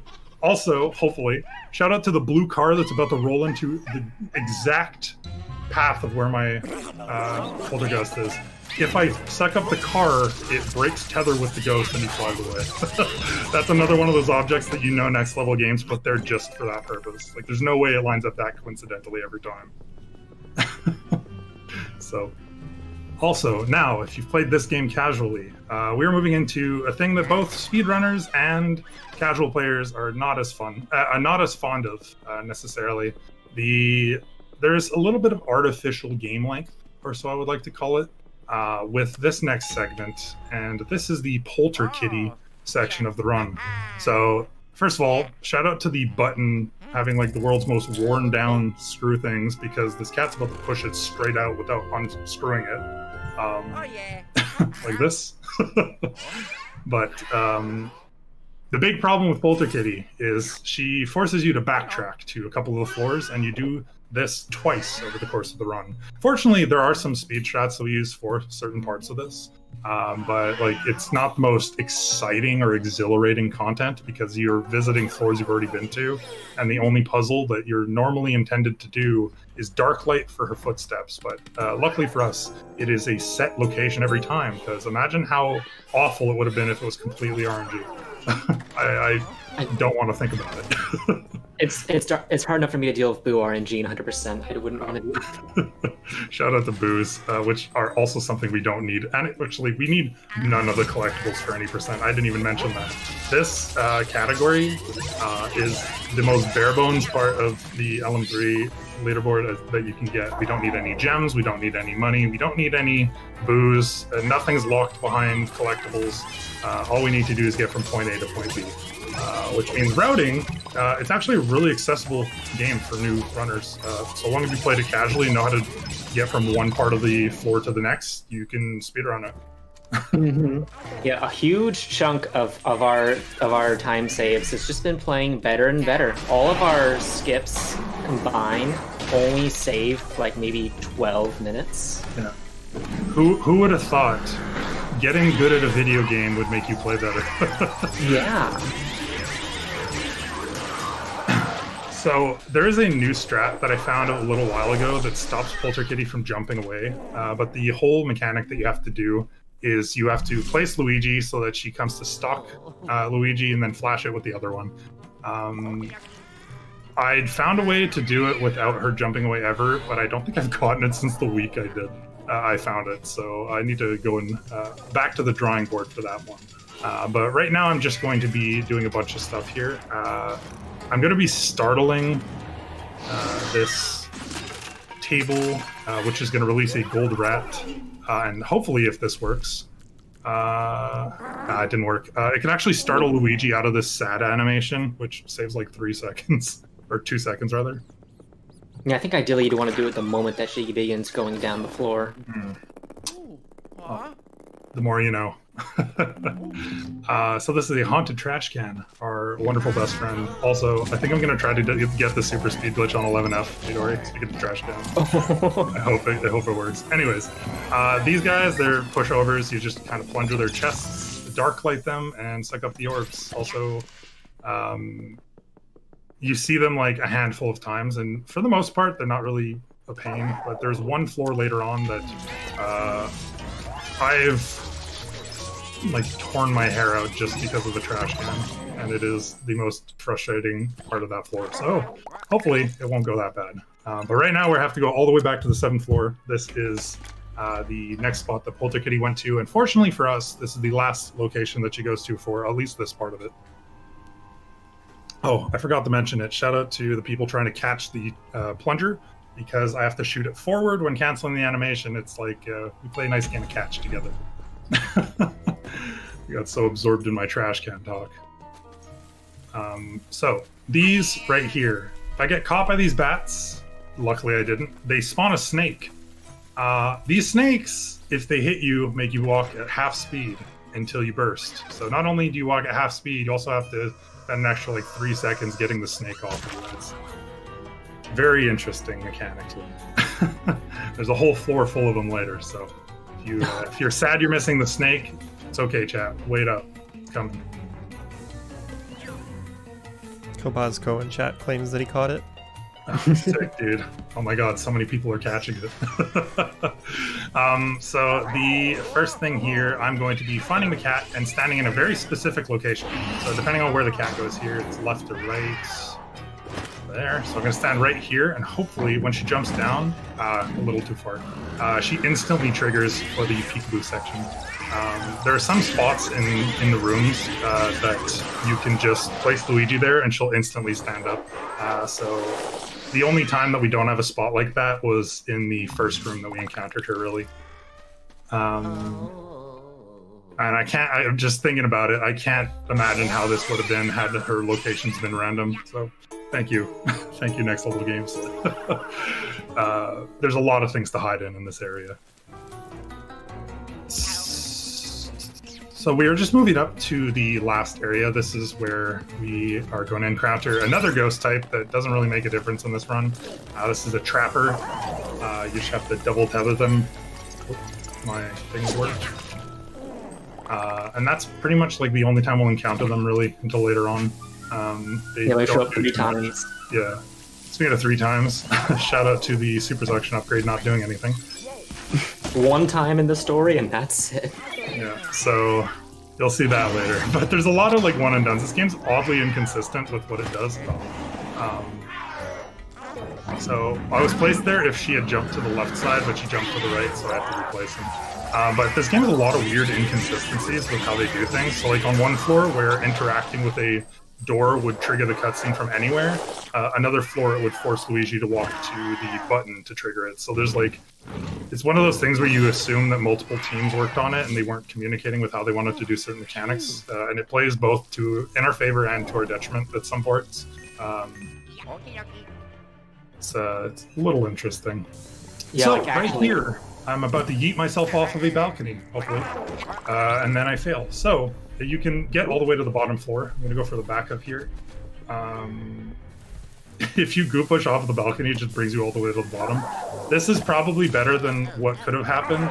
Uh, if I do it wrong, I can actually soft lock inside of the tree. Uh, I'm gonna try the other side. the other side's easier. Uh, but this trick actually saved 35 seconds when you found it, because walking down the tree again is obviously slow. So if I can do this from this side. Ah, there we go. Oh. Or not. Yeah, it's very weird. You know what? We're Collision there. walking around weenie strats, guys. Ugh. Luigi needs the exercise anyway. Yeah, exactly. He's gotta, he's gotta run it off. That's okay. It's like the more times I tried it, it would just lost more and more time. We would only be saving like an extra like four seconds or five seconds over walking around normally, anyways. Uh, but that's fine. Doesn't look as fun uh, unless you get the full strat because you just launch all the way off the balcony, and next thing you know, you're down on the floor. Uh, if you get enough of a launch, you can actually just land right in front of the, the door. so Yeah. Uh, anyways, now we are moving on to the ninth floor. Uh, this is one of our not really floors, I guess. It's there's a there's a kind of lackluster amount of content on it on the first visit. Um, it's It's there- literally just uh, a straight like, shoot to the boss. Exactly. So the same thing as the fourth floor, which was our first non-floor floor, uh, if you will. The whole purpose of this is get to the floor, fight the boss, leave the floor. So it is one of the shortest segments in the run. It's like four minutes long. Uh, and the only reason for that is because the boss is done in two phases. So it's like there's no puzzle to solve. There's no crazy uh, like uh, keys to obtain. This is pretty much just run in, uh, get a fun night at the museum reference, and then leave. Uh, which I will point out very shortly. It's actually kind of cool. And and actually, even going back to the whole multiple teams have done different floors, which led to some inconsistencies, is just like how the fourth floor is just the boss, and we completely uh, skip him. We can do a we can like go through the motions of beginning to like do something similar to this boss, where you can go, save the game and uh, quit out. But if you try to reload that file, it just completely crashes the game. Hmm Which is the weird inconsistencies all over the place, man. Um, so this is uh, Dino. He's the first part of this boss fight. Uh, phase one and two, you pretty much just hit him with these eggs. In phase three, he's gonna break free. Uh, so I'm gonna place Luigi here and bait the breath over here so that he breaks this whole thing. So now I'm gonna grab a bone and shoot it to break him out of these phases. So hopefully he doesn't break me. He didn't. Oh, he did pop me. Um, so you can actually avoid getting popped there, uh, which is just convenient.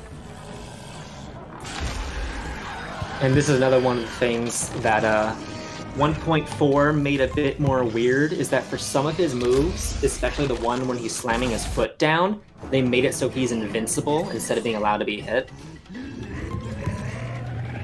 All right, good RNG there. Uh, so this is Ug. He's the second part of this boss. Um, he can do a little slam twice. What you want him to do is a big slam. Uh, luckily for me, he only did one little slam. Here he's going to do one, hopefully not two. All right. Uh, the best RNG, which I got recently, I'd never seen it before. Uh, he can actually just do like no slams at all and just instantly get uh, to the part where he's vulnerable. Uh, but that's okay. We got pretty good RNG on this. So Yeah, he can do up to two slams before he does his uh, big boy slam thing. yeah, it's like we we have no real names for any of their attacks. They're just kind of like hit and then hit harder. There's uh, lose time and lose more time, honestly, depending on the strat and the boss. Um, but that was it for the floor. So this is one of many toads. Uh, the first one we saw was on the fourth floor. Uh, fortunately for us, this toad's pretty cooperative. He doesn't really do much, uh, but there's one other toad that's going to be coming up in the near future that uh, we have a nickname for. Mm. It is. It's not like a bad nickname. His name is just Greg, but we needed a name for the toad to divert our anger towards. so we name him Greg. Shout out to Greg the Toad. Also, as you'll notice, when Grove was putting the toad to the elevator, he went straight to the button. That is another big inconsistency because there are three toads we save across the game, and for two of them, you can press the X button anywhere near the elevator and it will trigger the cutscene. But for that specifically, you have to go to the button.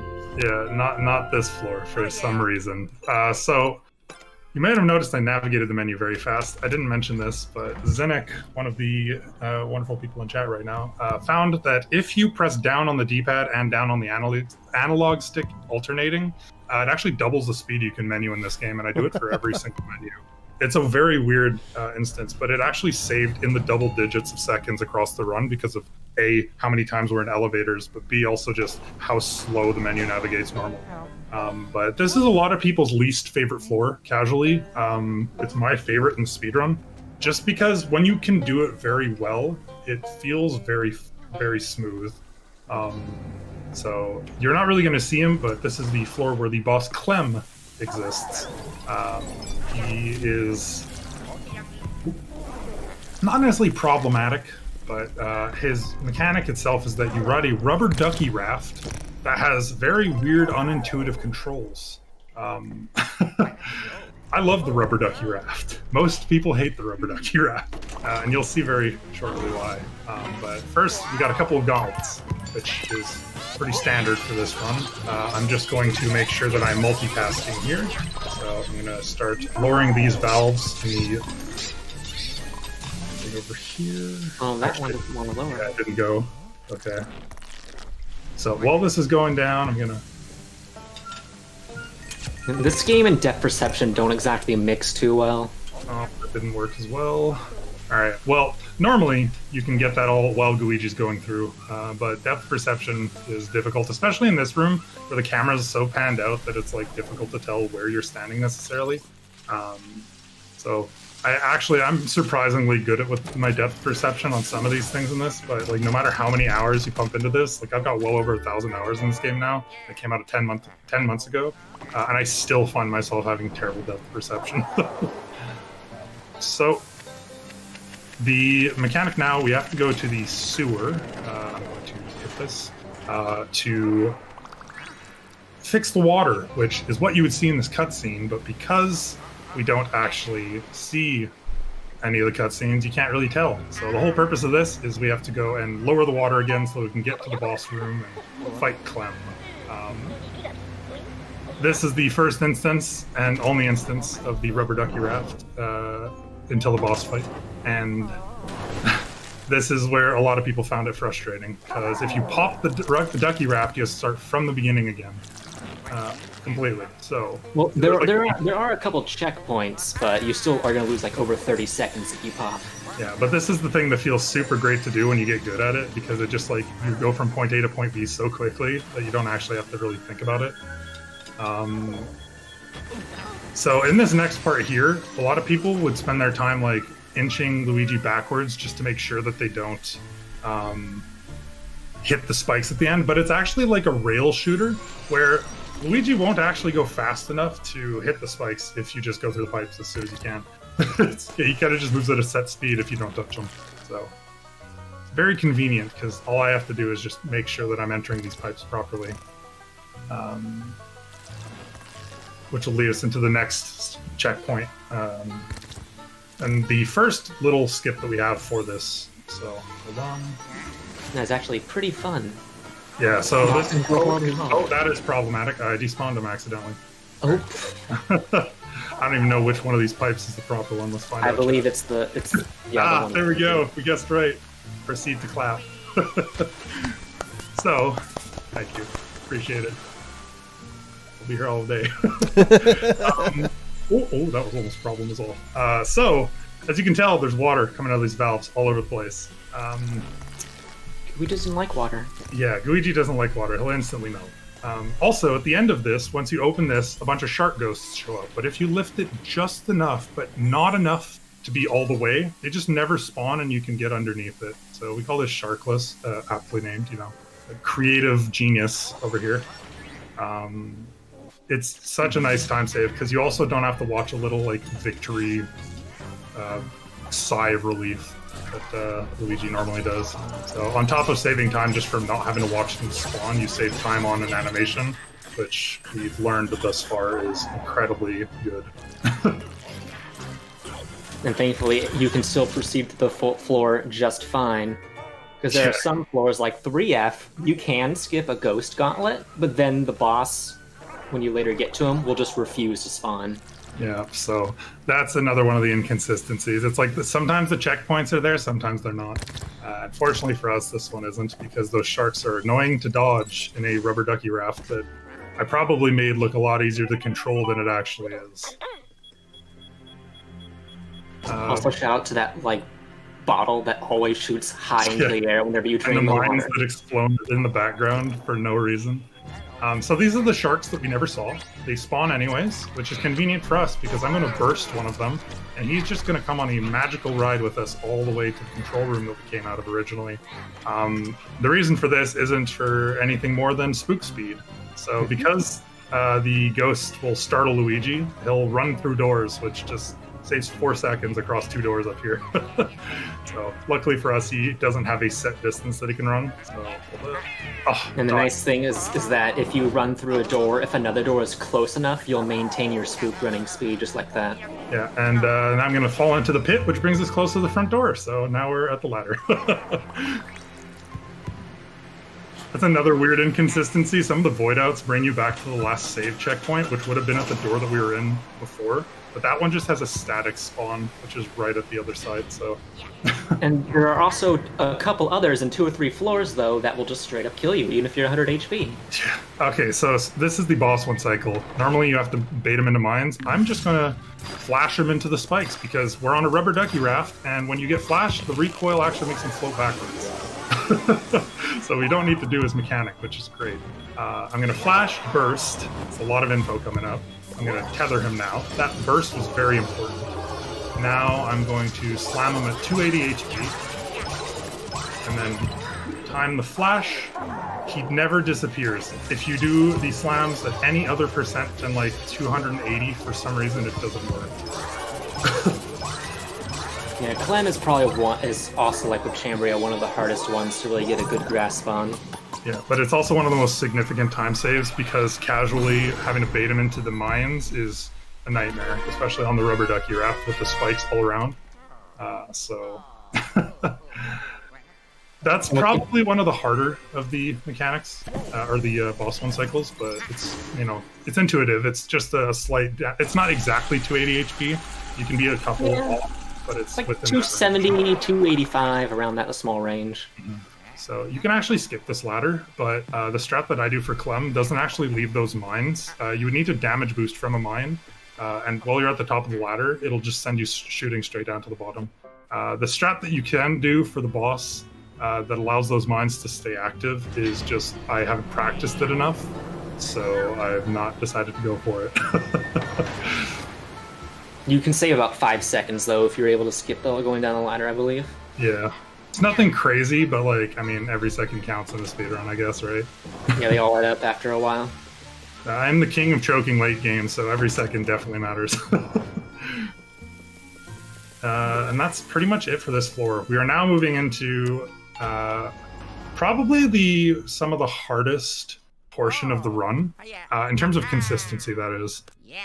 Um, I use I usually call everything from the ninth floor onwards the mid game up until about the two hour mark of the run. Um, and the reason for that is the mid game loses you a ridiculous amount of time if you like. Let's say you wait, make one little mistake, uh, it'll punish you pretty hard. So like, if you accidentally te- don't tether one of the ghosts, he'll disappear and you'll lose like 20, 30 seconds. Uh, it it sounds as brutal as it is, but uh, I until this weekend I didn't have a single PB that didn't have over three minutes of time save in these like next three splits. So Yeah, and even going on that, um, the boss here, we also have a one cycle strategy for her.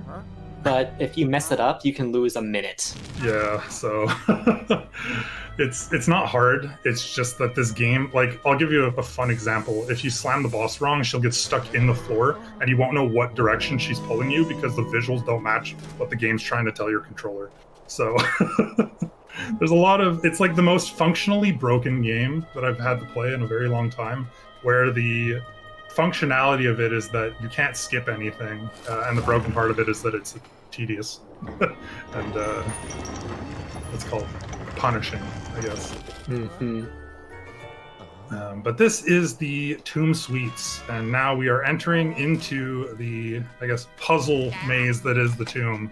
Uh, one of my, uh, one of the viewers in my chat, we nicknamed the Snake here uh, because I figured he was worthy of a name because he ends up making my life hell sometimes. Uh, and we were going to call him Bill, and the reason for that is because she called him William Snakespeare, and I like that. So this is Bill.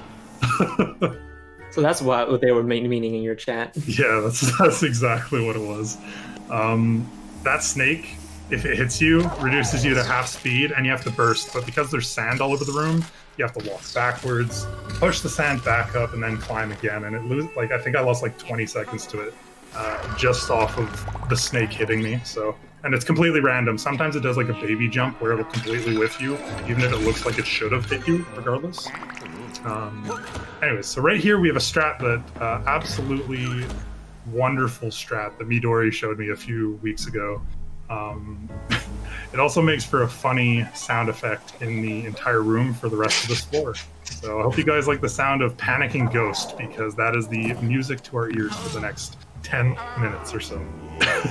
Yes. So what he's going to be doing is he's going to be opening this sarcophagus that has the plunger on it three times, which will reveal a gem ghost that normally in the gems category we have to kill in order to get gem inside. Hello?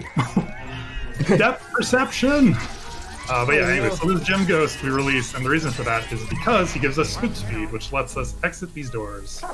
Um, And he will never despawn. He will always be there until he dies. yeah, but because he never despawns, he also never stops screaming.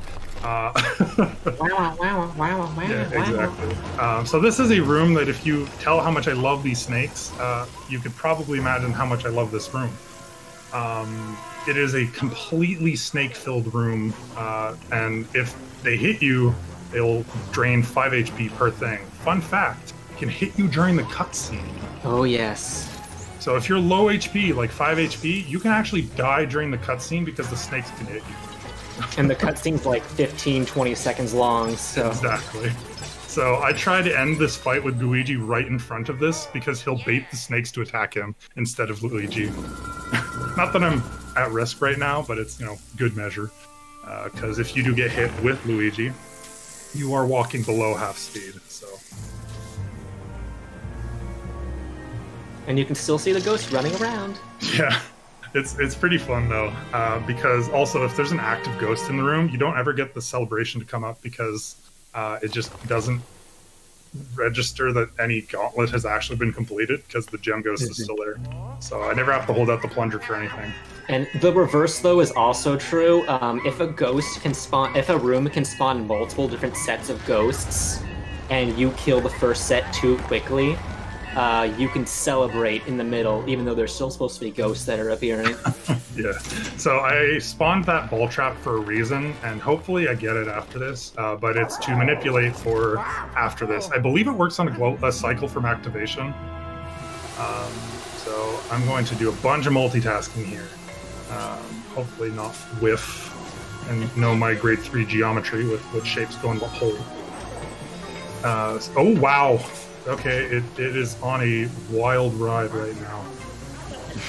So yeah, physics of this game are a little. Uh... Oh my god, where's it going? Crap. okay, so as you can tell, That was fantastic.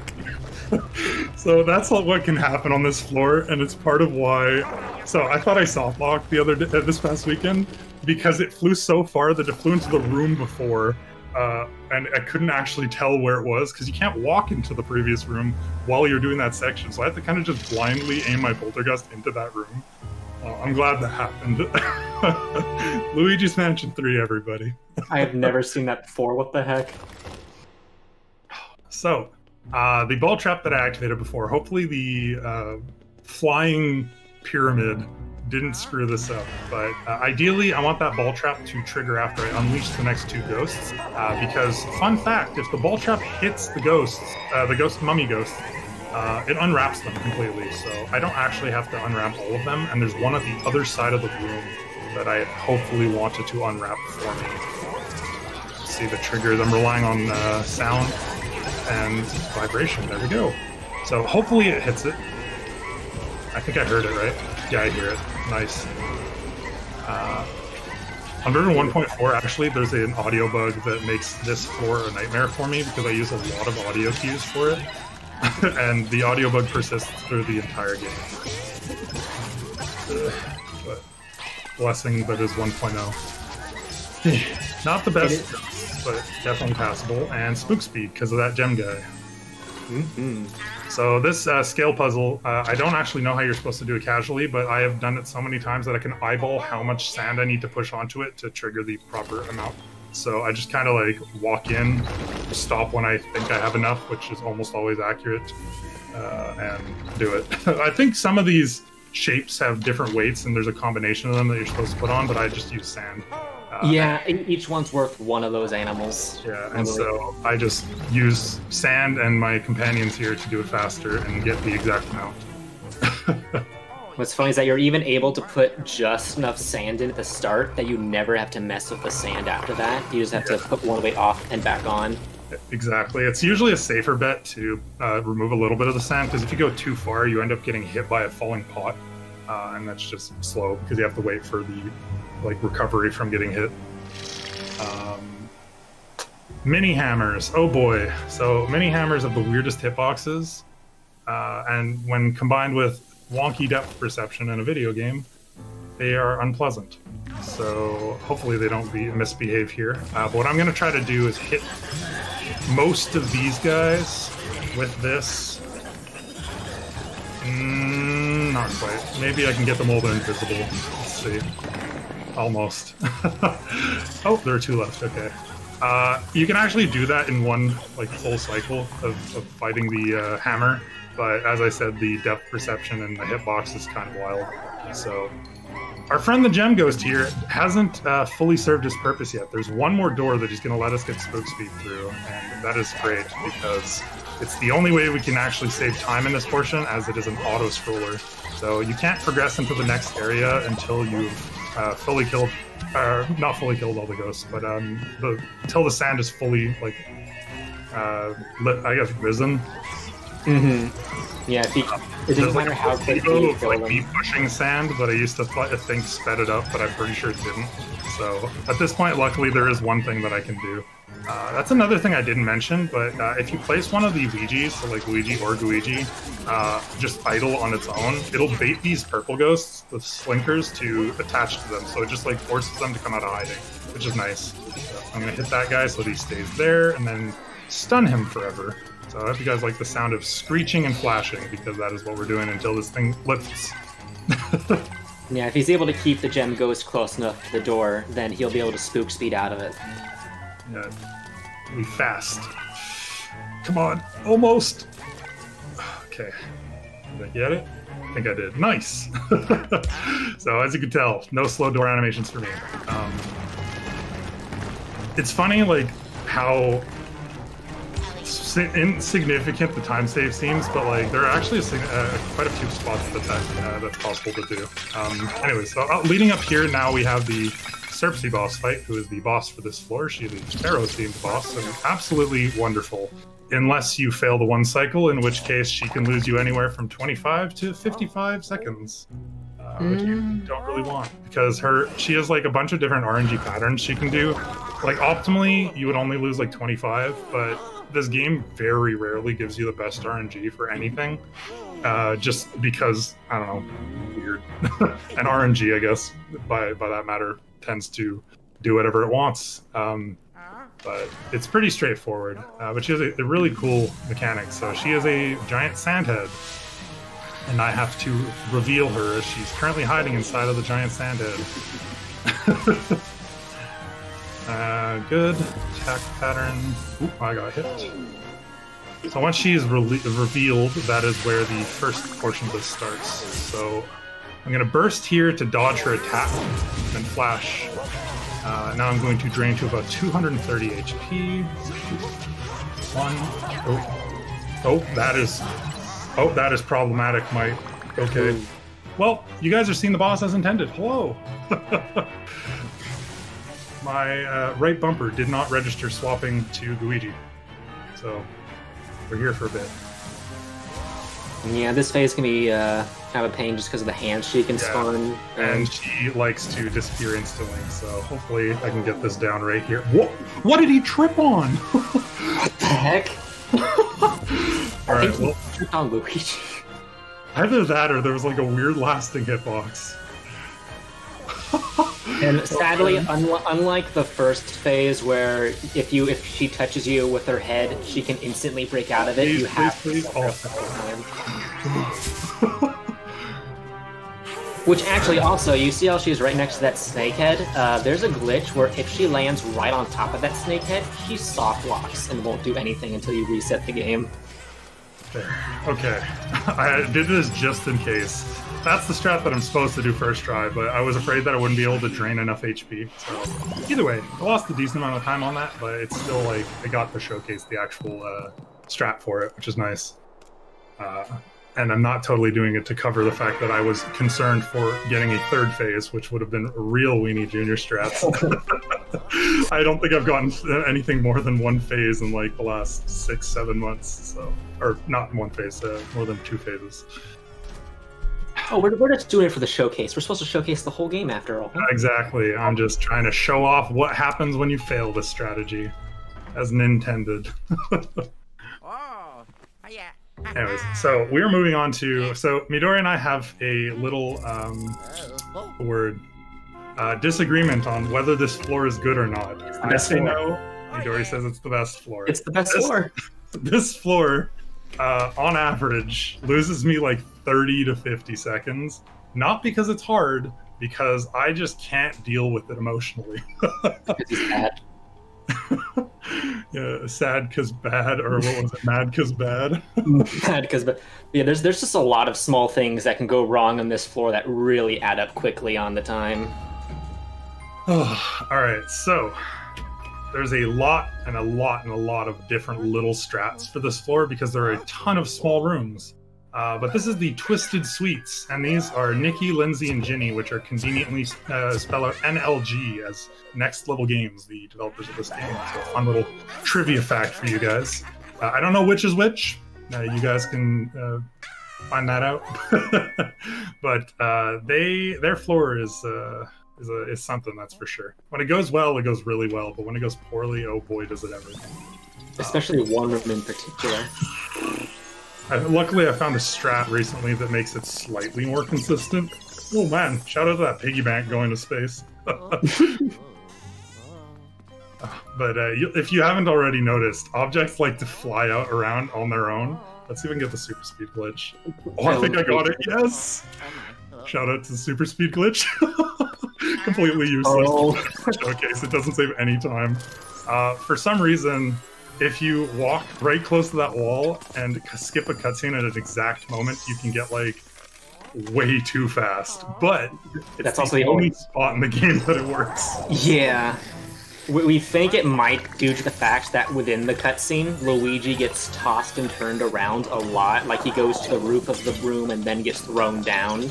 And i guess he maintains the momentum from that even if you skip the cutscene Yeah, At the so right I wanted to do that even if it loses time, just to show you guys what kind of a spaghetti factory this game can be sometimes.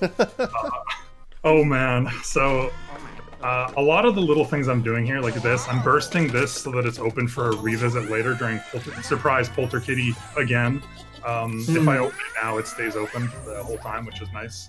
Uh, might as well do something with the unskippable cutscene, but there's a lot of little puzzles. So I need to get a key here to enter through the door on the right in this room. Uh, but to do that, I have to go into this room. So I'm going to drop Gooigi through the grate, open this up, swap the Gooigi, dark light the portrait, or the uh, portrait, the door entryway, hold that out, and then enter as soon as it spawns. Here, I'm going to spawn Gooigi to skip a startle, which lets me do this and conveniently line up for a spook speed setup. So I'm going to dark light this, turn around and grab this. Shout out to the piggy bank that is very cleverly in the way. All right, I got it. Sweet. Uh, so as I collect the key, I release that bird, which startles Luigi out of the key animation and lets him exit the door fast. So Very saves good. about like what, like four and a half seconds because uh, like assuming best key RNG. So Mhm. there's a lot of really small things that you can't tell that add up to a ridiculous amount over the course of the run. Uh, it's just like it's one of those games where like two seconds of time saved, but like 800 times over the run. So Yeah, like we haven't really found anything majorly new since like March or something. not even. I think it's like February when we found the B2 revisit strat that is you'll see later. Yeah, and I think that that was our last major like skip, and everything else has just been from finding these small one or two second saves. All right, And the so record's gone from like 229 to 226 now. Yeah, so right here, uh, unfortunately, I got dragged in a weird direction. Um, I'm using Gooigi a lot to bait where these ghosts are going to go, uh, just so that I can try to finish fights with Gooigi and get through doors with Luigi. So here's a new little strat that I found recently, hopefully. Oh, almost missed it.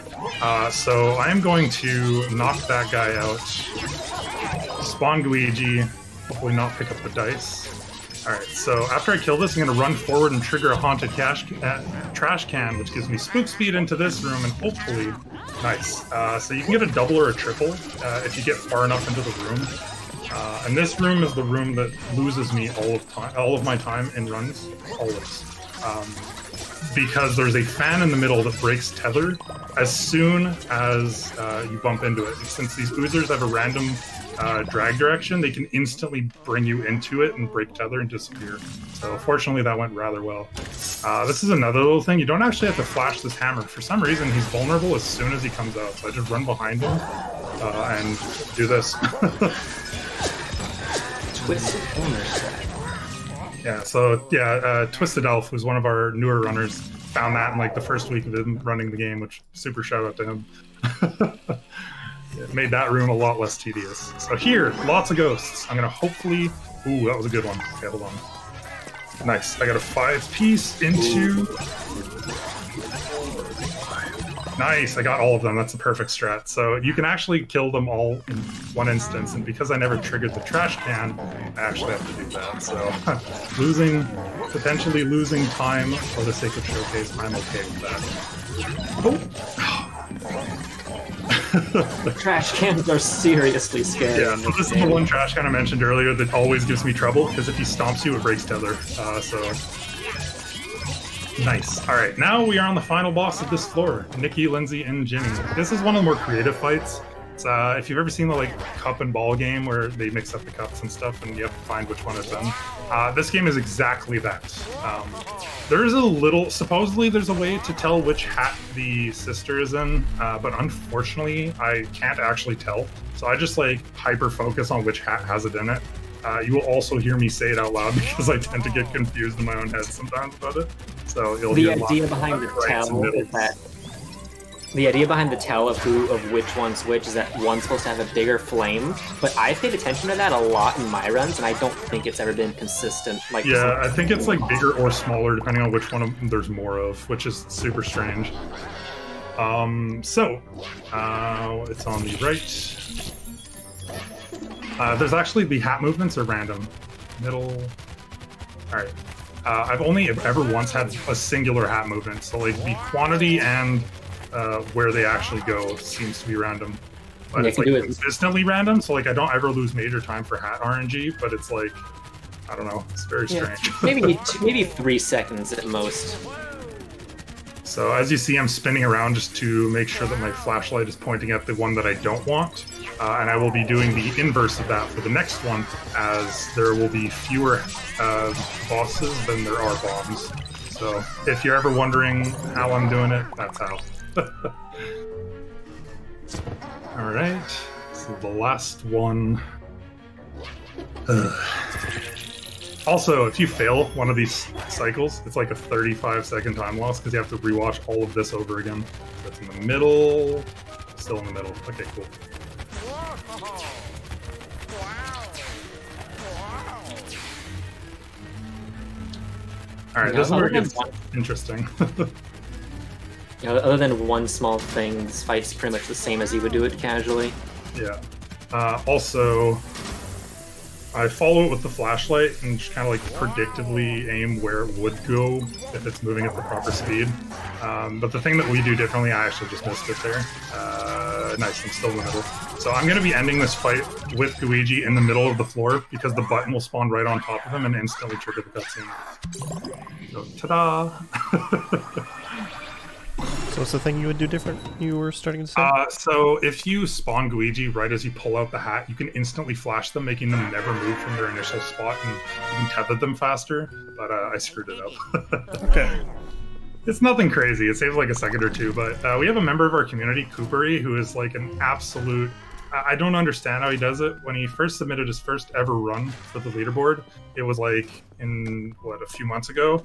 Uh, his first time on the boards was like a second place any percent current batch time, and he had Yeah, like like a new strats I've never seen. so, very very talented runner who finds some super creative strats, and that was one of them. So a lot of the newer new age strats that we use, that I like to call like mid 2020 LM3 strats.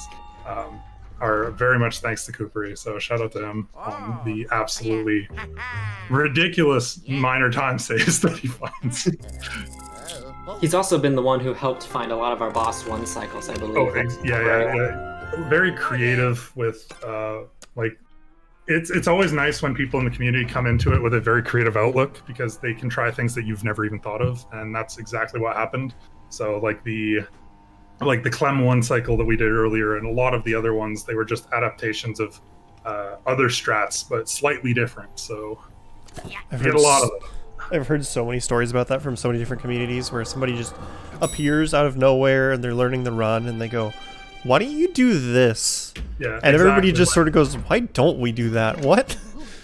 like Midori and I are both leaderboard mods, and when Coopery first submitted his run, we we had to like take a moment to re like, is this real Coopery? Like, is he actually submitting? Because before he was just a strat finder and glitch hunter, uh, and we sat there and had a watch party for his run. Uh, it was that much. incredible because he does a strat that I haven't done yet. I might actually just do it here to show you guys. It's a movement tech that we call stutter stepping. It destroys your analog stick, but he does it everywhere. It saves like fractions of seconds. About frames per. It actually looks ridiculous, but it is like one of the funniest strats that I've ever like contemplated doing. It, it, it requires like flicking your L stick Yeah, like every half second. the exact motion is backwards, forwards, B input over and over and over, and it's just like the the the Switch Pro controller analog stick is not the uh, highest end of survivability on those kind of things. So like Odyssey runners go through multiple controllers regularly. Uh, stutter stepping would make the exact same effect on LM3, and it doesn't save enough time for me to warrant it. So hopefully I can Yeah. show it here real quick. Um, but this is what it looks like. And we don't recommend you you do it all the time because, as Kuperi himself has said, his L stick is like completely destroyed at this point. So as you saw, Luigi just like stutters forward. it's just it's ridiculous. So I have to flick back, flick forward, press B, and do that every like half second, over and over and over. And with the fact that the game is a, a set camera angle, uh, that means that you have to get really good at flicking up and down, left and right, and all those different directions if you want to do it everywhere. Uh, and so it's not very intuitive. So I don't do that. so that was that. That was the end of that showcase, Jack. That's interesting because like Switch TASing is kind of in its infancy at this point, but that could Yeah, be like yeah. really cool of a TAS of this game. It would be super, super interesting. I would love to. We always jokingly say that, like, what point will I start to have to implement stutter stepping into my run to save time? And I'm like, I don't think the game will get that optimal because of how much other RNG elements there are into it. But like, I can't imagine the day where I had to, where I had to stutter step everywhere. So this is another one of the really annoying gauntlets. The ghosts spawn in random spots, and they're just like, oh man, see, like the objects just don't make any sense and there's a bunch of oh my, where are you dragging me, dude? Come on. We're so now you know. Yeah. So oh nope. Where, the oozers do not do not care what direction you are trying to go in. They will just do their own thing. Yeah, so there's a trick to make them not drag you randomly, but you have to have enough distance between you and them to uh, drag them back a little bit. But if you instantly tether them, they'll just do it. Also, this is Greg the Toad. He is, or used to be the bane of our existence. He's pretty cool now, but like, Yeah. he's still a bit of a pain. Uh, so Greg likes to force you to wait for him to hop on your back to go up ladders. Uh, Greg also likes to do a few other things like uh, bounce off walls. But He also likes to, let me see if I can get this right away. There we go. Snipe things from a distance. I'm going for a strat here that I want to showcase. I don't actually go for it in my PB attempts because uh, it's still very new, but it is super fun and it just showcases what the future of this game could be. So I'm going to spawn Luigi over here, hopefully. It was really hard. It's There. Oh, almost. ooh. Uh, uh, what? That's a first. Oh, excuse me? Did you void out? Yeah, so I voided out. Um, so I'm just gonna collect this and do this as normal. So, what you're supposed to do, what you're supposed to do is you actually get a zipper, like you you, you zip upwards. For some reason, the oh come on, you're gonna hit that thing. Uh, the plunger knot gets stuck in the collision, and it just kind of pulls Luigi upwards. Okay, Greg, come on, dude. Oh yeah. Oh my god, now you know why I hate him. What's also funny though about the way that he just voided there is that you can also do another version of that void where you go like sharp right, which would activate the ghost gauntlet you would normally do here and would actually soft lock you into the room we were just in because you it puts the First try. Sorry. Oh, man, this is the, the run ending trick that's like almost two hours into it. Uh, this skips every single ghost spawn in the sewer. There are normally like three different Oozer, uh, um, Slinker spawns, the purple ghosts, but if you never spawn the first one, the two subsequent ones never spawn. Uh, so I just need to get over a big invisible wall here. Hopefully, it doesn't take me too many tries. Oh, man, I was so concerned with that. Although I am still getting absolutely destroyed by it. So imagine going for this in a PB and then this happens. Yeah, there's what is there's a giant invisible wall he's trying to land on top of that he can walk on. There we go. So you can't actually get over it unless you burst, and you have to burst just uh, close enough that uh, Luigi stands on top of the invisible wall. It's a very hard trick. Uh, my PB fortunately, unfortunately got a first try, which means the next time I have to go for it. if I lose it, or if I don't get over right away, uh, the bye-bye run for me. Um, And if you do it perfectly, it saves like 30 seconds. yeah, so optimally it saves like 25, but the slinkers have like completely, uh, they can misbehave. And because of that, it can lose you upwards of like 40. So I get Oh, rid of yeah. this balloon because Greg likes to target the balloon. Um, he also likes to bounce off of this thing even after it's fallen. So wait a little second there. And he also has it- likes to despawn. So how did Greg get his name? So I was convinced. I, I, I had a deep discussion about whether or not Toad was the species or the name of the character, and I was playing Paper Mario 64, and there was a named Toad, and so I said, well, if that's canonically Toad is the species or the last name, whichever. So we we gave him a name. I just needed something to direct my anger towards when I would lose runs to him bouncing off the walls. I mean, So- Greg is a good name for that. It's satisfying to just go, God dang it, Greg! Like it's got the nice visceral feel to it. So the first time that I ever golded this split, like in the longest time, right? So for the most part, you always lose time to one thing or another. So I had like a stagnant split for this where I, I hadn't golded it in ages. And the day that I golded it, I golded it by almost 50 seconds uh, when I only had like three or four seconds to save across other splits. Uh, I had a watch party where we just like celebrated the fact that Greg didn't do things. So there used to be a strat where he could actually get stuck and you'd have to go and save him, which was because he didn't despawn, he just like waited there for you. so fortunately, we don't have to do that anymore. Um, so the next strat here, I actually call Midori ghosts. Shout out to Midori. Um, and the reason for that is because before this, I've game overed to these ghosts. If they kidnap Toad, it is game over, and you have to redo the section. Yeah, if they get a hold of him, they'll try to drag him through a portal, and if he goes through it, it's game over. There we go.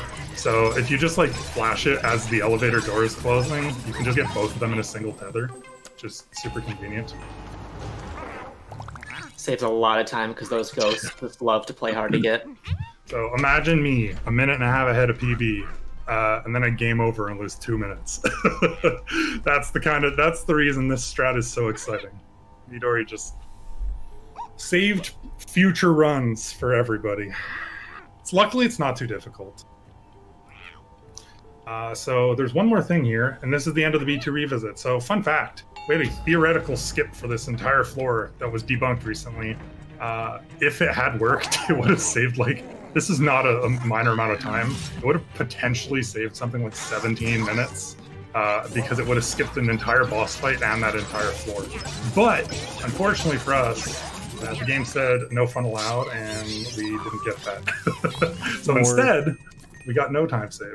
Is that more strict story triggers so it doesn't Uh, work kind of thing? of. So you can actually access the next floor before doing this entire revisit section, but it's like a, a placeholder. Oh, we got the best visual glitch in the game. Uh, Luigi's waiting by the door because he's also tired of uh, Egad talking. So uh, enjoy this for a little bit.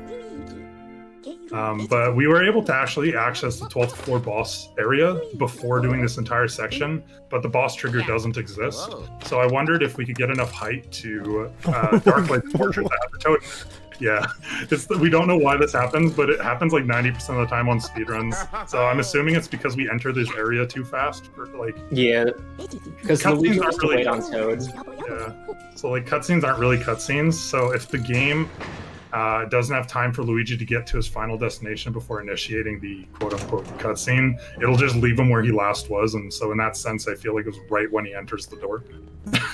What's even better about that is that if you're fast enough to menu to exit the lab after that, um, Luigi will actually stay near Egad, and you'll be like the camera will be inside his model, so he'll be looking through his pants.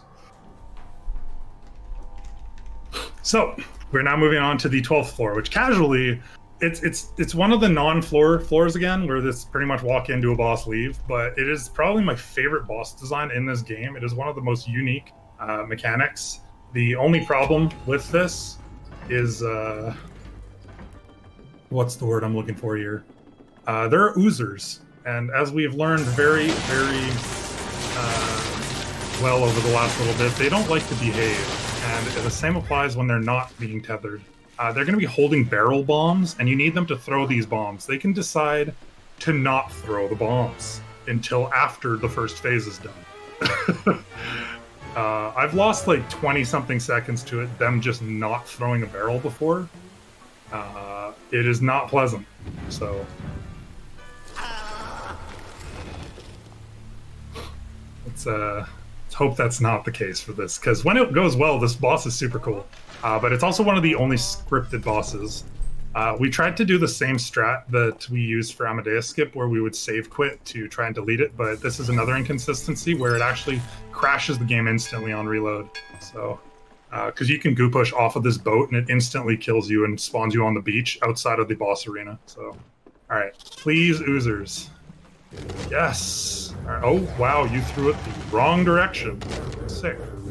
Uh, you can actually hit him while he's laughing at you. So fortunately, there's a backup if you do get it late. Hello? Where are my barrels, dude? So it's either oh my god, the, terrain is accurate. So like he barrels can bounce off of his chin. Um, come on, open your mouth before this thing explodes. The other fun, yeah, that's the other fun thing is that barrels are on a random timer. Sometimes they'll blow up in five seconds. Sometimes they take like 30 seconds to blow up. Oh my god, these crates keep getting in the way too. They're gonna get in the way even more. so they can they can end right in front of the ladder, and I have to move them if I want to get up the ladder. So I'm gonna be trying to move them away during the boss fight. Oh, good RNG. So this is the same as with Ug, where you can do one or two little slams. All right, uh, there's a completely random thing. Uh, if you guys have watched any of the GDQ stuff before, most notably Sekiro, you'll know Little Aggie. Uh, I call these Aggie fish bombs, and he discovered that if a fish flips onto the boat during the boss fight, you can actually use the fish instead of a bomb for some reason. Um, the game What? does not distinction uh, does not have a distinction between barrel bombs and any other throwable object. And since none of the other what, why did you go that way? Uh, but since the barrels and the fish are the only two throwable objects, if you throw a fish into the boat's mouth uh, during that portion, uh, it actually counts as a bomb. So it just like saves five and a half seconds per fish bomb. But it's completely RNG, ti- completely RNG time save. Uh, Yeah, Until re- that like a one percent chance of happening. yeah. So every time the boat flips, there's a chance that a fish pops onto it. Ooh, I thought I got one there, but I didn't. Uh, it's it's a very easy to see glowing like cyan fish, so you'll know when it shows up if it does. so this is pretty straightforward. You have to get beaten. This skips a uh, very weird like hanging from the target on the back phase. It's just faster to get hit by the boat because it goes right to its attack. Uh, but this is the thing that you can hit early because the oozers take about five seconds to shoot the first bomb. Uh, so if you have a fish, you can just avoid waiting that five seconds altogether. I'm actually pretty impressed that all of the boxes that were on this boat broke before this. Because I usually spend the time while I'm waiting for the barrels to be shot, uh, moving them out of the way so that they don't get in my path as I'm walking to the end of the fort. Yeah, usually there's one or two laying around. But I think I actually managed to destroy them by fishhook not behaving and throwing them all over the place. So. also, uh, the last shots for this boss, like uh, up to this point, it's just like sometimes the oozers can just decide to not throw a barrel as well. So it's completely random which one throws the barrel. So that's why I put Gooigi there. It's just in case they decided to be uncooperative. So he's going to do a couple of attack patterns here. I'm going to be flashing him out of them, uh, as we've learned at this point that that is how we skip animations, and that's the end of the fight. Very fortunate that uh, it is a simple boss fight, uh, but kind of sad we can't skip it. Oh, there's the fish! Oh, there it goes. Oh, at the very end. Anyways, it has a random chance of spawning, and now all I'm going to do is just hold out Gooigi because you can control him during some of these, but you can't in some others. So I'm going to stand right where the button is, and it's going to trigger this. Ah. Another weird unskippable cutscene. Another very small weird thing is that Luigi is clearly in the upper mi- in the uh, upper middle part of the ship during the start of that cutscene, and when it ends, he's just shot all the way down to the lower right for some reason. Yeah, it makes no sense. Um, so we had a theoretical skip, the one that I was talking about, where I used one of the crates to get enough height to be high enough to darklight this portrait. Unfortunately, uh, it's not interactable from below. so had I been able to dark darklight this, it might have skipped everything that leads up to this point. So you can imagine how many things that would skip. Uh, it would be the jankiest trick I'd ever seen. Absolutely hilarious to watch. Uh, but unfortunately for us, it's another uh, dead end for that one. There's That like, kinda a lot of reminds me- those. That reminds me of the very early versions of the 6F skip where we try to use it to And the land on barrel? a barrel to get out to the first gate. So we originally tried to ride a barrel up the gates. it doesn't sound as it sounds as, as wonderfully hilarious as it is, but also imagine walking on a barrel that is constantly moving, uh, and if you fall off, you don't get over. So, fortunately, goo pushing exists. So this is another one of those toads that you can interact with the door at any spot. Another weird inconsistency in this game, but you know, saves a second or so. Uh, and now, if chat would like to play along, we are moving on to the first and uh, the last real RNG portion of the run. There's going to be six machines, six machines, and any one of them can spawn the key to the next room. Yeah. So there's bike one to three or treadmill one to three. Take your guesses. I always guess bike one because I'm a I'm a uh, blind hopeful. let's call it. I'm gonna say treadmill one. Yeah. So for reference, the best RNG, which is bike one, is about 25 seconds faster than bike six, uh, bike six, machine six, and it's just like I've tried everything to try and manipulate it. I've tried to figure out if there's like if it was interacting with the same seed that we used to do goo pushing, but I have yet to find anything. Uh, so There's not even like- a way to tell. Like there's yeah, no can't tell. There's no visual indicator at all. You just kind of have to try them all until you get the key. Uh, and casually, you wouldn't realize that because I'm pretty sure everybody in their casual playthrough will try all the machines regardless. It seems like there's a big tug of war between Bike 2 and Treadmill 3. Ooh. All right. So we've got some hopefuls and some realists. There's some tread. There's a pretty strong treadmill two gang as well. Ooh. Okay. All right. So we've got like the intermediate people. We've got hopefuls and we've got realists. The realists are the ones thinking last machine. Because whenever you want the best RNG, you don't get the best RNG, and vice versa. Like Yeah. uh, I was doing a practice run that was nowhere near PBing, and for the first time in like two months, I got best key RNG. so it's like, oh great, good thing this isn't going to any uh, towards anything productive. All right, so this is a new-ish strat where I just kind of group them differently. Uh, it's to all right, hopefully, see if I can do this.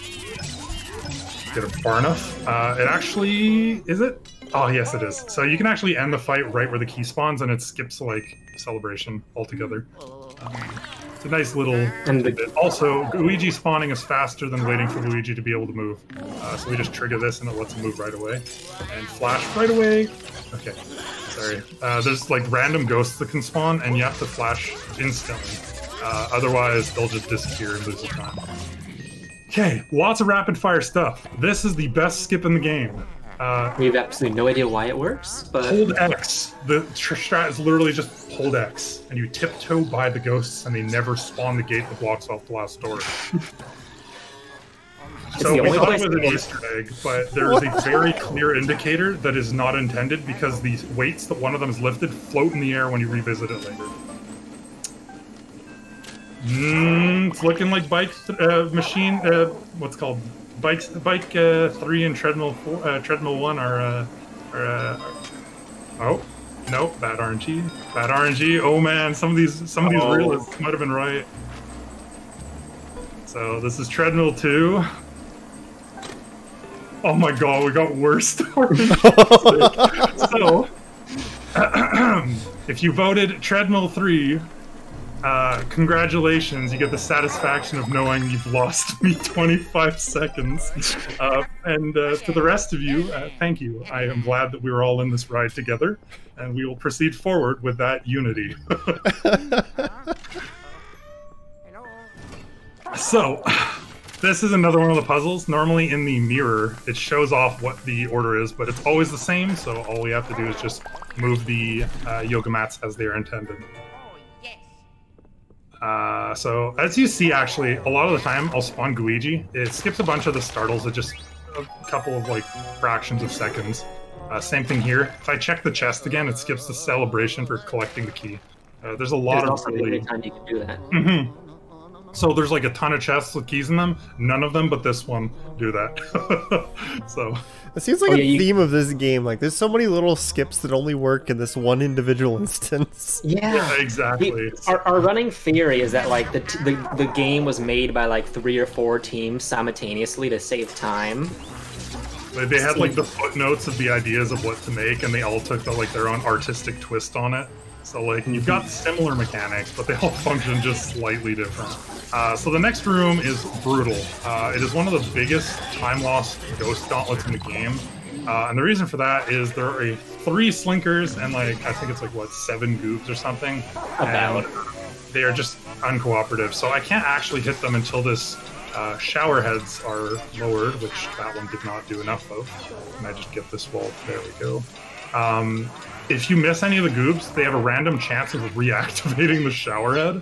So even if you do get a decent amount of uh, a decent like uh, layout of the ghosts after this gauntlet, uh, one of them disappearing and reactivating the shower head loses you like 20 seconds alone. So hopefully I'll get this here. Shout out to Chris for showing me this. Chris was previous world record holder for this game up until a few weeks ago, or a few months ago rather. Um.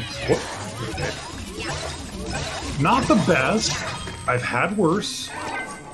Uh, You just clobbered Gooigi with like seven ghosts. Okay, so we are getting everything that could go wrong uh, in the span of like five milliseconds here. So, Luigi, the reason why I put him there is to bait him so that I can do this with Luigi because any of the water around the room will instantly pop him. As you can imagine, we don't want that. Um, Wow, that, I got the weird suck up glitch too. well, everything that could go wrong went wrong. We lost tethers. We, all right. Anyways, most underwhelming boss in the game. Finally, uh, he's got 60 HP, uh, and he does nothing. So we're gonna hit him with a volleyball, run up, lower this thing, and while he is trying to hit Gooigi with his water spray that would pop him, we actually hit him with another volleyball. Oh, wait. Unless I did this wrong, in which case I have to do Ooh. it again. You were I just a bit it too was, far away. Perception. Okay, close. Um, anyways, so you can actually have like a zero attack cycle on him because uh, he's vulnerable while he's trying to attack Luigi. Normally, you're supposed to hide behind the pillars, but. Anyways, uh, there's a lot of rapid fire things, as you can tell, uh, because there's a lot of weird, small things that happen in a short span. But it's okay because the game will slow down a little bit now because we have our favorite section of the game about to come up. Oh yes, uh, I hope you guys like cats because we're seeing Polterkitty once again. Um, this also has another uh, gauntlet that uh, I recently finally got my strat that I've been trying to get for the last six and a half months, but because of Ghost AI RNG, I had never gotten it all in one single run. Uh, hopefully, I get that to show it off. Whoa. Okay, this is a trapper again, and that's what happens when you accidentally burst instead of flashing. There we go. Cool cats coming out in the chat. That's right. Oh, yeah. We're gonna be mo- slowing down a little bit. We might as well be having fun and looking cool while we're at it, right? Oh, oh. That's what it's all about in the end. So the two floors that she actually drags us, uh, three floors that she drags us to actually are this floor, the 12th floor, and the 11th floor. There's a lot of really wonderful things on all of those floors. It's like 12th floor remix where the actual um, beach that we have to go to has like snakes on it now because no, we didn't get enough of those on the 10th floor. Now we need more. Uh, so.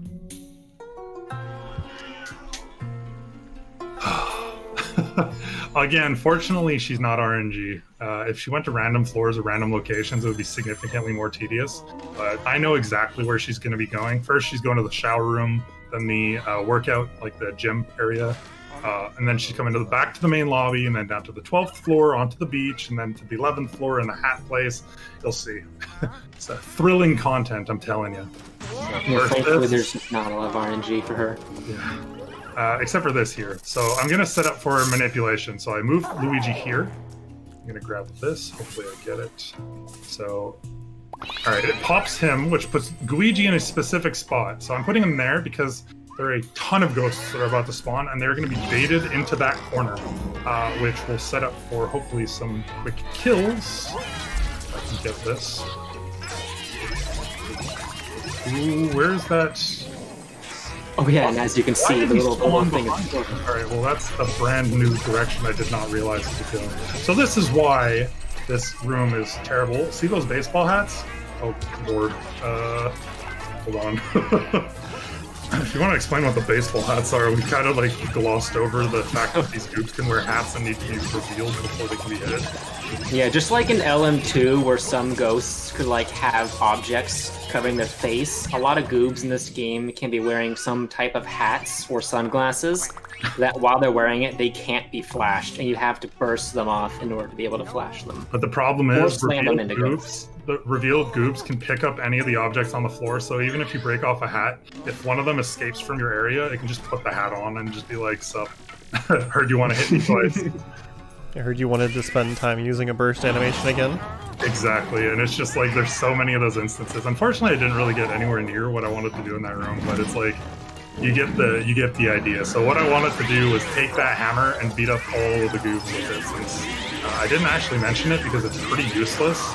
But since having done the B2 revisit, we actually can slam seven times now.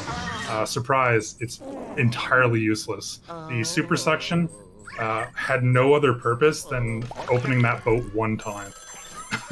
Hmm And and Uh, even the seven slam only gets like what, maybe seven, eight uses in the entire story. pretty much. Uh, so it's a weird functionality. I feel like it was like a mechanic that was planned to be more fleshed out, but deadlines reduced it. So even in 100%, uh, they only use it three times. So a thing that takes about 10 minutes to collect is used once in any percent and three times in 100%.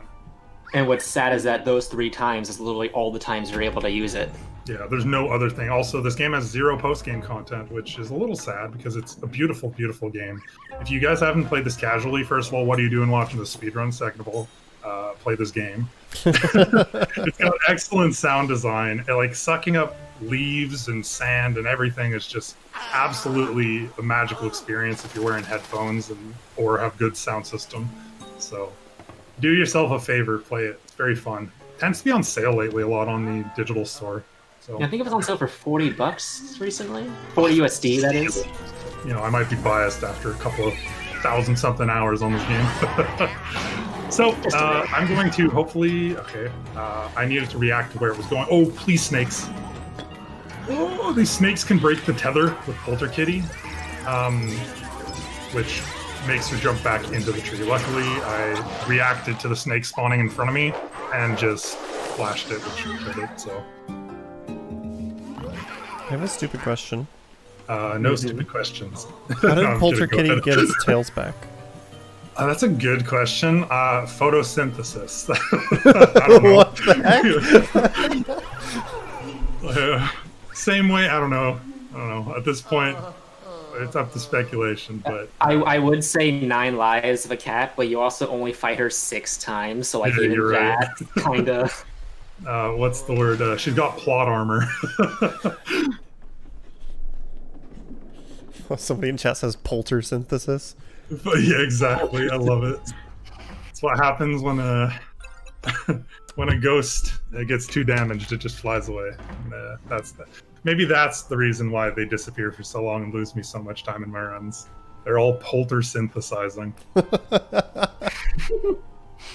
So this is the last of the Polterkitty section, which is wonderful uh, because uh, psych.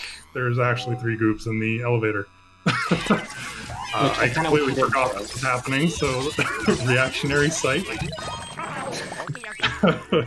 um, fun fact these goobs can cause the elevator to load slower for no reason. Uh, I once lost a run because I lost 26 seconds to the elevator loading. Seriously. Yeah. What the heck? Uh, there's another one of the people who used to run this game, Fire Dragon, who is uh, known for running a couple of the LM games, or LM1 more specifically. Uh, he, his elevator from the f- second floor to the basement one was 46 seconds long, and I have no idea why. Oh no. Because that is the shortest elevator in the game, and it takes three seconds. So there are some random things in this game that just I don't understand. They just miraculously, or I guess the polar opposite of that, uh, uh, slow down to a crawl for no reason. Which, speaking of slowing down loading times, uh, another small interesting thing about 1.0 versus 1.4 is that load times in elevators seem to be a second or so faster for most elevators in 1.0. So It's I'm probably due. Oh man, I almost didn't swap in time. Sound effect out of me. Um, anyways, you can actually fight Polterkitty on your own. You don't need to flash him with uh, Gooigi, but conveniently for us, if we place him on the stage, the button actually just instantly triggers the cutscene after the celebration. Um, so I'm just going to move him out of the way so that he doesn't uh, body block. And we are making our way to the uh, final couple of uh, portions of this run. We're getting there. Yeah, we're Uh, nearing the tail, tail end. Sick. uh, Which we'll get to another very sadly underutilized floor, in my oh opinion. yeah. So my favorite floor in the game because of the music. Do you have any any uh, music emotes or jam emotes of sorts or sour please? Uh, this floor is like a jazz themed, like oh, man, it's so wonderful. Um, unfortunately, my IL record for this floor uh, is almost just short of two and a half minutes. uh, it is the shortest floor in the game by a landslide, and the reason for that is because the only thing you do is walk in, fight the boss, walk out. but it's beautiful. Uh, also, there's a strat that I could do for the ghosts up here that would guaranteed crash my game.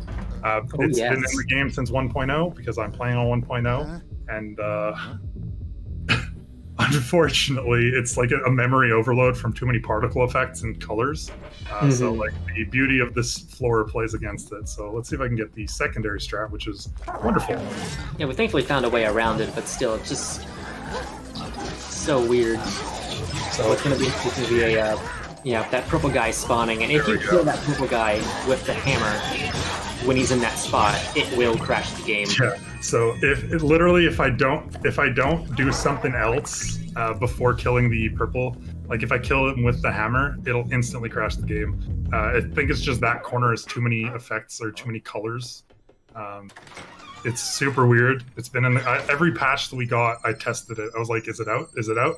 Every patch, it was still in. So it sucks because it was like the fastest possible strat, and I still have no idea how I managed to do it without crashing in the first place because I only knew that that was the fastest strat because I didn't crash when I did it. So I learned the hard way. I lost a run that I was like two and a half minutes ahead of uh, my my PB uh, to that crash. So imagine two just about same. two hours and ten minutes into a run, and uh, you crash to something you thought wasn't going to crash. And thankfully, the backup's just like two seconds slower. So Yeah. So now right these here, are I'm gonna burst. part. Yeah. Um, these. Okay, hold on. Sorry. All right. These got it. little Uh, dancers that are holding the button. So I burst to isolate the one that has the button. Uh, this is. Hold on. Let me just make sure that I get this. Hopefully, hopefully she doesn't spawn the gas cloud. Uh, right or left? Left. Yes. Okay. So if I don't get her burst right away and she spawns her her like um, what are they vinyls? I guess. Um, five, six, seven. Sorry, have to count. Um, if she spawns the vinyls and I break it, uh, it has a chance, like a 90% chance of spawning a gas cloud, which obviously you know you don't want because it makes you unable to tether the boss. Uh, so fortunately for me, uh, we have one cycle, and it's very easy. Uh, also, once again, shout out to Fire Dragon. He found this while uh, derusting because he forgot how to do the boss, and he thought he had to burst it. And next thing you know, it didn't go into phase two. So you don't love accidental strats. The, the pop off is historic. It's uh, or historic. What's the word? Hysterical. Wow, definitely the weirdest word jumble I've ever. Had. Well, I mean, maybe it was just such a great pop off that it's historical too. Exactly. It's gonna go down in history, that's for sure. There's Um, funny all little right, so this, yeah, so there's a uh, ghost gauntlet right here. Hopefully, I get this. It's one of the more inconsistent glitches. Uh, if I boost over this sofa, which doesn't seem to be cooperating, I'm gonna go for it a few more times here. There we go. Uh, so long as I don't stand on that like checkered flooring, it never spawns the ghosts. So you can just walk into the elevator and move on to the last floor. Um, this is a good 20, 25 seconds. Oh, like sometimes more depending on how bad you are at this gauntlet, and I am terrible at it. How much does that? Is that you're used to skipping it, so you are now very bad at it? Exactly, exactly. Like in my before I got my world record uh, run this weekend while practicing, I had 50 seconds to save on this floor because I both got the uh, the uh, dust cloud on the boss and missed that strat. So. Uh, actually, fun little tidbit here. Uh, I actually despawned Gooigi on purpose here because I don't want him to be spawned when I enter this next floor. Uh, because it lets us move closer to our objective before we would normally be able to. So you'll see that in a second. But welcome to the Master Suite. This is the last floor of the game. Um, we've already made it quite quite insane. Um, there's a lot of new strats on this floor that I am going to go for. Okay, sorry. So right here, if I hadn't had Luigi despawned, I wouldn't have been able to spawn him and move him closer to where he had to go uh, until after Egad's call. So that's a nice little mini time save there. Let me just through here. So inside of this pipe, there's a lot of multitasking, as you can tell. Uh, I'm going to get him close to the door, hold this, swap back to Luigi, and be in control of the proper one when the time comes. So, the next room, there are four keys that we have to collect. Uh, the order that you do these rooms actually changes what ghosts spawn in the hallways, and the ones that we do are the fastest combination. Um, I've never actually done the others because by the time that I like, this is the order that I did casually as well. Uh, so I never actually realized how bad the other ghosts were until I went to explore to see if there was any faster combinations. Uh, I believe that was the same for me. Like I saw a casual player going once, and all of a sudden mummies were there, and I was like, "What? There's mummies in this floor?" Yeah, so luckily for us, this is the best um, combination. So you can actually get here before bursting the lasers, uh, but you're just too slow to beat the first cycle, so it's just not really worth going anyways. You can also goo push over that railing, but failing, uh, or but uh, getting on the railing does not mean that you can spawn Gooigi, because technically you could drop them down, um, but it's just landing on the railing, not falling over, because like if Luigi falls down, you have to walk all the way back up. Uh, it's just major time loss, so it's better to just send him down slowly. Uh, there's a new strat right here. Hopefully, I get it. Uh, these oozers are the biggest pain in the butt. This. Oh yes, yes. Let's go. Sorry. Ooh, nice. That's a very hard thing to do. What he just did, getting to both of them like this.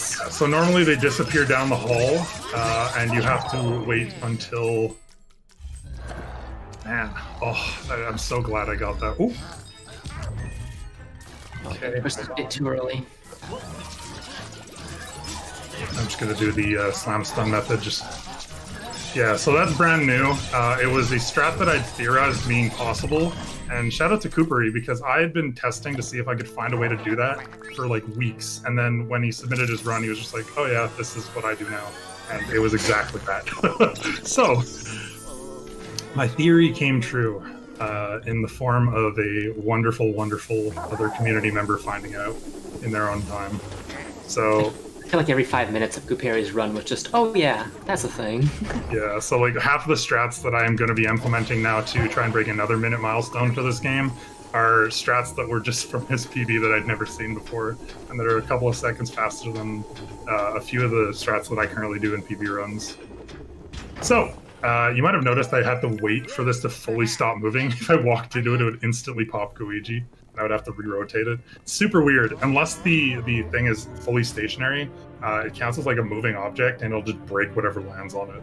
Uh, also, Yeah. trappers randomly spawn in this hallway. And they can So- even spawn on the invisible door that you're supposed to get to right here. Yeah, exactly. So if I didn't uh, start dark lighting it from the side, uh, I wouldn't have been able to like tell if it was there or not. So like if I'd walked in front of the door, there was a random chance that a trapper would have just like yoinked me out from underneath my feet, or from uh, yoinked my feet and lifted me upside down. That's what I wanted to say. there. And I had like word search levels of English language there. Yeah. All right. I thought you said word surge, not word Oh. search. And I was Close trying to like you know? mentally try and figure out what a word surge was, and then I realized what you said. I don't know. It's probably something to do with Polter synthesizing. All right, so this is the last actual little gauntlet. Uh, there's a strat that I do here that is really, really comfortable, but it's just like annoying sometimes. I'm gonna try and grab him from the left, which worked, uh, and you can actually kill all of these ghosts in one tether. Uh, and sometimes you can go so fast that the light uh, for celebration doesn't actually have time to spawn, so you just move on. Never Oh yeah, I haven't seen that. That was quick. Uh, otherwise, there's a bunch of like little King Boo uh, statuettes because if you can't already tell, Hellen Gravely is a uh, big, big fan of King Boo. Yeah, that that hasn't been appearing at all throughout this level. I mean, probably no foreshadowing at all. I don't She know. probably retweets King Boo music videos. Like, super big fan. Like, honestly. All right, so this is a seesaw. It is as intuitive as it sounds. Stand on one side, lifts the other side. Um, I'm gonna spawn Luigi on it just so that it doesn't go all the way back down. Uh, for that reason, it's just you know by the time it does get back to level with Luigi, uh, I just have one extra little movement to do before it goes all the way up to the next key area. Plus, so it's a little faster for it to move while it's already moving than when it's stationary. Yeah, exactly. Um, so this is the last skip in the game uh, coming up. It is a very significant skip. We call it gate skip. It is creative, I know. Um, And it was it's actually one of the like earliest, uh, one of the earliest glimpses of the seed before we knew it was the seed. So I'm gonna hold the suction button. turn with Lu- Luigi and push Luigi through the gate. And that's all there was. I'm just gonna trigger the final cutscene for the final uh, for the second to last boss. So shoutouts to the goobs in the background. Normally it's like a 55 second long gauntlet where there's a bunch of mini goobs, a hammer. I think they're like eight regular goobs. It's just it's such a long strat. Uh, but fortunately for us, like it's so easy. It's like the easiest strat that we have. You just Which turn around and flash Luigi and walk into him. And it's funny because when we when it was initially found, it was actually one of the most difficult and hard to understand and strats that we had. Yeah, which we is didn't know why, about the speed is why the time. Hunter Hack and uh, Rubber Toe were testing out tra- strats on it because we'd gotten to the point where we thought we needed to, uh, where we thought we needed to uh, use that as like a, ma- a method of getting a new world record. But lo and behold, uh, a lot of times it's saved since then. So I'm going to be going for a new strat that I only started implementing this weekend. Not that it's hard; it's just new. Uh, I aptly named single laser. So the mechanic for this boss is you send Gooigi down into this pipe I'm standing by and just act, uh, like deactivate a bunch of lasers. Um, normally we do two, but if you actually make your way over here fast enough, oh, come on, you need to get closer. There we go. Uh, you can actually just like her into this corner, and she cooperates, she did. She'll just turn towards the direction that makes it easy to stay within that area. Because if she pulls you into the uh, lasers, it breaks tether altogether, and she like does an extra phase.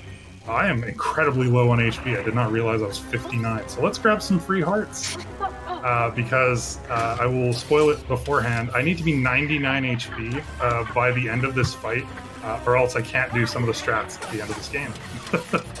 We use a lot of damage boosting in the final fight. Which it, it's ironic because the final fight for a lot of casual players was a tiny bit underwhelming just because it wasn't the hardest thing in the world. But the way they would do it in the speedrun makes it one of the most stressful parts to run. Um, I hope you like hearing beeps and boops. yeah, lots of beat boops. So chat, it's uh, it's like a what's it called karaoke night. So I hope you guys are, are very good at saying beat boop because we're going to be hearing it a lot. Which is actually one of the good things that 1.4 did. They drastically reduced the volume that the low health sound is when you're at 39 and lower HP. Because it is absurdly loud when you're playing on normal volume in 1.3 and below. Yeah. Alright, so I'm full HP. Nice. Single laser is such a cool new strat. I'm, s- I'm kind of glad I do it now. Um, it doesn't seem like it would save too much, but it's like an extra like 5 to 12 seconds. Because it takes so long to get to the second laser. Alright, so now act- deactivate the last laser. Hopefully she's in a okay spot. Oh, she's uh, a little far. Come here. Come here. Come here. Thank you.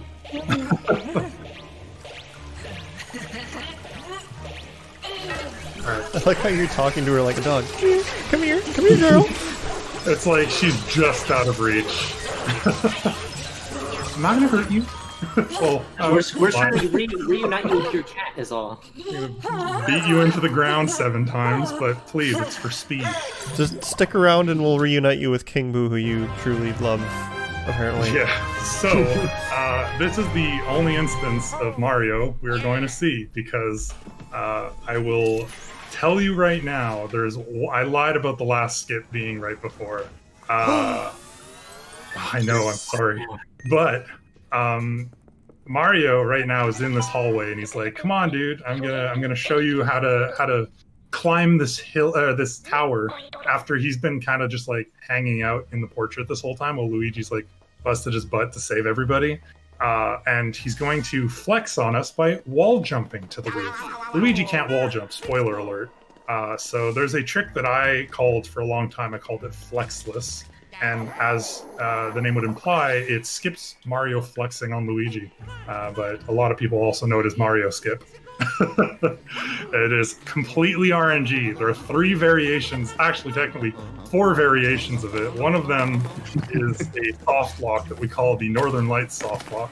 Uh, the only thing that it does is makes you have to walk all the way up this the first time, and only one person's ever gotten soft locked by it in a run, and that was Chris on a world record pace run. Oh no. So, Oh yeah. So we call it uh, we call it the Northern Lights soft lock because the background texture looks like the Northern Lights, and it just loops it over and over and over. so normally you're supposed to walk forward here and talk to Mario. Instead, we don't want to talk to Mario because he's you know not being very kind to us after we just saved him. So instead, hold on a minute. I'm gonna abuse the only instance of this happening in the game. When you fall and void out, ooh, or fail it. Hold on. Kind of hope I get the best one. That would be great. Nope. I'm gonna try it a couple more times. It saves from 15 to 40 seconds. Why am I getting this like super easy? Holy smokes! Oh, okay. And Mm, what can make it such a pain is that the result that you get is entirely based on your momentum while And you're since- falling. And since goo pushing is inconsistent as it is, like the momentum you get from it is equal. My God. Okay, you know what? I'm walking off. so you're supposed to like launch him off. Uh, instead, what happens when you void out in this game is uh, it's the only instance that it happens so far in our run. It actually screen wraps you. Uh, instead of spawning somewhere, you fall from above. So if you have enough momentum falling off the roof, you can land on the second floor of this building and skip this entire slow walk sequence and all of these stairs. You just want to ride on the ladder at the very top of the of the roof. Yeah, so it's it's kind of a funny strat uh, that we. The first time I took the record in this game, I was on my best possible time was to was uh, exactly on pace to tie the record, and I uh, YOLO'd that strat for the first time as it was brand new, and I saved 40 seconds. So it's one of those strats. Anyways, I hope you guys like the uh, weaker version. Uh, now we're on King Boo. So he has a bunch of attack patterns, uh, each of them having a varying length. Um, I'm going to be damage boosting everything after this as it skips to the next phase. Which will usually save like 8 to 10 seconds per skipped phase. So in my previous job, I had asked uh, during my lunch break. I actually asked Midori to time every single attack pattern, as well as all of the boss mechanics without skipping them, because I wanted to try it out and I was impatient. So shout out to Midori for actually doing that for me when I could have yeah. thought I was. Oh wait, wait! I got a bonus heart. Sick! I can skip an extra Ooh. sleep. Nice. So, that uh, would let for- them like a damage boost over more attacks. For reference, uh, unlike LM1 PAL that you guys saw earlier, there are no guaranteed heart drops from multis in this game. It's completely random whether the boss spawns a heart from anything. Uh, and since we are damage boosting, if I get an extra heart, I can skip an extra attack cycle, saving like roughly seven seconds, eight seconds. Uh, but it also means that I have to sit at uh, 19 HP, which means I am one hit from death. So get Mm. your beat boops ready because uh, it's about to get uh, stressful for you guys at least. Me as well, but it, it sounds more stressful than it actually is until the final phase. Yeah, the boss goes from a casual zzz to a very panicky, oh no, if I mess up once I'm dead kind of thing. Yeah, if you mess up once on the final phase, you actually lose two and a half minutes. Just FYI. Which may not always be in your control because this game has a thing called gyro aiming. Oh, Man, that's exactly untoggleable gyro aiming. I told Railgun actually uh, at the beginning uh, during the uh, what's called the before going live uh, that this game has untoggleable gyro aim, and uh, sometimes it just decides to launch things 180 degrees away from where you were aiming.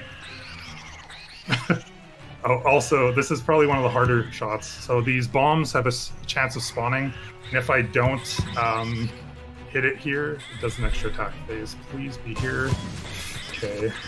Oh, I got lucky on the attack though. So it has a chance of either moving to the bombs again or any of its other attack cycles. If it does the bombs, I have more leeway on them. And if you're really unlucky, uh, King Boo will do his um, attack where he goes into the air and slams into the floor. yeah. And if, if he does that, you have absolutely zero time to get a bomb into his mouth. It'll just go straight in the other waist like a minute for him to do it again. Wow, I got like absolutely amazing heart RNG. Completely honest. Yeah, you're completely fine. So uh, this is the last strat. There's an intended quick kill on the third phase. There's a bomb rain that happens. If you miss the bomb rain uh, and don't hit it during that, there's a two and a half minute third phase. Two and a half? Two it's because the attack cycles are random and it, it just like it's very awful. Uh, also, And if you get bad hard RNG, you're sitting during here at like 19 HP. So if you die to the bomb, uh, you also lose that time. So it's like eight seconds for the death on top of the uh, cycle RNG. So I'm gonna focus real hard here. So also, if you didn't notice, the King Boo's teeth indicate which one's real. It has four if it's real. Hold on. All right, we got it. Sick. no two and a half minutes. Clap, chat. Clap. clap, clap, clap, clap. So I have lost runs to that. Well, I've lost runs to that specifically. Um, and that is pretty much it. So there's uh, the time is going to be coming up. It is as soon as I collect the crown gem. Uh, wow, actually not a bad time. Uh, I think I'm what Just like a little bit over just short of 230, not 230 bad. Yeah, just short of 231.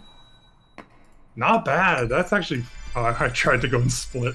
so uh, time is as soon as I collect this, and time. That is it. Woo! Not bad. What's the final time? Let's see. 230, 58. 230.58. That's actually much better than I was anticipating. Uh, that was super cool. Okay, so imagine that, but like you've only got four seconds, five seconds of wiggle room to PB.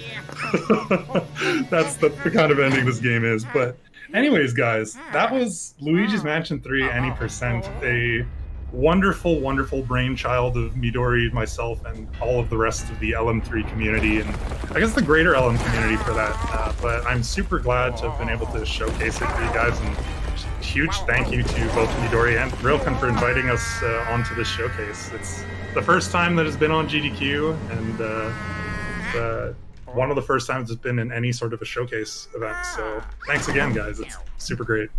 And thank you for inviting me. No problem. Do you have any uh, shout outs for watching?